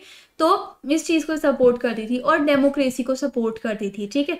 और ये अपोज करती थी इम्पेरियलिज्म को। इम्पेरियलिज्म क्या होता है भाई? कोई ऐसा पॉलिटिकल सिस्टम जिसमें एक कंट्री जो है पावरफुल सी वो डोमिनेट करती है उन कंट्रीज़ को जो कि पावरफुल नहीं है। सो so, ये था इम्परलिज्म uh, के बारे में। और कम्युनलिज्म को फॉलो अपोज करती थी। कम्युनलिज्म क्या होता है? जब कोई एक रिलीजन जो है वो हावी हो जाता है दूसरे रिलीजन पे। इस तरीके से वो इन दोनों चीज़ों को अपोज करती थी सीपीआई एम ठीक है? Next party is Nationalist Congress Party NCM ये 1999 में फॉर्म हुई थी, जब कांग्रेस पार्टी जो है वो स्प्लिट हो गई थी। एक्सेप्ट करती है democracy Gandhi and secularism equity social justice and federalism इसमें फेडरलिज्म का क्या मतलब होता है? वर्टिकल डिविजन ऑफ़ पावर जैसे कि सबसे पहले नेशनल उसके बाद फिर स्टेट गवर्नमेंट उसके बाद फिर लोकल गवर्नमेंट इस तरीके से जो वर्टिकल डिवीज़न ऑफ़ पावर होता है, उसको हम फेडरलिज्म कहते हैं। सोशल जस्टिस मतलब सभी को न्याय मिले इक्वालिटी यहाँ पर इक्वालिटी मिले सबको। सेक्युलरिज्म मैंने आपको पिछले पीछे बता ही दिया, ठीक है? सो इन सब चीज़ों को ये कांग्रेस एनसीपी एक्सेप्ट कर दिया। स्टेट पार्टीज़ मैंने आपको बता दिया। जिस भी अदर देन ये जो छः पार्टी मैंने आपको बताया था, इनके बाद आती है स्टेट पार्टीज़ ठीक है? और स्टेट पार्टीज़ जो एक पर्टिकुलर स्टेट में रूल करती है ओके अब क्या चैलेंजेस होते हैं पॉलिटिकल पार्टीज़ को ये भी देख लेते हैं। एक तो पॉलिटिकल पार्टीज़ के खुद के अंदर डेमोक्रेसी नहीं होती, जो मतलब टॉप लीडर होते हैं ना पॉलिटिकल पार्टी का वो ही ज़्यादातर रूल करता है। जो नीचे होते हैं पॉलिटिकल पार्टी के लोअर मेंबर्स उनको कभी चांस नहीं दिया जाता कि वो इस पॉलिटिकल पार्टी को संभालें। या फिर मान लो इस पॉलिटिकल पार्टी का जो नेता होता है, लीडर होता है, उसका ही बेटा या फिर उसका ही कोई रिश्तेदार उसका उस पॉलिटिकल पार्टी का लीडर बने, नीचे वाले मेंबर्स को नहीं मिलता चांस। तो लैक ऑफ़ इंटरनल डेमोक्रेसी है चैलेंज ऑफ़ डायनेस्टिक सक्सेशन है मतलब डायनेस्टिक सक्सेशन मतलब कि पार्टी को उसके आगे की जनरेशन जो है वो संभालती जाए। सो इसमें ये बड़ा चैलेंज है और किसी को पार्टी ना मिले, इस तरीके से होता है। Growing role of money money and muscle power मतलब जिस भी पार्टी में जो भी सबसे ज़्यादा दमदार इंसान होगा, जिसके पास बहुत सारा पैसा होगा, जिसके पास मसल पार होगी, वो ही सबसे ज़्यादा पॉलिटिकल पार्टी को हैंडल करेगा वही नेता बनेगा। इसमें ये भी चीज़ है। और मीनिंगफुल चॉइस ये कुछ ऐसे ऐसे चैलेंजेस है जो कि पॉलिटिकल पार्टीज़ में होते हैं, ठीक है? अब कैसे हम पॉलिटिकल पार्टीज़ को सुधार सकते हैं इम्प्रूव कर सकते हैं? कुछ ऐसे एफर्ट्स और सजेशंस दिए हुए हैं इंडिया में, जैसे कि कॉन्स्टिट्यूशन बनना चाहिए कि जितने भी एम इलेक्टेड एम और एम हैं, उनको चेंज पार्टी नहीं करनी चाहिए, ठीक है? इस तरीके लिए, इस तरीके के लिए कॉन्स्टिट्यूशन बनना चाहिए, ठीक है? एक ऐसा कॉन्स्टिट्यूशन बना हुआ है जिसमें जो इलेक्टेड एम और एम हैं, वो पार्टी चेंज नहीं कर सकते, उनको प्रिवेंट किया जाता है, ठीक है? और अगर मान लो उन्होंने पार्टी चेंज कर भी ली, तब वो अपनी पोजीशन को खो देंगे, ठीक है? फ्रॉम द पार्लियामेंट और समथिंग ठीक है? न्यू लॉ स्टेट्स दैट अगर किसी एमएलए और एमपी ने पार्टी को चेंज करी तो उसको लेजिस्लेचर में उसकी जो सीट होगी, वो वो खो देगा, ठीक है? और देखो सुप्रीम कोर्ट ने एक ऑर्डर पास किया है कि मनी का और क्रिमिनल्स का रोल जो है, वो नहीं होना चाहिए पॉलिटिकल पार्टीज़ में, ठीक है? जो इलेक्शन कमीशन है, उन्होंने एक ऑर्डर को पास किया है कि हर पॉलिटिकल पार्टी को होल्ड करने होंगे ऑर्गेनाइजेशनल इलेक्शंस और इनकम टैक्स रिटर्न्स को फ़ाइल करना होगा। मतलब टैक्स भी देना होगा, साथ ही साथ जो आपकी खुद की पॉलिटिकल पार्टी है, उसके अंदर भी इलेक्शंस होने चाहिए कि कौन सा इंसान लोअर डिपार्टमेंट में रहेगा, कौन सा मिडिल डिपार्टमेंट में और कौन सा टॉप लेवल मैनेजमेंट में रहेगा, ठीक है? ऐसा नहीं कि जो टॉप लेवल मैनेजमेंट में सिर्फ़ वही लोग पार्टिसिपेट करेंगे, नीचे वाले लोगों का कोई रोल नहीं है, ठीक है? Some suggestions to reform political party अब कुछ ऐसे सजेशंस भी है जिससे हम पॉलिटिकल पार्टीज़ को इम्प्रूव कर सकते हैं और वो कौन कौन से है वो देख लेते हैं। A law should be made to regulate internal affairs of political parties एक ऐसा लॉ बनना चाहिए ताकि पॉलिटिकल पार्टीज़ के अंदर जितने भी लॉज हैं वो अच्छे से रेगुलेट हो पाए। उनके इंटरनल अफेयर्स अंदर ही अंदर डेमोक्रेसी हो, ठीक है? तो ऐसा लॉ बनना चाहिए। To give a minimum number of tickets about one third to women candidates women candidate भी वन थर्ड ऑफ़ टिकट्स उनको मिलना चाहिए। कि मतलब अगर तीस सीट है तो उसमें से उसका वन थर्ड यानी कि दस, तीस में से दस सीट्स तो वुमेन को मिलनी ही चाहिए, ठीक है? There should be state funding of election मतलब स्टेट्स को भी पॉलिटिकल uh, पार्टीज़ को फंड देना चाहिए पैसा देना चाहिए ताकि वो इलेक्शन अच्छे से करवा पाए। सो so, इस तरीके से ये कुछ सुधार है कुछ रिफॉर्म सजेस्ट किए गए हैं जिससे कि पॉलिटिकल पार्टीज़ और इम्प्रूव कर सकती हैं। तो आई होप आपको ये मेरी जो एक्सप्लेनेशन है जो वीडियो है वो अच्छी लगी होगी। टेलीग्राम एंड इंस्टाग्राम ज़रूर फॉलो कर लेना। so, आज हम करेंगे अपना chapter outcomes of democracy civics का जो है। और ये इंपॉर्टेंट आपके टर्म टू में आने वाला है। छोटा सा प्यारा सा चैप्टर है तो जल्दी से कंप्लीट कर लेते हैं। एक बार डिस्क्रिप्शन बॉक्स ज़रूर चेक कर लेना क्योंकि वहाँ पे आपको टेलीग्राम की लिंक मिलेगी। ये जो आप अपनी स्क्रीन स्क्रीन पर जितने भी नोट्स देख रहे हो कलरफुल्स है वो आपको टेलीग्राम पे ही मिल जाएँगे, जो कि आपके लिए बहुत बेनिफिशियल है। एंड साथ ही साथ मैं बहुत सारा स्टफ़ वहाँ पे अपलोड करती रहती हूँ आपके रिलेटेड ठीक है? और अगर आप कोई भी डाउट हो, कुछ भी मुझसे पूछना हो तो आप मुझको इंस्टाग्राम पे फॉलो करके डीएम कर सकते हैं, उसकी भी लिंक आपको डिस्क्रिप्शन बॉक्स में मिल जाएगी। सो बिना किसी देरी के स्टार्ट करते हैं अपने इस चैप्टर आउटकम्स ऑफ़ डेमोक्रेसी को।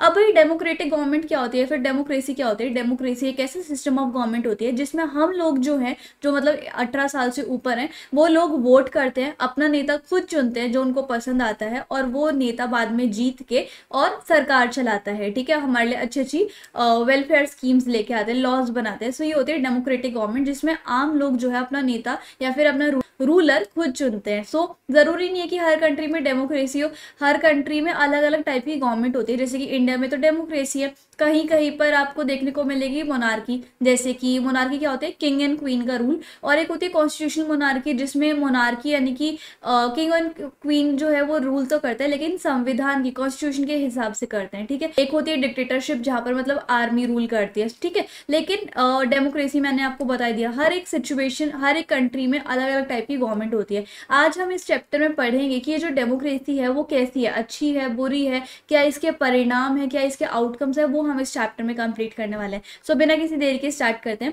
सो so, हम कैसे डेमोक्रेसी के परिणामों को देख सकते हैं कैसे एक्सेस कर सकते हैं वो हमें इसमें बताना है। डेमोक्रेसी एक बहुत ही ज़्यादा अच्छी टाइप की गवर्नमेंट है। अगर हम उसको डिक्टेटरशिप या फिर किसी और टाइप की गवर्नमेंट के साथ कंपेयर करें ऑब्वियसली डेमोक्रेसी में हमसे पूछा जाता है लोगों को ज़्यादा प्रेफरेंस दी जाती है लोगों के प्रेफरेंसेस को जाना जाता है कि भाई आप क्या चाहते हो आप कौन सा नेता चुनना चाहते हो आप कैसे लॉस चाहते हो। तो डेमोक्रेसी में लोगों को पूछा जाता है उनकी डिग्निटी बढ़ाई जाती है तो ये बेटर फॉर्म ऑफ़ गवर्नमेंट है than any other type of government और हमें ऐसा क्यों लगता है कि डेमोक्रेसी बहुत अच्छी टाइप की गवर्नमेंट है, उसके कुछ रीजन्स है. जैसे कि एक तो ये सभी सिटीजन्स को इक्वली ट्रीट करते कि मतलब सभी इंसान जो है वो एक है, ठीक है? सभी इक्वल है, कोई भी इन्फीरियर नहीं है, कोई भी सुपीरियर नहीं है इस टाइप से, ठीक है? और ये जो है, किसी भी इंसान की डिग्निटी को इंडिविजुअल की डिग्निटी को एनहेंस करते हैं, किसी की लाइक सेल्फ रिस्पेक्ट ये बढ़ाते हैं डेमोक्रेटिक गवर्नमेंट ठीक है? और ये डिसीज़न मेकिंग की जो क्वालिटी है वो इम्प्रूव करते हैं। मतलब देखो, अभी हमारे सरकार ने बहुत सारे किसानों के लिए लॉज बनाए थे, लेकिन किसानों को वो डिसीज़न वो लॉज अच्छे नहीं लगे। उसके बाद वो डिसीज़न जो है, वो चेंज हो गए लॉज चेंज हो गए। तो ये बहुत ज़्यादा इंप्रूव करते हैं डिसीज़न मेकिंग की क्वालिटी में, ठीक है? ये जो है, एक ऐसा मेथड प्रोवाइड करता है जिससे कि कॉन्फ्लिक्ट जो है वो रिजॉल्व हो जाए। मान लो दो दलों में, दो इंडिविजुअल में, दो पार्टीज़ में कोई भी झगड़ा हो गया, कोई कोई भी मनमुटाव हो गया तो उसको ये ऐसा सिस्टम है कि वो सुलझवा देगी झगड़े को, ठीक है? और क्या होता है it allows allows room to correct mistake मतलब डेमोक्रेटिक गवर्नमेंट में ऐसा होता है कि मतलब गवर्नमेंट है, थोड़ी बहुत गलती तो हो ही जाती है तो उसमें क्या होता है, ऐसा नहीं होता कि गलती हो गई तो ऐसा नहीं होना चाहिए था, उसमें उनको सुधार करने के लिए मौका भी दिया जाता है डेमोक्रेटिक गवर्नमेंट में, लेकिन कभी कभी हमें ऐसा लगता है, हम ना सोच पड़ जाते हैं कि मतलब इतनी अच्छी अच्छी बातें लिखी तो है डेमोक्रेसी के बारे में, बट प्रैक्टिस में इतना हमें कुछ देखने को मिलता नहीं है तो ये हमें काफ़ी ज़्यादा डिलेमा हो जाता है। हम काफ़ी ज़्यादा सोचने लग जाते हैं, ठीक है? और ये जो डिलेमा है, वो हमें सोचने पर मजबूर कर देता है कि क्या सच में आउटकम्स अच्छे होंगे, परिणाम अच्छा होगा डेमोक्रेसी का तो वो हम देखेंगे इस चैप्टर में, ठीक है? और जैसे हम, कि हम डेमोक्रेटिक गवर्नमेंट में इंटरेस्टेड हैं, हम फैसिनेटेड हैं, हम बहुत ज़्यादा उसके पीछे भागते रहते हैं कि क्या कर रही है हमारी गवर्नमेंट आजकल कैसे क्या स्टेप्स ले रही है, ठीक है? सो क्या democracy socio economic and political problems को एड्रेस करती है, नहीं करती वो भी हमें देखना है। लेकिन हर आउटकम देखने से पहले डेमोक्रेसी का हमें ये सोच लेना चाहिए कि democracy is just a type of government ये सिर्फ़ एक टाइप की गवर्नमेंट है और हमें इतनी ज़्यादा एक्सपेक्टेशन नहीं रखनी चाहिए। और जैसे मान लो कोई भी चीज़ है लाइक आप लगा लो कोई भी हीरा है कोई भी प्रीशियस चीज़ है गोल्ड है सिल्वर है हर एक चीज़ के चाहे वो कितनी अच्छी है कोई ना कोई फॉल्ट तो निकल ही आता है। तो ऐसे ही गवर्नमेंट है गवर्नमेंट में भी ऐसा नहीं है कि हर कुछ हर कोई पॉजिटिव इम्पैक्ट होगा कुछ ना कुछ नेगेटिव भी होगा। सो so, इसी के हिसाब से हमें आउटकम्स ऑफ़ डेमोक्रेसी निकालने चाहिए ठीक है? चलो अब आगे बढ़ते हैं। पहला देखो accountable responsive and legitimate government democracy accountable government है। मतलब कि अकाउंटेबल यानी कि आंसरेबल मतलब कि जैसे मान लो डेमोक्रेटिक गवर्नमेंट ने कोई भी हमारे लिए लॉ बनाया तो हम लोगों को उनसे पूछने का ये हक है कि भाई आपने क्या सोच समझ के लॉ बनाया है, इसके क्या फीचर्स हैं, ये कैसे काम करेगा, वगैरह, फलाना एंड ढमकाना ठीक है? तो आंसरेबल है डेमोक्रेटिक गवर्नमेंट हमारी जो गवर्नमेंट है, हमें आंसर करेगी कि हमने ये सब चीज़ें क्यों करी है। तो डेमोक्रेटिक गवर्नमेंट इज़ अकाउंटेबल और answerable towards a people ठीक है? About the laws and features and democratic government जो है, वो रिस्पॉन्सिव गवर्नमेंट है। रिस्पॉन्सिव गवर्नमेंट मतलब कि बहुत सारे लोगों की सारे के सारे लोगों की डिमांड्स भी होती है नीड्स भी होती हैं और एक्सपेक्टेशंस भी होती है। उन सभी डिमांड्स नीड एक्सपेक्टेशन को पूरा करना हमारी गवर्नमेंट का दायित्व है। तो डेमोक्रेटिक गवर्नमेंट एक रिस्पॉन्सिव गवर्नमेंट भी होनी चाहिए, ठीक है? Next is legitimate government legitimate government का क्या मतलब होता है कि वो कानून के थ्रू चलती है हमारी डेमोक्रेटिक गवर्नमेंट यानी कि जो भी संविधान में लॉज वगैरह लिखे रहते हैं, उसके हिसाब से हमारी गवर्नमेंट चलती है। सेकेंडली हमने जिस रूलर को चुना है, वही सरकार बनाएगा, वही रूलिंग पार्टी बनेगा ये होती है लेजिटिमेट गवर्नमेंट ठीक है? अब आगे देखते हैं।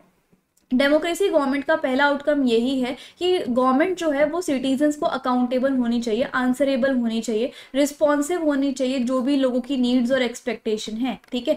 और डेमोक्रेसी जो है वो डेलिब्रेशन डेलिब्रेशन मतलब सोचना, विचारना। डेलिब्रेशन होना चाहिए मतलब सोचना, विचारना चाहिए उसको हर चीज़ के लिए डेमोक्रेटिक गवर्नमेंट को और तब जाके उसको आगे जाके कॉपरेट करना चाहिए नेगोशिएट करना चाहिए, ठीक है? और डेमोक्रेसी को ये भी देखना चाहिए कि जो आप, जो वो लोग डिसीज़न बना रहे हैं गवर्नमेंट वाले, वो सारे के सारे नियमों के हिसाब से हो प्रोसीजर के हिसाब से हो ठीक है?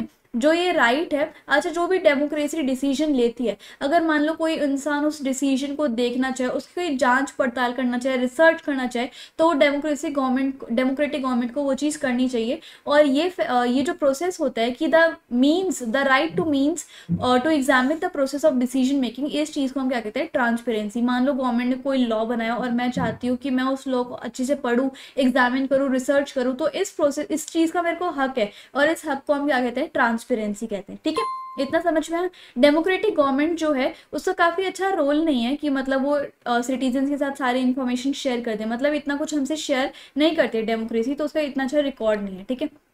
दूसरी भाषा में कहे तो ये रीज़नेबल है कि हम डेमोक्रेसी से एक्सपेक्ट करें कि गवर्नमेंट जो है वो अटेंटिव हो जाए लोगों की नीड्स के लिए डिमांड के लिए और फ्री ऑफ़ करप्शन हो जाए। तो ये हम एक्सपेक्ट कर सकते हैं कि डेमोक्रेसी फ्री ऑफ़ करप्शन हो जाए, कोई भी भ्रष्टाचार ना हो और सारी डिमांड्स एंड नीड्स जो हैं लोगों की वो पूरी हो जाए। ये एक्सपेक्टेशन करना रीज़नेबल है, लेकिन ये जो दोनों चीज़ें नीड्स एंड डिमांड पूरी करती है डेमोक्रेटिक गवर्नमेंट और करप्शन फ्री है तो ये इन दोनों चीज़ों पे डेमोक्रेसी इतनी अच्छी गवर्नमेंट नहीं निकलती है, ठीक है? और ये एक चीज़ और है कि डेमोक्रेटिक गवर्नमेंट जो है, वो बाकी अल्टरनेटिव से मोनार्की कॉन्स्टिट्यूशन मोनार्की और डिक्टेटरशिप से अच्छी है, क्योंकि डेमोक्रेटिक गवर्नमेंट एक लेजिटिमेट गवर्नमेंट है मतलब ये लॉज के हिसाब से चलती है और जिस भी नेता को हम चुनते हैं, वही सरकार बनाता है।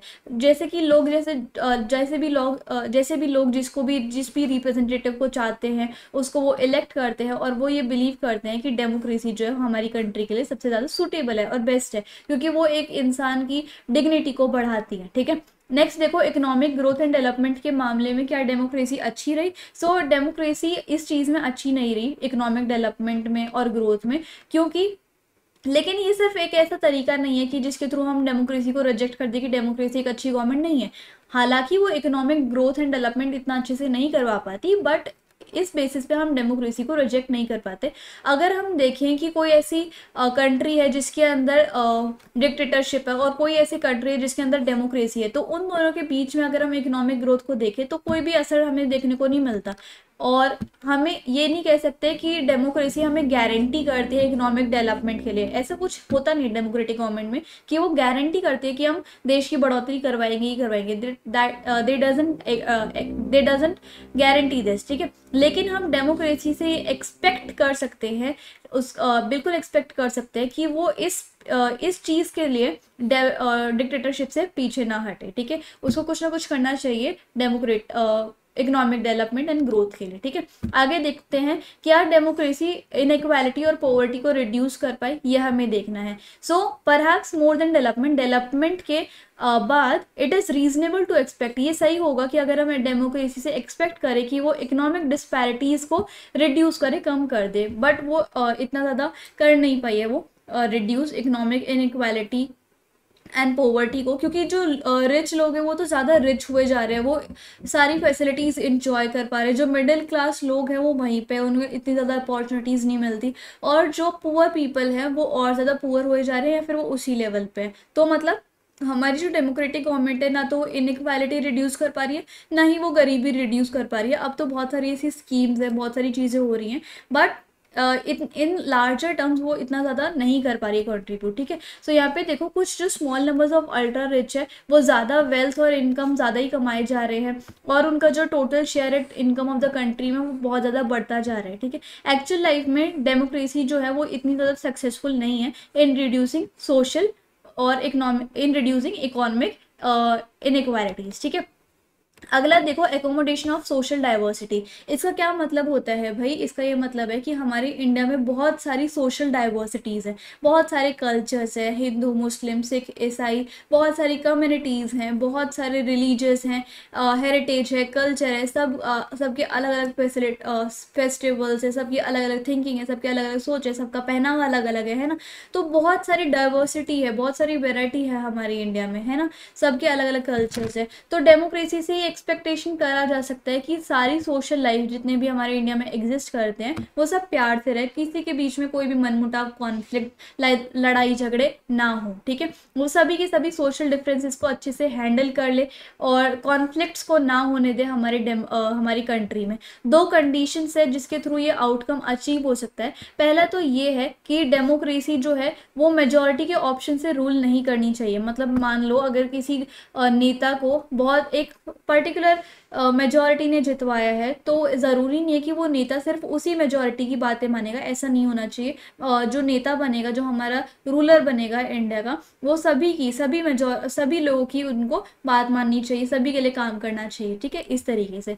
It also it is also necessary that rule by majority does not become by does not become rule by majority community in terms of religion race और लिंग्विस्टिक ग्रुप मान लो अगर किसी पर्टिकुलर रिलीजन ने हमारे Uh, किसी ruler को बहुत ज़्यादा वोट दिया है तो ऐसा नहीं कि वो जो रूलर है वो जो पार्टी है वो सिर्फ़ उसी रिलीजन की बातें मानेगी उन्हीं के लिए कुछ स्कीम्स लेके आएगी ऐसा नहीं होना चाहिए सभी के लिए वो लेके आएँगी। इससे क्या होगा जो अकोमोडेशन होगा सोशल डाइवर्सिटी के लिए वो पूरा हो पाएगा। गेटिंग मी अब आगे देखो dignity and freedom dignity and freedom of the citizen now democracy जो है, वो सबसे सारी गवर्नमेंट से सुपीरियर है। क्यों? क्योंकि ये लोगों की डिग्निटी मतलब शान को बढ़ाती है फ्रीडम को देती है हर इंडिविजुअल को। मतलब ऐसा नहीं है कि किसी को फ्रीडम नहीं मिलती है, हर इंसान को फ्रीडम मिलती है, वो जो चाहे वो कर सकता है, ठीक है? डेमोक्रेटिक गवर्नमेंट इसलिए सबसे ज़्यादा अच्छी गवर्नमेंट है देन किसी और गवर्नमेंट से।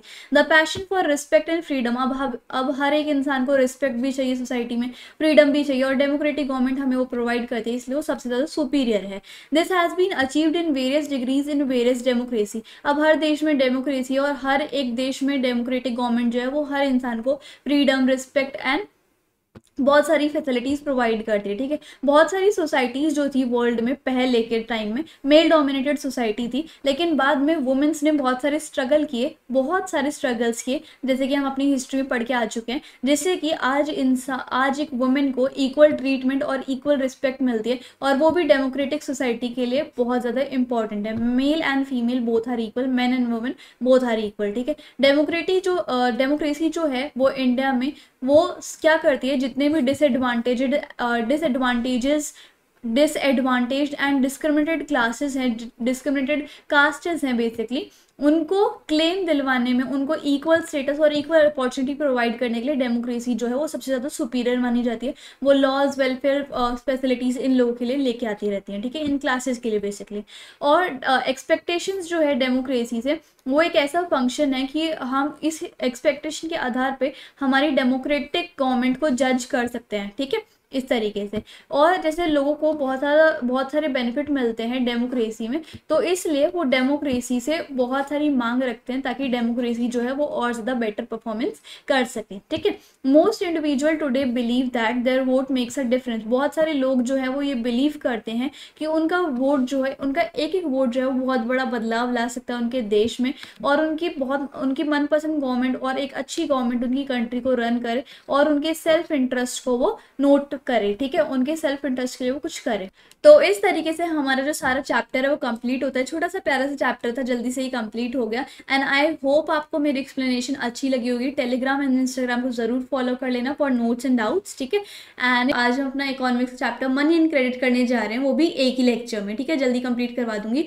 तो money as a medium of exchange जो मनी है, जो पैसा है, वो हम लेन देन के काम आता है हमारे। अगर हम कुछ भी खरीदते हैं या फिर हम कुछ भी बेचते हैं तो बदले में हमें क्या मिलता है? पैसा मिलता है मनी मिलती है, या तो कॉइन्स की फॉर्म में, या फिर पेपर नोट्स की फॉर्म में, ठीक है? सो मनी जो है वो लेन देन में, खरीदने, बेचने में as a medium of exchange काम आता है, ठीक है? लेकिन ये जो मनी है ना, ये अब कुछ टाइम पहले ही आई है। पहले जो है लोग बाग अपने कैटल्स का या फिर ग्रेन्स का यूज़ करा करते थे। मतलब जैसे यहाँ पे लिखा हुआ है ना इंडियंस यूज़ ग्रेन्स जैसे कि किसी के पास गेहूँ होते थे, किसी के पास चने होते थे, किसी के पास दाने होते थे, और बाजरा, जवार होते थे, या फिर किसी के पास भेड़ बकरी होती थी, वो एज अ मनी वो यूज़ करते थे कि मान लो मेरे को अगर किसी इंसान को कपड़े चाहिए तो बदले में कुछ गेहूँ दे दे, कुछ राइस दे दे, एक भेड़ बकरी दे दे, इस तरीके से उसे कपड़े मिल जाते थे इन रिटर्न में, ठीक है? उसके बाद इससे कुछ टाइम काम नहीं चला, फिर आया था बार्टर सिस्टम बार्टर सिस्टम अब बचपन से ही पढ़ते आ रहे हैं। इसमें क्या होता है, कोई भी मनी का इन्वॉल्वमेंट नहीं होता। गुड्स के बदले गुड्स शेयर करते हैं, ठीक है? जैसे कि मान लो मेरे को बुक्स चाहिए और आपको कुछ अनाज चाहिए ठीक है? तो मैं क्या करूँगी आपको आ, आपके पास बुक्स है ऑलरेडी आप मेरे को बुक्स दे दोगे मैं आपको अनाज दे दूँगी क्योंकि आपको अनाज की नीड है। तो इससे क्या होगा हम दोनों की सेटिस्फाई हम दोनों की जो नीड्स होगी वो भी सेटिस्फाई हो जाएँगी एंड यहाँ पर हमारी जो कम्युनिटीज़ है वो भी हमें मिल जाएँगी। सो इसको हम क्या कहते थे? बार्टर सिस्टम इसमें ना दोनों पार्टीज़ के बीच में एग्रीमेंट होना चाहिए। लाइक मुझे भी एंड आपको भी ये एग्री करना पड़ेगा कि हाँ भाई हम दोनों अपनी अपनी कम्युनिटीज़ को हम दोनों अपनी अपनी कम्युनिटीज़ को एक्सचेंज कर रहे हैं। सो so, इस फीचर को या फिर इस कैरेक्टरिस्टिक को क्या कहते हैं? डबल कोइंसिडेंस ऑफ़ बॉन्ड कि मतलब दोनों पार्टीज़ के बीच में एग्रीमेंट होना चाहिए कि दोनों के दोनों जो है वो अपनी कम्युनिटीज को एक्सचेंज कर रहे हैं। सो so, ये बार्टर सिस्टम का एक फीचर है ठीक है? और इस बार्टर सिस्टम को हम सीसी इकोनॉमी भी कहते हैं मतलब कम्युनिटी टू कम्युनिटी इकोनॉमी यानी कि इसके अंदर कोई भी पैसे का इन्वॉल्वमेंट नहीं है, सिर्फ़ कम्युनिटी के बदले कम्युनिटी एक्सचेंज की जा रही है, ठीक है? उसके बाद क्या हुआ? अब आ गई है मनी मतलब बार्टर सिस्टम में थोड़ी बहुत दिक्कतें आ रही थी। अब अगर मेरे को वो किताबें चाहिए तो मैं किस इंसान को ढूँढने जाऊँ कि जिसके पास किताबें हों? तो बहुत टाइम लग जाएगा इस चीज़ में तो है ना? और मुझे ज़रूरत है अभी तो कैसे हो पाएगा? सो उसके बाद क्या हुआ? मनी की फॉर्म आने लग गई। मनी जो है वो करेंसी की फॉर्म में आने लग गई। करेंसी जैसे कि पेपर नोट्स एंड कॉइन्स की फॉर्म में आने लग गई। आजकल जैसे हमारे पास कागजों के नोट होते हैं, सिक्को, सिक्के होते हैं कॉइन्स वगैरह होते हैं, ठीक है? मॉडर्न कॉइन्स जो हैं वो सिंपल स्टील वगैरह के बनते हैं सिंपल मेटल के बनते हैं लेकिन पहले के जो कॉइन्स होते थे वो गोल्ड एंड सिल्वर के होते थे महाराजा वगैरह के टाइम पे ठीक है? सो so, जो रियल वैल्यू है मॉडर्न कॉइन की वो तो कम है और जो फेस वैल्यू जैसे मान लो दस रुपये का कोई सिक्का है ठीक है? उसको रियल वैल्यू उसकी बनाने में बहुत कम लगी होगी लेकिन उसकी जो असल वैल्यू है फेस वैल्यू है यानी कि दस रुपये वो ज़्यादा होती है ऑब्वियसली ठीक है? सो ये चीज़ इसमें बताई हुई है और ये जो करेंसी है ना इसको पावर दे रखी है, इसको अथोराइज कर रखा है गवर्नमेंट ऑफ़ इंडिया ने कि भाई ये जो पैसे हैं, ये as a medium of exchange use होंगे और सब एक्सेप्ट करेंगे, कोई भी इसको रोक नहीं सकता कि हम इसको एक्सेप्ट नहीं करेंगे, ठीक है? किसी के पास ये हक नहीं है क्योंकि इसको किससे हक मिला हुआ है? RBI on the behalf of central government से, ठीक है? रिज़र्व बैंक ऑफ़ इंडिया ने अथॉरिटी दी है रिज़र्व बैंक ऑफ़ इंडिया के पास ये अथॉरिटी है, ये पार है कि वो करेंसी को इशू कर सकता है। अच्छा एक बात ध्यान रखना, ये इंपॉर्टेंट है कि रिज़र्व बैंक ऑफ़ इंडिया ना, बाकी सारे पैसे तो बना लेता है, दस का, बीस का, पचास का, सौ का, पाँच सौ का, हज़ार का, ठीक है, ऐसे ऐसे वो बना लेता है। लेकिन जो एक रुपए का नोट या फिर सिक्का होता है ना, वो आरबीआई नहीं बनाता, वो कौन बनाता है? फाइनेंस मिनिस्ट्री ठीक है? तो ये आपको थोड़ा ध्यान रखना पड़ेगा फाइनेंस मिनिस्ट्री जो है, वो एक रुपये का बनाती है। ये आएगा आपका इलेवेंथ में आएगा, ठीक है? तो ये बस मैंने एक्स्ट्रा नॉलेज के लिए आपको बता दिया। एंड यहाँ पर आरबीआई ने उसको ऑथोराइज कर रखा है जैसे मान लो जब हमारी 2016 में डीमोनेटाइजेशन हुई थी और गवर्नमेंट ऑफ़ इंडिया ने कहा था कि जो हज़ार एंड पाँच सौ के नोट थे, वो नहीं चलेंगे अब से। तो जो गवर्नमेंट थी, उन्होंने हज़ार एंड पाँच सौ रुपये के नोट पे से अपनी ऑथोराइजेशन या फिर पार हटा ली थी। तो तो अब वो यूजलेस थे, उनका कोई भी काम नहीं था, ठीक है? लेकिन उससे पहले डिमोनेटाइजेशन से पहले इनके कितना यूज़ हुआ करता। इनकी मान्यता थी, लेकिन मान्यता हटने के बाद इनको ये यूजलेस हो गए। सो दैट्स वाई कहा गया है कि जो करेंसी है, उसको गवर्नमेंट ऑफ़ इंडिया द्वारा रिकोगनाइज किया गया है अथोराइज किया जा सकता है। इसलिए सब जो है इसी को एक्सेप्ट करते हैं, कोई इसको खारिज नहीं कर सकता, ठीक है? तो अब जैसे हमने मॉडर्न फॉर्म ऑफ़ मनी में करेंसी पढ़ लिया, कि पेपर नोट्स एंड कॉइन्स हमें देखने को मिलते हैं आज के मनी के फॉर्म में, और इसमें आरबीआई ने अथोराइजेशन दी हुई है कि ये जो मनी है वो हर जगह चलेगी, कोई भी इसके रिफ्यूज़ नहीं कर सकता एक्सेप्ट करने से। वैसे ही एक मॉडर्न फॉर्म ऑफ़ मनी होती है डिपॉजिट विद बैंक जैसे मान लो आपकी कोई सैलरी आती है लाइक बीस हज़ार आपकी सैलरी है तो उसमें से पाँच हज़ार जो है वो आप अपने पास रख लोगे घर के खर्च वगैरह के लिए, लेकिन जो पंद्रह हज़ार है वो आप अपने बैंक में बैंक अकाउंट में जमा करवा के आ जाते हो, ठीक है? सो इसको हम कहते हैं डिपॉजिट विद बैंक और अगर हम मान लो आपके पास बैंक का अकाउंट नहीं है तो आप बैंक में जाते हो, किसी भी बैंक में उसमें अपना एक अकाउंट ओपन करवाते हो अपने नाम से, और जब भी आपकी कोई सैलरी आती है तो सीधा सीधा बैंक में चली जाती है या फिर आप जमा करवाए हो डिपॉजिट करवाए हो। और बैंक कहता है कि अगर आप हमारे बैंक में डिपॉजिट करवाओगे तो हम उस डिपॉजिट पे आपको इंटरेस्ट भी देंगे। यानी कि अगर आपने दस हज़ार रुपये जमा करवाए तो दस हज़ार रुपये के ऊपर हम पाँच हज़ार, पाँच परसेंट का आपको इंटरेस्ट भी दे देंगे। मतलब कुछ पैसे आपको बढ़कर ही मिलते हैं एट द लास्ट बैंक से तो ये फ़ायदा होता है। और डिपॉजिट विद बैंक के साथ साथ बैंक आपको एक एक और टाइप की फैसिलिटी देता है, जिसको हम क्या कहते हैं चेक फैसिलिटी चेक में क्या होता है, आप अपनी कोई भी पेमेंट चेक के द्वारा भी कर सकते हो. जैसे कि मान लो अगर किसी को हाथ हाथ तीन तीन चार हज़ार रुपये देने हो तो तो कर सकता है कोई भी इंसान. लेकिन अगर कोई बड़ा अमाउंट है, जैसे कि पचास हज़ार है, एक लाख रुपया है, बीस हज़ार है, तीस हज़ार है तो हाथों हाथ नहीं दिए जा सकते. तो चेक के द्वारा देने पड़ते हैं वो, ठीक है? सो so, चेक एक पेपर का फॉर्म होता है उसमें क्या होता है? आपका अकाउंट नंबर लिखा होता है आपके साइन ऑलरेडी हुए होते हैं बस आपको पे की जगह पर उस इंसान का नाम लिखना होता है जिस इंसान को आपको पे पे करना होता है पैसे देने होते हैं ठीक है? तो जैसे कि मान लो ये मेरा चेक है इसके ऊपर मैं लिख देती हूँ अंजलि ठीक है? और मेरे को अंजलि को पैसे देने हैं तीस हज़ार रुपये तो मैं उसको एज अ चेक दे दूँगी। अंजलि जो है वो इस चेक को बैंक में दिखा देगी और मेरे अकाउंट से उसको तीस हज़ार रुपये मिल जाएगी कुछ वर्किंग डेज़ में। तो ये चेक की फैसिलिटी ठीक है? अब हम बात कर लेते हैं loan activities of the bank हमने मॉडर्न फॉर्म ऑफ़ मनी पढ़ लिया। बैंक में जैसे मान लो हम लोग हैं, हम लोग की जब सैलरी आती है तो हम क्या करते हैं बैंक में पैसे जमा करवा के आ जाते हैं और हमें जो है वो थोड़ा एक्स्ट्रा पैसा मिल जाता है एज इंटरेस्ट के रूप में, क्योंकि बैंक जो वो डिपॉजिट के ऊपर इंटरेस्ट देता है, ठीक है? साथ ही साथ बैंक क्या करता है, जो नीडी लोग होते हैं, उनको पैसे भी दे देता है एज अ लोन ठीक है? तो आप सोच रहे हो कि बैंक कमाता कैसे होगा? जैसे कि मान लो, इस केस में हम ना एक एग्ज़ाम्पल लेते हैं लाइक दो पार्टीज़ है party number one and party number two party number one को लोन लेना है एंड पार्टी नंबर टू को डिपॉजिट करवाना है, ठीक है? तो जैसे कि मान लो पार्टी नंबर टू वाले इंसान ने क्या करा? दस हज़ार रुपये अपने बैंक में उसने जमा करा दिया और बैंक ने उसको कहा कि हम आपको पाँच या फिर दो परसेंट का इंटरेस्ट भी दे देंगे, ठीक है? तो उसको लास्ट में कितने पैसे मिलेंगे? एक साल बाद। दस हज़ार उसने जमा करवाए थे, दो परसेंट का उसने बैंक ने इंटरेस्ट दिया था और एक साल बाद उसको देखते हैं कितना मिलता है पैसा, दस हज़ार का। तो उसको मिलेगा वन ज़ा सिक्स ज़ा टू थ्री ज़ा टू फिफ्टी ज़ा और फिफ्टी को अगर हम थ्री से डिवाइड करते हैं तो देखते हैं क्या आएगा फिफ्टी को अगर हम थ्री से करेंगे थ्री वन ज़ा थ्री ट्वेंटी और सिक्स ज़ा एटीन टू तो सिक्सटीन पॉइंट सिक्स तो इंटरेस्ट का उसको सिक्सटीन पॉइंट सिक्स रुपीज़ मिल जाए दस हज़ार के ऊपर, ठीक है? तो उसको लास्ट में दस हज़ार सोलह पॉइंट छः रुपये मिल जाएँगे। मतलब कुछ ना कुछ तो बढ़ता ही है। बैंक हमें थोड़ा बहुत इंटरेस्ट तो देता ही है। दस हज़ार तो देता ही देता है। साथ में इंटरेस्ट का जो हमारा बनता है, वो भी हमें मिलता है। अब लोन देखते हैं। एक इंसान आया, उसको, उसने कहा कि मुझे लोन चाहिए दस हज़ार रुपये का, ठीक है? तो बैंक कहते हैं कि ठीक है, हम आपको दस हज़ार रुपये का लोन दे देंगे, लेकिन साथ ही साथ आपको हमें दस हज़ार तो आप बाद में दो ही दोगे, लेकिन पाँच परसेंट का आपको रिटर्न या फिर, चलो मैं यहाँ पे लगा लेती हूँ हाँ पाँच परसेंट का आपको इंटरेस्ट हमें देना पड़ेगा दस हज़ार के ऊपर, ठीक है? तो या फिर तो उसके बाद क्या होता है, वो जो इंसान है, वो दस हज़ार रुपये तो देगा ही देगा जब वो रीपे करेगा लोन लेकिन साथ ही साथ वो दस हज़ार रुपये पे पाँच परसेंट का वो इंटरेस्ट भी देगा एक साल बाद, ठीक है? या फिर छः महीने बाद। तो हमें सबसे पहले कैलकुलेट कर लेना चाहिए कि कितना परसेंट इंटरेस्ट हुआ। लाइक मैं अगर यहाँ पे छः परसेंट इंटरेस्ट मान लेती हूँ यहाँ पे मैंने छः कर लिया तो सिक्स वन ज़ा सिक्स टू ज़ा एंड फिफ्टी तो उसको फिफ्टी रुपीज़ इंटरेस्ट ज़रूर देना पड़ेगा एक साल बाद। तो दस हज़ार प्लस पचास तो उसको दस हज़ार तो देने ही पड़े, साथ ही साथ उसको पचास रुपये भी एक्स्ट्रा देने पड़ेंगे ब्याज के तौर पे। तो अब अगर हम इस अमाउंट में और इस अमाउंट को डिडक्ट करेंगे इस वाले अमाउंट को तो कितना रुपए बनेगा? मतलब दस हज़ार पचास में से अगर हम माइनस करेंगे दस हज़ार सोलह रुपये तो कितने हो जाएँगे? आ, ये हो जाएँगे आपके thirty five thirty four rupees ठीक है? तो ये जो थर्टी फोर रुपीज़ आए ना ये हो जाएगी बैंक की इनकम ठीक है? इजी है?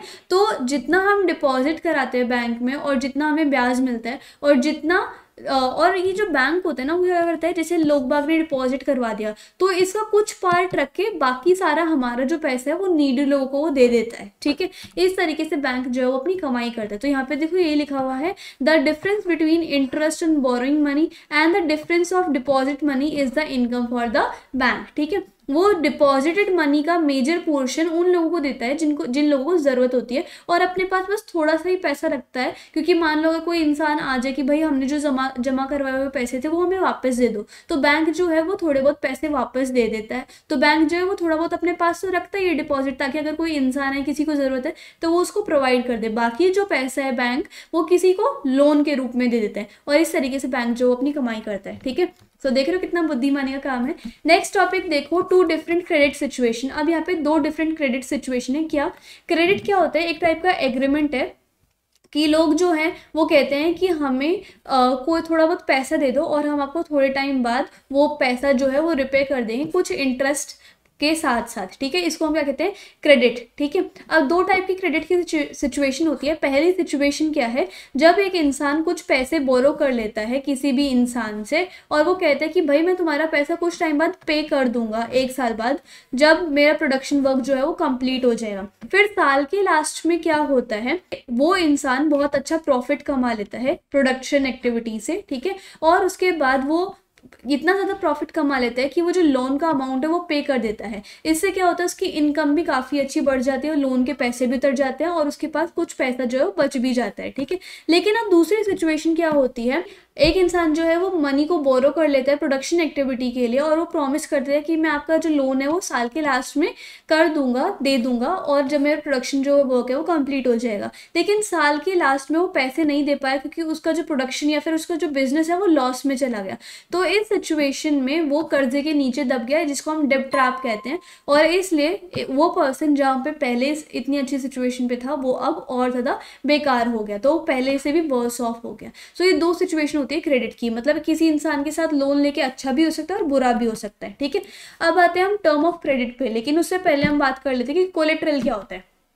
कोलेट्रल एक एसेट होता है जो बोरोवर्स जो है उनको मतलब इसमें क्या होता है लाइक अगर आप किसी भी बैंक से पैसा लेने जाते हो लोन लेने जाते हो तो बैंक आपको ऐसे ही नहीं कहता कि लो भाई आपका लोन ये रहा, ये ले लो पैसे। बैंक आपसे एक सिक्योरिटी लेता है, या तो वो आपका व्हीकल हो, या आपका घर हो, या कुछ भी चीज़ हो, या आपका सोना हो, ठीक है? वो कहता है कि हम आप पे भरोसा नहीं कर सकते कि आप हमें पैसा रिटर्न करोगी करोगे, जो आपने आपको लोन के रूप में दिया है। तो वो क्या करता है, एक एज अ सिक्योरिटी आपसे ले लेता है। कि भाई मान लो आपने इस टाइम तक लोन पे नहीं किया तो हम आपकी कोई चीज़ बेच के अपने लोन का पैसा और अपना इंटरेस्ट का पैसा हड़प लें आपसे, ठीक है, या फिर ले लें। तो उस सिक्योरिटी को, उस गारंटी को हम क्या बोलते हैं? कोलेटरल और कोलेटरल जो है, वो आपका या तो घर हो सकता है, या आपके कैटल्स हो सकते हैं, या आपकी कोई ज़मीन हो सकती है प्रॉपर्टी के पेपर्स कोई आपका व्हीकल हो सकता है, कुछ भी हो सकता है, या आपका सोना हो सकता है ज्वेलरी वगैरह हो सकती है सो ये चीज़ होती है कोलेट्रल ठीक है? अब आते हैं हम टर्म्स ऑफ़ क्रेडिट पे। टर्म्स ऑफ़ क्रेडिट तीन चार चीज़ों से बनता है। एक इंटरेस्ट रेट दूसरा collateral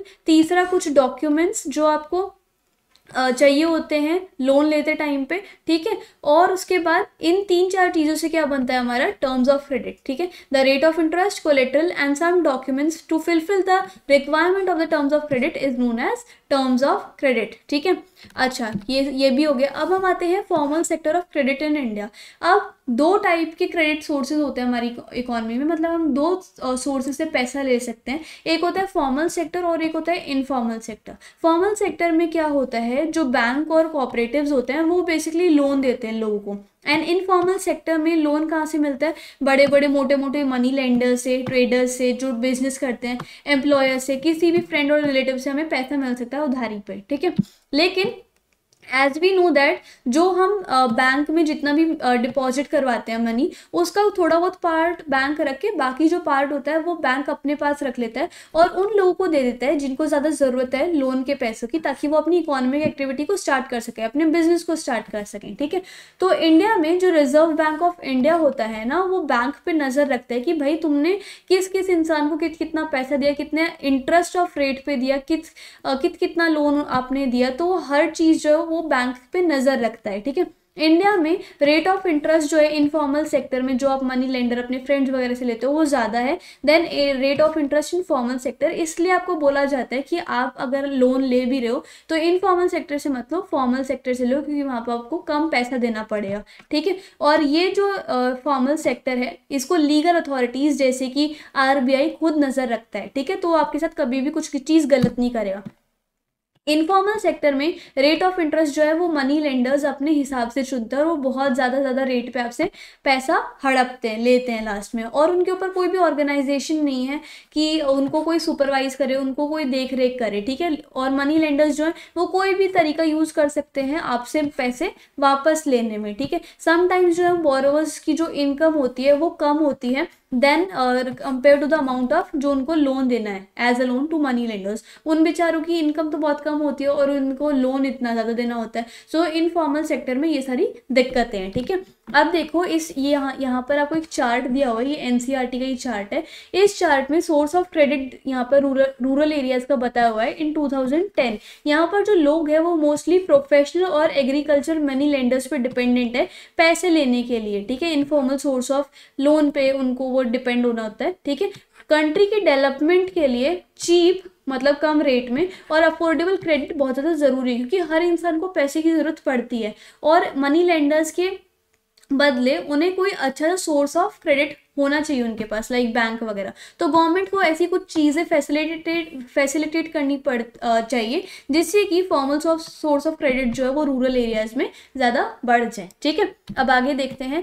Now last topic is self help group of the poor for the poor अब गाँव में, बहुत सारे गाँव में बैंक की फैसिलिटीज़ नहीं आ पाई हैं, ठीक है? थीके? और कभी कभी बैंक्स जो हैं वो देना भी नहीं चाहते ऐसे लोगों को, या फिर पुअर लोगों को लोन्स क्यों? क्योंकि वो जो पुअर लोग हैं, वो ज़्यादातर पैसे रिटर्न नहीं कर पाते, अपना लोन रिटर्न नहीं कर पाते। So in that case banks जो हैं, वो कम जाना पसंद करते हैं रूरल एरियाज़ में, क्योंकि उन लोगों के पास कोलेट्रल वगैरह कुछ नहीं होता। और अगर बिना कोलेट्रल के दे भी दिया, तब भी वो पैसा पूरा नहीं दे पाते हैं, ठीक है?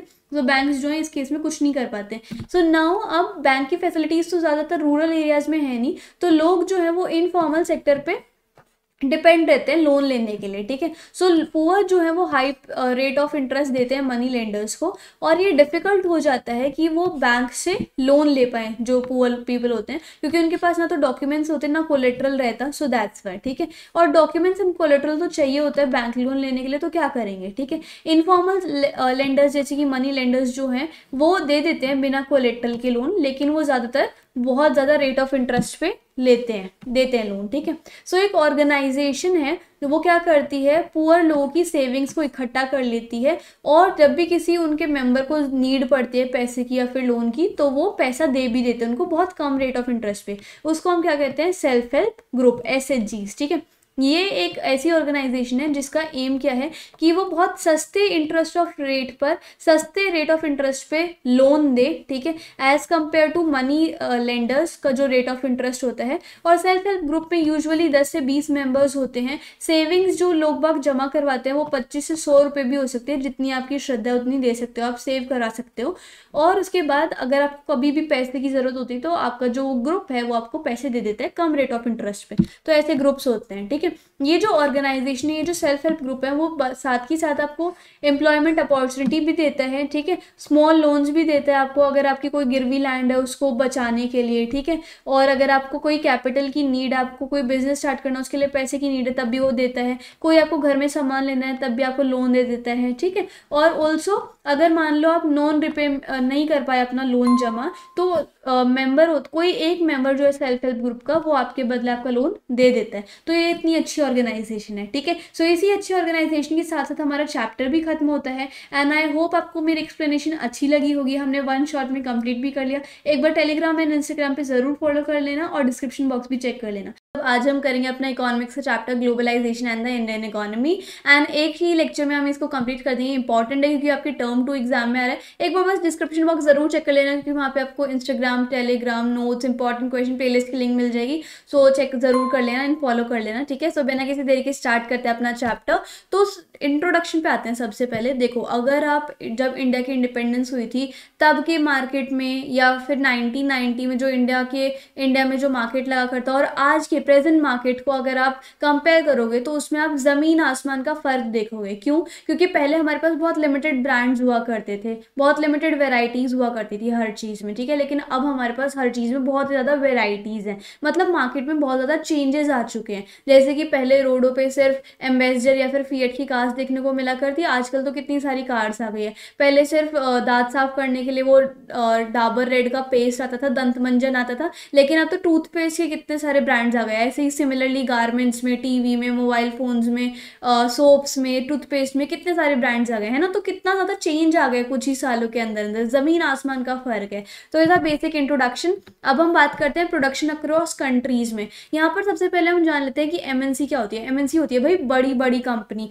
मल्टीनेशनल कंपनीज़ या फिर मल्टीनेशनल कॉरपोरेशन आप बोल सकते हो, ठीक है? तो ये एम क्या होती है? बेसिकली अगर आप गुड़गांव साइड जाओ, नोएडा साइड जाओ, बेंगलोर साइड जाओ, वहाँ पे आपको बहुत बड़ी बड़ी कंपनीज़ दिखेंगी, मुंबई साइड जाओ तो ठीक है? सो ये ऐसी कंपनी होती है जिनके एक से ज़्यादा नेशन में, एक से ज़्यादा नेशों में इतने सारे हेडक्वार्टर्स होते हैं। मतलब एक ही कंपनी के बहुत सारी जगह ऑफ़िस होते हैं, बहुत सारे कंट्रीज़ में। जैसे पेप्सी देख लो, पूरे वर्ल्ड में, इनके हेडक्वार्टर्स इनकी कंपनीज़ फैली हुई है हर नेशन में मोस्टली ठीक? तो यहाँ पर अब हमें ये देखना है कि एम जो है, वो अपनी प्रोडक्शन कहाँ कहाँ पर करना चाहिए किस किस जगह करना चाहिए एक तो एमएनसी जो है, वो उस जगह सेटअप होना चाहिए जहाँ पर मार्केट जो है एकदम पास में हो। दूसरा, उनको स्किल्ड और अनस्किल्ड लेबर कम कॉस्ट पे मिल जाए, बहुत ज़्यादा कम पैसे मिल जाए और गवर्नमेंट पॉलिसीज़ भी अच्छी हो। जिस जगह ये सारी कंडीशन उनको मिल जाएँगी, वहीं पर एमएनसी जो है, वो सेटअप हो जाएँगी, ठीक है? सो बेसिकली कंपनीज़ वहाँ पर क्यों आती है? मल्टीनेशनल कंपनीज़ उस जगह पर क्यों आती हैं जहाँ पर ये सारे फैक्टर्स हो? क्योंकि उन्हें जो बनाने की कॉस्ट है, उनकी कम लगे और उन्हें प्रॉफिट बहुत ज़्यादा हो, ठीक है? तो ये बेसिक आउटकम होता है एमएनसी का इस जगह पे आना क्योंकि उनकी बनाने की कॉस्ट कम लगे और प्रॉफिट जो है वो बहुत ज़्यादा हो। सो दैट्स वाई कंपनीज़ जो हैं, वो ऐसी जगह पे सेटअप होना ज़्यादा पसंद करती हैं। जैसे कि एक एम है यूएसए की, उन, वो कोई इंडस्ट्रियल इक्विपमेंट कोई इंडस्ट्रियल औज़ार बनाते होंगे और उसके डिज़ाइनिंग जो होता है, वो यूएस के रिसर्च सेंटर्स में होता है। उसके जो कंपोनेंट्स है, उसके जो इक्विपमेंट के कंपोनेंट्स है, वो चाइना में मैन्युफैक्चर होते हैं। उसको जोड़ने का काम कहाँ पे होता है? मेक्सिको और ईस्टर्न यूरोप में और उसके कॉल सेंटर्स इंडिया में। तो देख रहे हो, एक कंपनी के कितनी सारी कंट्रीज़ में ऑफ़िस है। तो ऐसी ही चीज़ों को हम मल्टीनेशनल कॉपरेशन या फिर मल्टीनेशनल कंपनीज़ कहते हैं, ठीक है? अब आगे देखो इंटरलिंकिंग प्रोडक्शन अक्रॉस कंट्री उसके लिए सबसे पहले हमें जानना इंपॉर्टेंट है कि इन्वेस्टमेंट क्या होता है। इन्वेस्टमेंट जैसे कि मान लो आपने कोई ज़मीन खरीद ली, कोई बिल्डिंग खरीद ली, कोई एसेट खरीद ली, कोई मशीन खरीद ली और फिर वो बाद में आपको ऐसी हेल्प करे कि उससे बाद में पैसा जनरेट हो जाए। जैसे कि मान लो आपको कोई कंपनी खरीदनी है तो उसके लिए आपने सबसे पहले जगह देखी। उस जगह पर आपने बिल्डिंग बना दी बिल्डिंग में मशीन्स रख दी और ये सारी चीज़ मिल बाद में आपको प्रॉफिट कर रही है। तो इस चीज़ को आप क्या कहते हैं? इन्वेस्टमेंट कहते हैं, ठीक है? और फॉरेन इन्वेस्टमेंट क्या होती है? सो जैसे कि मान लो इंडिया में सऊदी अरेबिया एक कंपनी सेटअप करने जा रहा है एक एमएनसी सेटअप करने जा रहा है तो सऊदी अरेबिया जो है अपने देश का पैसा इंडिया में लगाएगा। तो इस चीज़ को हम क्या कहते हैं? फॉरन इन्वेस्टमेंट ठीक है? Investment done by MNC is termed as foreign investment ठीक है? अब थ्री वेज है थ्री डिफरेंट वेज है through which M N C setup and control production तीन तरीके हैं, जिससे कि एम एन सी जो है वो अपनी प्रोडक्शन को और ज़्यादा अच्छी बनाती है और एम एन सी जो है वो अपनी हर चीज़ को कंट्रोल कर लेती है। अब वो कौन कौन सी चीज़ है? एक तो लोकल कंपनीज़ को बाय कर लेती है। जैसे बहुत बड़ी बड़ी एम एन सी है तो उनके पास जनरली बहुत पैसा होगा तो जो लोकल कंपनीज़ उनको खरीद लेती है, ठीक है? उसके बाद वो लोकल कंपनीज़ के साथ ज्वाइन कर लेती है। हैंड कि अब आप लोग जो है और हम लोग जो है मिलकर काम करेंगे। और बाय प्लेसिंग ऑर्डर्स अब इन अब हम इन तीनों फैक्टर्स को अच्छे से डिस्कस कर लेते हैं। देखो buying up the local companies जो एम होती है, उनके पास बहुत पैसा होता है, जैसे कि मैंने आपको बताया ही है, ठीक है? और वो क्या करती हैं, अपना प्रोडक्शन और अपना इन्वेस्टमेंट जो है वो बढ़ाती रहती हैं, ठीक है? ऐसा तो है नहीं कि अगर मान लो आज दस हज़ार ऑर्डर्स प्रोड्यूस कर रही हैं तो फिर मतलब उन्हें दस हज़ार के लेवल पे ही रहना उन्हें और ज़्यादा प्रोडक्शन करनी है, ठीक है? तो और ज़्यादा प्रोडक्शन को एक्सपैंड करने के लिए अपनी इन्वेस्टमेंट को बढ़ाने के लिए वो लोकल कंपनीज़ को बाय कर लेती है और वो सारी कंपनीज़ और एमएनसी मिलकर अपनी प्रोडक्शन और ज़्यादा बड़े लेवल पे पहुँचा देती है, ठीक है? जैसे कि एमएनसी इसलिए ऐसा कर पाते हैं क्योंकि उनके पास बहुत ज़्यादा पैसा होता है, जैसे कि आप यहाँ पे देख सकते हो, ठीक है?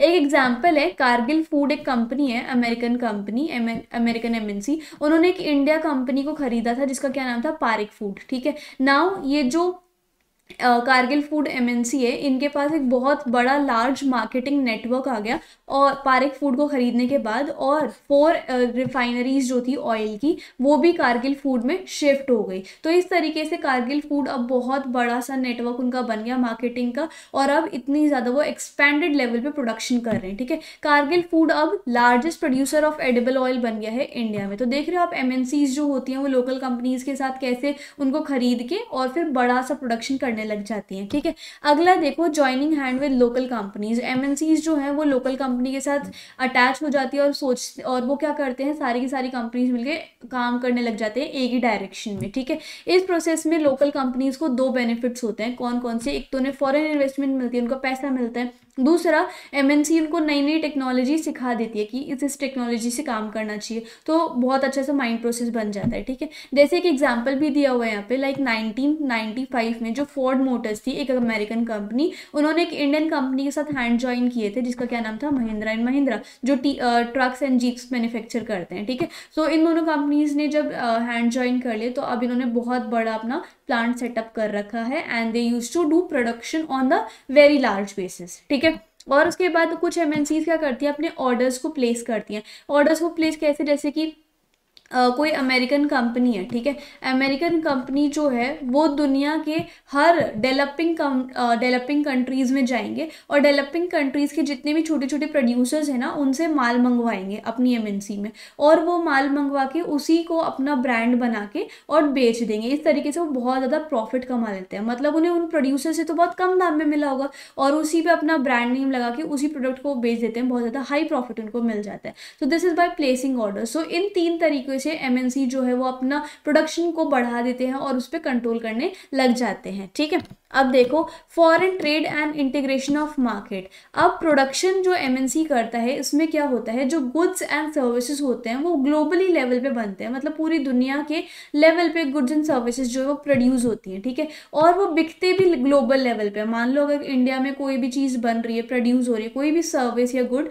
तो वो ऐसा नहीं है कि सिर्फ़ इंडिया में बिकेगी। इंडिया से बाहर बहुत सारी देशों में बिकेगी वो, ठीक है? सो ये होता है ओके इन्वेस्टमेंट टेक्नोलॉजी और जो लोग हैं वो कंट्रीज़ के बीच में मूव करते रहते हैं, ठीक है? जैसे कि कोई कंपनी किधर आ गई तो उसमें इन्वेस्टमेंट होगी, टेक्नोलॉजी, इंडिया या फिर जापान की जो टेक्नोलॉजी है, बुलेट ट्रेन बनाने की, वो इंडिया में आ रही है, ठीक है? और जो लोग हैं जिनके अंदर बहुत अच्छी अच्छी स्किल्स है, वो दूसरी कंट्रीज़ में जा रहे काम करने के लिए तो ग्लोबलाइजेशन के कारण क्या होता है? तो इस सब चीज़ों से क्या होता है, जो लोग हैं टेक्नोलॉजी एंड इन्वेस्टमेंट है, वो कंट्रीज़ के बीच में घूमती रहती है। अब इसी चीज़ से और क्या होता है प्रोडक्शन प्रोसेस जो है वो कॉम्प्लेक्स हो जाता है, लेकिन ऑर्गेनाइज है मतलब इतनी सारी कंपनी साथ में प्रोडक्शन करने लग जाती है तो थोड़ा सा कॉम्प्लेक्स हो जाता है, पर ऑर्गेनाइज तरीके से होता है, ठीक है? इससे एक अपॉर्चुनिटी मिलती है लोकल प्रोड्यूसर्स को कि वो सिर्फ़ इंडिया इंडिया में ना बेचे या फिर सिर्फ़ अपनी अपनी कंट्री में ना बेचे डोमेस्टिक मार्केट से परे भी वो बाहर के देशों में भी अपना सामान बेचे, ठीक है? बायर्स जो है, यानी कि हम जो खरीदने वाले हैं, हमें अलग अलग चॉइसेस मिलती है अलग अलग प्राइसेस एंड अलग अलग क्वालिटी मिलती है, ठीक है? लाइक अगर हमें शूज़ खरीदें तो अगर हमें मान लो किसी एक ब्रांड के शूज़ पसंद नहीं है तो हम दूसरे ब्रांड पे शिफ्ट हो सकते हैं। इस तरीके से हमें चॉइस मिलती है, ठीक है? M N Cs by foreign trade connect integrate the markets in the world तो एम एन सीज के द्वारा बहुत सारे मतलब फॉरन ट्रेड कनेक्ट हो जाते हैं और पूरे वर्ल्ड जो है इंटीग्रेट हो जाते हैं, एकजुट हो जाता है और साथ में सब प्रॉफिट कमाते हैं, सब खरीदते और बेचते हैं, ठीक है? जैसे कि चाइनीज़ इन इंडिया हमने जितना भी पढ़ा है, उससे एक जो बेसिक डेफिनेशन है, वो आती है सामने। उसको हम कहते हैं ग्लोबलाइजेशन ग्लोबलाइजेशन एक ऐसा प्रोसेस है, जिसमें दुनिया के बहुत सारे जो देश है, वो एकजुट हो जाते हैं। दुनिया के जितने भी देश है, उन सभी की मार्केट जो है, वो एकजुट हो जाती है। सब के सब खरीदते हैं, बेचते हैं, लोगों का टेक्नोलॉजी का इन्वेस्टमेंट का ट्रांसफ़र होता है पूरे वर्ल्ड में। इस चीज़ को हम क्या बोलते हैं? Globalisation it can be defined as the process of rapid interconnection and integration between the market यानी पूरी दुनिया के जो मार्केट्स हैं, वो साथ साथ आ जाते हैं और सब एक दूसरे से खरीदते और बेचते हैं, ठीक है? अब यहाँ पर कुछ ऐसे फैक्टर्स हैं जिनके थ्रू ग्लोबलाइजेशन एनेबल हुई है। वो कौन कौन सी है? बेसिकली दो इंपॉर्टेंट फैक्टर्स है ग्लोबलाइजेशन के, जिसके कारण पूरे देश के मार्केट आपस में कनेक्टेड है। अब कौन कौन से? एक तो टेक्नोलॉजिकल डेवलपमेंट दूसरा लिबरलाइजेशन पॉलिसी ठीक है? टेक्नोलॉजिकल डेवलपमेंट पे सबसे पहले बात करते हैं। टेक्नोलॉजी जो है वो बहुत ज़्यादा इंपॉर्टेंट है ग्लोबलाइजेशन के प्रोसेस में। कैसे? देखो, सबसे पहले एक तो ट्रांसपोर्टेशन की टेक्नोलॉजी होना बहुत ज़्यादा इंपॉर्टेंट है। जैसे कि कोई भी सामान अगर हम खरीद रहे हैं, बेच रहे हैं, मान लो दूसरी कंट्री से अगर हम इंडियंस खरीद रहे हैं कोई सामान तो उसको ट्रांसपोर्ट करना बहुत ज़्यादा इंपॉर्टेंट है। अगर मान लो आपने कोई लैपटॉप खरीद रहा खरीदा है दूसरी जगह से, दूसरी कंट्री से तो उसको या तो शिपिंग करवानी पड़ेगी उसकी या फिर उसको बाय एयर आना पड़ेगा। तो ट्रांसपोर्ट की जो टेक्नोलॉजी है, उसमें अच्छी सी डेवलपमेंट होनी चाहिए, तभी दूसरे मार्केट से इंडिया की मार्केट में वो सामान आ पाएगा, ठीक है? द वर्ल्ड उन्होंने बहुत वर्ल्ड ने बहुत सारी इंप्रूवमेंट करी ट्रांसपोर्टेशन टेक्नोलॉजी में और इससे क्या होता है डिफरेंट पार्ट्स ऑफ़ वर्ल्ड तक जो हमारे गुड्स एंड सर्विसेज़ होते हैं, वो कम टाइम में पहुँच जाते हैं, जिससे कि मार्केट जो है वो एकजुट हो जाते हैं। और क्या क्या टेक्नोलॉजी में चेंजेस करें बातचीत भी होनी चाहिए बाकी कंट्रीज़ के साथ, जैसे कि डेवलपमेंट इन आईसीटी यानी कि information and telecom information and communication technology इससे क्या होता है, जिससे इस, इसके अंदर ना बहुत सारे telephone mobile phone computer internet fax email जुड़े होते हैं जिससे कि मान लो हमारा जो वर्ल्ड है वो सिर्फ़ वन क्लिक दूर है हमसे। मतलब इन सब चीज़ों के थ्रू यानी टेलीफोन मोबाइल वगैरह के थ्रू हम जो है वो किसी भी देश से किसी भी कंपनी के साथ अटैच हो सकते हैं just by calling them just by emailing them just by faxing them ठीक है? अगर हमें कोई भी इन्फॉर्मेशन लेनी होती है तो हम आईसीटी द्वारा कर सकते हैं इन्फॉर्मेशन गेन कर सकते हैं, ठीक है? तो development in transportation and development in ICT बहुत ही ज़रूरी है ग्लोबलाइजेशन के लिए तभी जो मार्केट्स है वो एकजुट आराम से हो सकते हैं ठीक है? Now coming towards liberalisation liberalisation क्या होता है? मान लो जब इंडिया मतलब जब इंडिया में इंडिपेंडेंस हुई थी तब इंडिया की जो इकोनॉमी थी वो बहुत ज़्यादा नीचे थी ठीक है? बहुत ज़्यादा कम थी और बस फैक्ट्रीज आई आई थी इंडिया में ठीक है? तो इतनी ज़्यादा इकोनॉमिक डेवलपमेंट नहीं थी इंडिया में। सो so, उस केस में क्या हुआ? जो गवर्नमेंट थे उन्होंने सोचा कि हमें ग्लोबलाइजेशन नहीं करनी चाहिए हमें बाहर के देशों का जो माल है वो अपने यहाँ पे नहीं आने देना चाहिए, क्योंकि जो हमारे डोमेस्टिक प्रोड्यूसर्स हैं, वो बाहर के देशों का कंपटीशन नहीं कर पाएँगे, क्योंकि हमारी इकॉनमी अभी इतनी अच्छी है नहीं और ना ही हमारी इतनी इनकम अच्छी है। तो गवर्नमेंट ने क्या किया? बहुत सारे ट्रेड बैरियर्स लगा दे कि हमारी कंट्री में कोई भी बाहर की कंट्री का माल जो है वो नहीं आएगा और आएगा भी तो उसको बहुत सारे टैक्सेस देने पड़ेंगे। So these are known as trade barriers की गवर्नमेंट ने ट्रेड बैरियर्स लगा दिए थे। लेकिन जब नाइनटीन आया, तब गवर्नमेंट को लगा कि हमें इन ट्रेड बैरियर्स को हटा देना चाहिए, क्योंकि अब हमारी जो इकॉनमी है, वो अच्छी तो होती जा रही है और डोमेस्टिक प्रोड्यूसर्स को कॉम्पिटिशन फेस करना चाहिए। सो उन्होंने ट्रेड बैरियर्स हटा दिए थे और ये जो फ्रीडम मिली थी ट्रेड बैरियर्स हटाने के बाद, उसको हम क्या कहते हैं? लिबरलाइजेशन ठीक है? So removing the trade barriers set by the government is called liberalisation and इससे क्या हुआ? ग्लोबलाइजेशन हुई जब सारे ट्रेड बैरियर्स हट गए, तब बाहर की देशों की जो कंट्रीज़ थी, बाहर की जो कंट्रीज़ थी, उनका जो माल है, वो आया इंडिया में। हमारा जो गुड्स एंड सर्विसेज़ थी, वो उनके कंट्रीज़ में गया। इससे क्या हो गया? जो बहुत सारी मार्केट्स थी देशों की, वो अटैच हो गई। ग्लोबलाइजेशन होने लग गई, ठीक है? So liberalisation transport development and I C के डेवलपमेंट से ग्लोबलाइजेशन जो है, वो एनेबल होती है, ठीक है? Now liberalisation of foreign trade and foreign investment policy पढ़ते हैं। तो गवर्नमेंट ने जो रिस्ट्रिक्शन सेट करी थी, वो कैसी कैसी थी? वो ट्रेड बैरियर के फॉर्म में थी। अब ट्रेड बैरियर दो फॉर्म में हो सकता है। एक तो टैक्स टैक्स जो है वो मॉनेटरी फॉर्म में होता है, यानी कि पैसों की फॉर्म में होता है। इसमें क्या होता है? जो गवर्नमेंट जो है वो टैक्स को as a trade barrier set कर देती है कि भाई अगर मान लो हमारी कंट्री में कोई भी इम्पोर्ट होगा तो तुम्हें टैक्स देना पड़ेगा, तब जाके वो इम्पोर्ट होगा।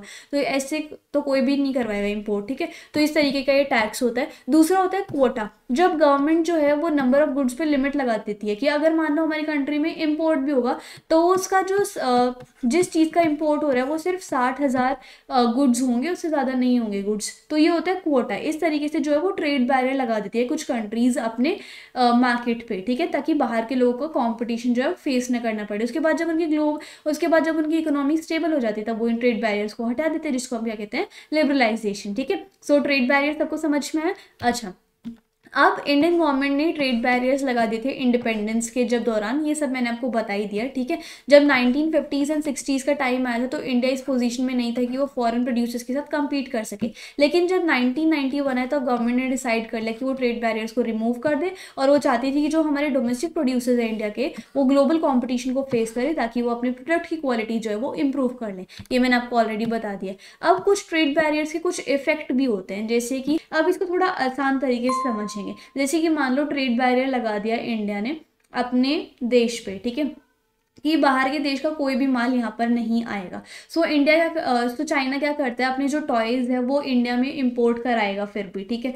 तो उसको क्या करना पड़ेगा? क्योंकि ट्रेड बैरियर लगा हुआ है तो उसको ज़्यादा टैक्स देना पड़ेगा। क्योंकि अगर उसे वो टॉयज़ अपनी इंडिया में भेजें तो उसे ज़्यादा टैक्स देना पड़ेगा, ठीक है? तो उसके ज़्यादा पैसे लग गए। अब क्योंकि वो टैक्स देके टॉयज़ भिजवा रहा है इंडिया में तो उसके जो टॉयज़ हैं, वो ज़्यादा महँगे बिकेंगे। क्यों? क्योंकि उसको प्रॉफिट भी तो कमाना है तो ज़्यादा महँगे कौन खरीदेगा? इंडियन की जो टॉयज़ है, वो सस्ते हो जाएँगे। और चाइना के जो टॉयज़ है वो बहुत ज़्यादा महँगी हो जाएँगे क्योंकि उसको टैक्स दे के यहाँ पे लाया हुआ है, ठीक है? सो इससे क्या होगा इंडिया के जो टॉयज़ होंगे वो ज़्यादा बिकेंगे as compare to Chinese toy और चाइना का जो इम्पोर्ट होगा वो बहुत ही ज़्यादा कम हो जाएगा। सो इस तरीके से जो ट्रेड बैरियर्स है वो ज़्यादा इफ़ेक्टिव होते हैं। तो चाइना का बहुत अच्छा एग्ज़ाम्पल यहाँ पे दिया हुआ है। Now coming towards world trade organisation ये एक ऐसी ऑर्गेनाइजेशन है जो पूरी दुनिया में ट्रेड को संभालती है, ठीक है? इसको शॉर्ट फॉर्म में प्यार से डब्ल्यू बुलाते हैं। एंड इसका बेसिक काम क्या है? ये पूरी दुनिया में जितने भी इंटरनेशनल ट्रेड है इंटरनेशनल लॉज हैं ट्रेडिंग के रिलेटेड वो ये फॉलो करती है, बनाती वगैरह है? ठीक है डब्ल्यू कहता है कि कोई भी ट्रेड बैरियर नहीं होना चाहिए और जितने भी डब्ल्यू के मेंबर हैं, वो उन्हें लिबरलाइजेशन कर देना चाहिए। किसी भी कंट्री को ट्रेड बैरियर नहीं लगाना चाहिए। सारी कंट्रीज़ जो है वो ट्रेडिंग के मामले में फ्री होनी चाहिए। ये डब्ल्यूटीओ का कहना है, ठीक है? लेकिन अगर हम देखें सच्चाई में तो डेवलपिंग कंट्रीज़ जो है, वो कभी कभी इन रूल्स जो डेवलपिंग कंट्रीज़ है जैसे इंडिया वो इन रूल्स को फॉलो करती हैं और जो डेवलप जो डेवलप्ड कंट्रीज़ हैं वो कभी कभी लिबरलाइजेशन रोक देती हैं ठीक है? ट्रेड बैरियर्स लगा देती हैं। सो so, ये होता है डब्ल्यूटीओ के बारे में। अब हम देखते हैं इम्पैक्ट ऑफ़ ग्लोबलाइजेशन क्या पड़ा है इंडिया में? मतलब क्या असर पड़ा है ग्लोबलाइजेशन का इंडिया में? तो ऐसा नहीं है मतलब ग्लोबलाइजेशन के आने से ऐसा नहीं है कि सबको बहुत ही ज़्यादा बेनिफिट मिला हो। हर चीज़ का देखो फ़ायदा भी होता है और नुकसान भी होता है। तो ग्लोबलाइजेशन के आने से मतलब कोई इतना कुछ खास असर भी नहीं पड़ा और इतना कुछ बुरा नहीं हुआ। यानी कि ग्लोबलाइजेशन जो है, वो यूनिफॉर्म उसका असर जो है, वो इंडिया में यूनिफॉर्म नहीं है, ठीक है? अलग अलग सोसाइटी के लोगों को अलग अलग तरीके से ग्लोबलाइजेशन ने इम्पैक्ट करा है। जैसे कि प्रोड्यूसर्स के मामले में देखते हैं। जो बड़े बड़े प्रोड्यूसर्स हैं, जिनके पास बहुत ज़्यादा पैसा, उन्होंने तो एमएनसी के साथ हैंड ज्वाइन कर लिया और उनका प्रोडक्शन जो है, वो और ज़्यादा बढ़ गया और उनको ज़्यादा प्रॉफिट मिलने लग गए। लेकिन जो छोटे प्रोड्यूसर्स हैं, उनका प्रोडक्ट कौन खरीदेगा? क्योंकि उनके पास एडवर्टाइजिंग करने के लिए पैसा नहीं है, कोई भी उनके प्रोडक्ट को जानता नहीं है। तो जो छोटे छोटे प्रोड्यूसर्स हैं उनको बहुत ज़्यादा लॉस हो गया और इस केस में उन्हें अपने सारा बिज़नेस बंद करना पड़ेगा, ठीक है? ठीक है? अब वर्कर्स जो हैं एम जो है, एक तो वो अनएम्प्लॉयमेंट को रिड्यूस करने का काम तो करती हैं बट एमएनसी जो है, वो लेबर लॉज में फ्लेक्सिबिलिटी रखती हैं। लेबर लॉज जैसे कि इंडिया में बहुत सारे हैं लाइक 200 घंटे काम करना है एक साल में और छः घंटे में एक घंटा हम आराम कर सकते हैं और अलग अलग टाइप के लेबर लॉज हैं इंडिया में, ठीक है? लेकिन एम जो है, वो इन लेबर लॉज को इग्नोर कर सकती है, ऐसा हमारी इंडियन गवर्नमेंट ने कहा है और गवर्नमेंट और वर्कर्स को टेम्प्रेरी वर्क टेम्प्रेरी बेसिस पे वो हायर कर सकती है। तो ये चीज़ थोड़ी बहुत गलत है कि मतलब वर्कर्स का जितना टाइम उन्हें काम करवाना है तो करवा लो, उसके बाद उनको निकाल दो। इस तरीके से नहीं होना चाहिए। और बायर्स जो हैं, उनको मतलब जो रिच बायर्स हैं, वो एम जो है, वो ज़्यादातर रिच बायर्स के लिए बनाती है, ना कि मीडियम या फिर पुअर क्लास बायर्स के लिए, ठीक है? सो ये थोड़ा बहुत इससे ग्लोबलाइजेशन जो है, वो हर इंसान पर अलग अलग तरीके से इम्पैक्ट करता है बेस्ड ऑन देयर स्टेटस ठीक है? अब हमारे पास कुछ ऐसे स्टेप्स हैं, जिसके थ्रू हम एम या फिर फॉरन इन्वेस्टमेंट को इंडिया में अट्रैक्ट कर सकते हैं। क्योंकि जितनी ज़्यादा एम आएँगी हमारे इंडिया में तो उससे क्या होगा? तो अनएम्प्लॉयमेंट की प्रॉब्लम चली जाएगी, ठीक है? दूसरा हमारे इंडिया में बहुत ज़्यादा इकोनॉमी में जीडीपी में असर पड़ेगा। तीसरा हमारे इंडिया में बहुत सारा फॉरेन इन्वेस्टमेंट आएगा तो मतलब इकोनॉमी काफ़ी ज़्यादा अच्छी हो जाएगी, ठीक है? लोगों को अच्छी अच्छी जॉब्स मिल जाएँगी विद हैंडसम पैकेज ओके अब कौन कौन से हैं वो कुछ स्टेप्स या जिससे हम अट्रैक्ट कर सकते हैं? एक तो गवर्नमेंट ने कुछ दो इंपॉर्टेंट स्टेप्स लगे इंपॉर्टेंट स्टेप्स करे हैं जैसे कि फॉरेन इन्वेस्टमेंट को अट्रैक्ट कर सके। जैसे कि फ़र्स्ट है एस ई जेड जिसको हम क्या कहते हैं? स्पेशल इकोनॉमिक जोन सो हमारी गवर्नमेंट ने एस ई जेड बनाया स्पेशल इकोनॉमिक जोन जहाँ पर एक एम को सारी फैसिलिटी मिलेगी like electricity roads water transport recreational and educational facility M को कोई भी टैक्स नहीं देना पाँच सालों के लिए, और वो अपनी एस e में अगर प्रोडक्शन सेटअप कर रहे हैं तो उन्हें पाँच सालों तक कोई भी टैक्स नहीं देना। तो अगर कोई भी एम ये चीज़ सुनेगी कि अच्छा इंडियन गवर्नमेंट ने ऐसे कर रखा है तो वो फटाफट आएगी, ठीक है? तो उससे हमारे इंडिया का ही फ़ायदा होगा। नेक्स्ट क्या है? Flexibility in labour hours labour hours जैसे कि मैंने अभी आपको बताया कि कितने सारे लेबर आवर्स होते हैं ना? तो इसमें क्या है? गवर्नमेंट ने फ्लेक्सिबिलिटी या फिर परमिशन दे रखी है एम को कि आप जो है वो इन जो वर्कर्स हैं, उनको टेम्प्रेरी बेसिस पे हायर कर सकते हो, अपने हिसाब से उनको काम करवा सकते हो, और आप लेबर लॉज को इग्नोर कर सकते हो, जो कि एक गलत चीज़ है बेसिकली बट उन्होंने कहा है कि आप लेबर लॉज को इग्नोर कर सकते हो, उनसे मन चाह जितना टाइम आप काम करवाना चाहो करवा सकते हो, उनको अपनी मर्ज़ी से पे आउट कर सकते हो, उनको टेम्प्रेरी बेसिस पे रखना है तो आप रख सकते हो तो आपको खुली छूट है, आप दे सकते हो उनको। कुछ भी लाइक उनको हायर कर सकते हो किसी भी बेसिस पे, ठीक है? इससे क्या होगा एम जो है उनकी लेबर कॉस्ट रिड्यूस हो जाएगी और टोटल कॉस्ट ऑफ़ प्रोडक्शन भी उनकी रिड्यूस हो जाएगी उनको मैक्सिमम प्रॉफिट देखने को मिलेगा। तो ये दो स्टेप्स गवर्नमेंट ने लिए हैं जिसके थ्रू हमारे इंडिया में बहुत सारी बाहर की कंट्रीज़ की जो एम है लाइक ताइवान की जापान की अमेरिका की सऊदी अरेबिया की, वो इंडिया में सेटअप होने लग रही है, ठीक है? Now the last topic is fair globalisation fair globalisation क्या होता है भाई? कि ग्लोबलाइजेशन जो है वो हर एक के हित में हो। ऐसा नहीं है कि सिर्फ़ रिच के लिए ये ग्लोबलाइजेशन अच्छा असर करे। पुअर और मिडल मीडियम या फिर मिडिल क्लास फैमिलीज़ के लिए भी इसको अच्छे से काम करना चाहिए, ठीक है?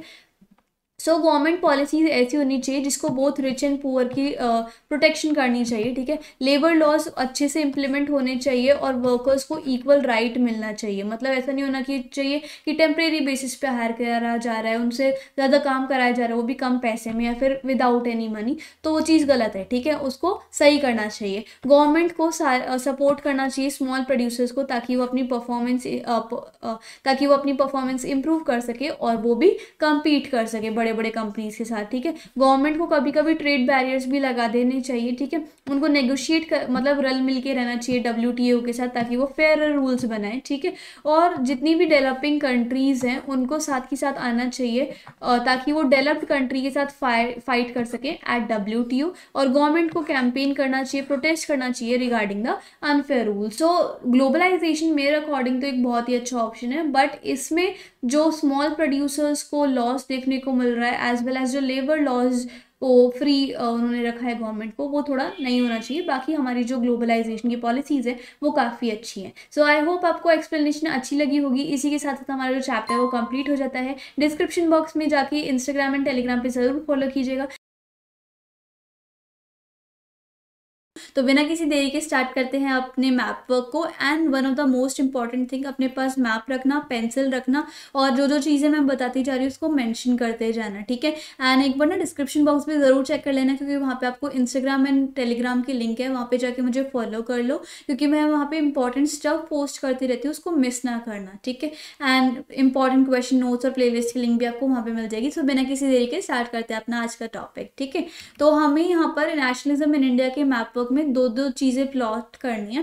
पहला ये था इंडियन नेशनल कांग्रेस सेशन की। इंडिया में नेशनल कांग्रेस सेशन कहाँ कहाँ पर हुए थे, उसमें हमें तीन चीज़ें प्लॉट करनी है। वैसे तो काफ़ी जगह हुए थे बट यहाँ हमें सिर्फ़ तीन प्लॉट करने हैं as per term to syllabus जैसे कि पहला है कोलकाता दूसरा है नागपुर और तीसरा है मद्रास, ठीक है? और ये उनके ईयर्स लिखे हुए हैं राइट तो सबसे पहले हम कोलकाता को मैंशन कर लेते हैं। यहाँ पर आपको ये वेस्ट बंगाल दिख रहा होगा। वेस्ट बंगाल में इस साइड आपको पॉइंट करके कोलकाता को मैंशन करना है। साथ के साथ अभी मैंशन कर लो, उसके बाद जितनी बारी आप इसको प्रैक्टिस करोगे ना तो डेस्टिनेशन आपको याद हो जाएगी, ठीक है? उसके बाद आपको मैंशन करना है नागपुर। नागपुर कहाँ है? ये आपका महाराष्ट्र है और इस साइड आपको पॉइंट करके नागपुर नाइनटीन लिखना है। साथ के साथ डेट भी लिखोगे, जैसे कि यहाँ पे लिखा हुआ है ना डेट वैसे ही साथ के साथ आप ब्रैकेट में यहाँ पे डेट भी मैंशन कर देना। देखो यहाँ पे लिखा हुआ है, ठीक है? डेट मेंशन कर देना। उसके बाद मद्रास है, ठीक है? मद्रास आपको कहाँ पे मिलेगा? तमिलनाडु में। तमिलनाडु के थोड़ा ऊपर जाके आपको यहाँ पे पॉइंट लगा के मद्रास लिख देना है 1927 ठीक है? तो इस तरीके से आप इंडियन नेशनल कांग्रेस सेशन के जो तीन चीज़ें हैं, तीन पार्ट हैं, ये प्लॉट करें ठीक है? ये दूसरा क्वेश्चन है आपका, जिसमें हमें सबसे पहले चंपारण को पोस्ट करना है, कहाँ पे? बिहार में।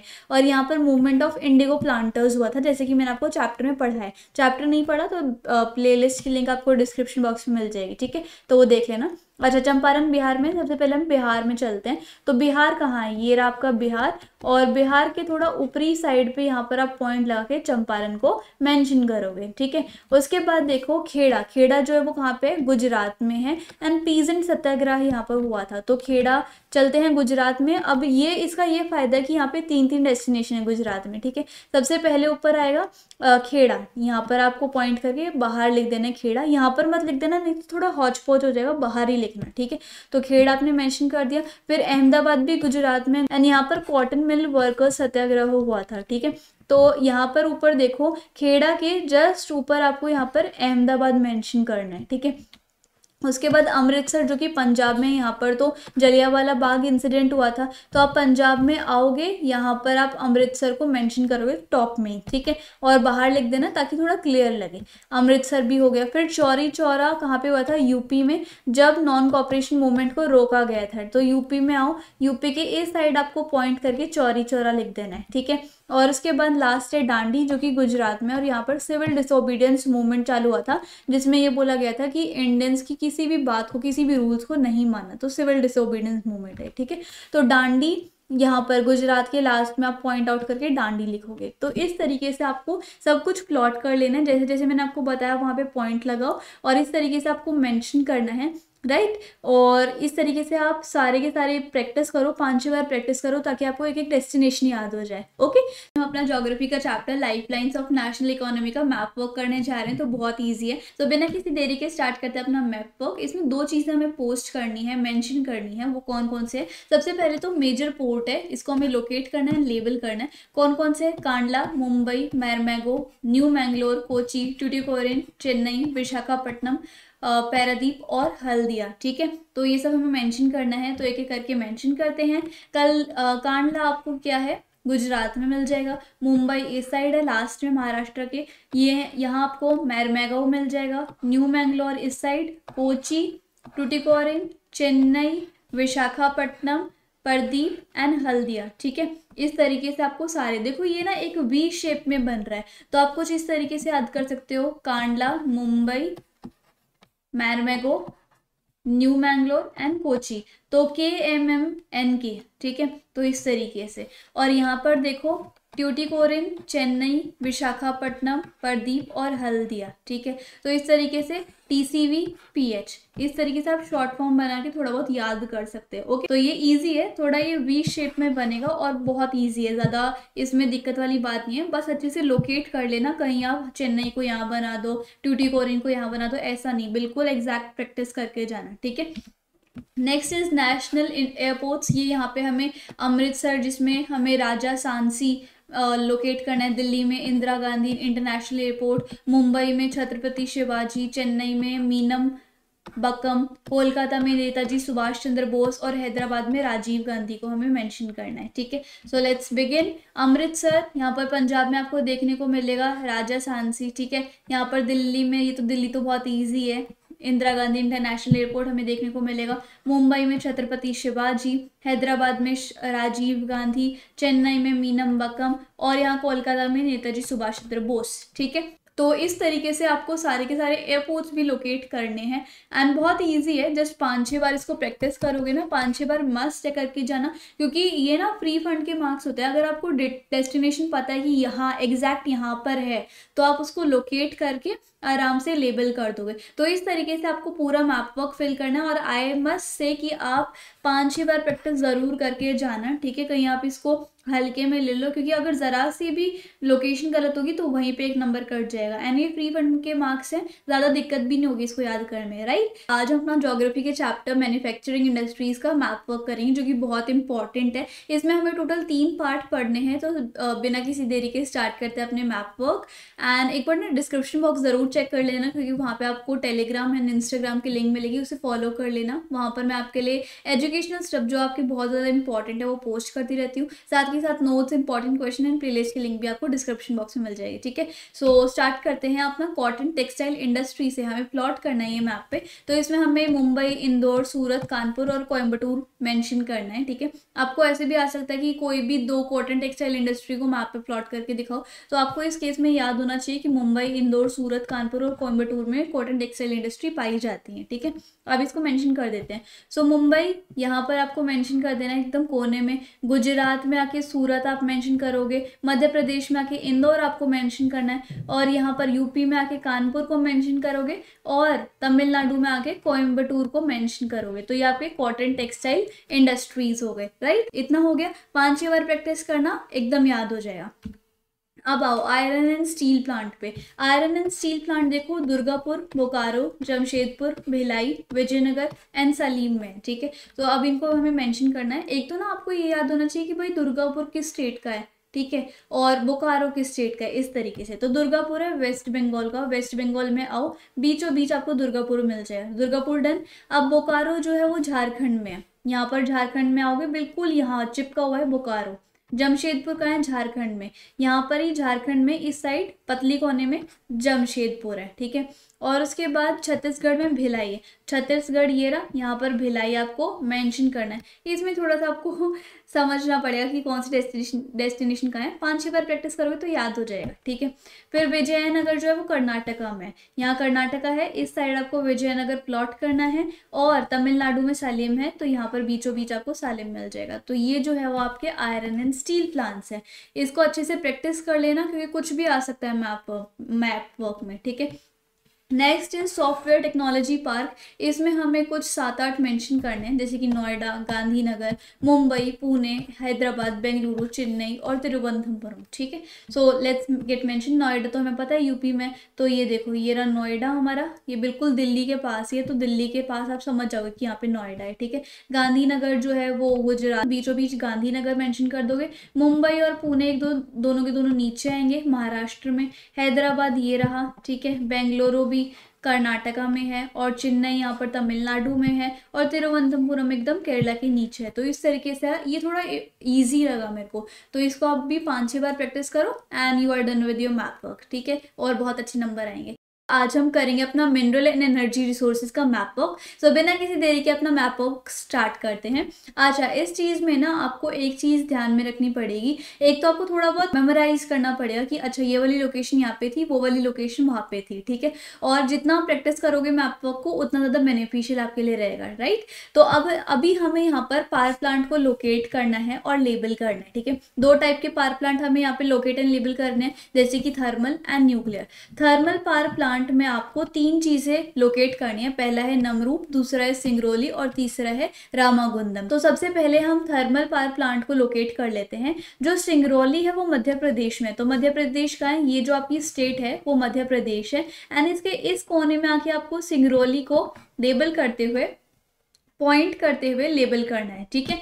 उसके बाद हम आते हैं असम में। असम में है नमरूप थर्मल न्यूक्लियर प्लांट। तो ये है आपका असम एंड असम में एकदम कोने में आके नमरूप आपको मेंशन करना है, ठीक है? प्लॉट करना है। और तेलंगाना में आओगे तो रामागुंदम वहाँ पे है। तो ये तेलंगाना आपका यहाँ पे है और यहाँ पर आके रामागुंदम आपको मेंशन करना है, ठीक है? तो ये था आपका थर्मल पावर प्लांट का और थोड़ा बहुत प्रैक्टिस करोगे, तीन, चार, पाँच बार, इतना इनफ है राइट अब हम आते हैं न्यूक्लियर के ऊपर। मैंने तीन चार बार प्रैक्टिस करने के लिए क्यों कहा? क्योंकि आपको तो पता ही है कि ज्योग्राफी और हिस्ट्री का मिला के तीन से पाँच नंबर का मैप पक्का से भी पक्का आता है। तो इट्स बेटर कि आप पाँच छः बार प्रैक्टिस तो करो ही करो, ताकि आपकी जो डेस्टिनेशन है वो बिल्कुल माइंड में चिपक जाए, ठीक है?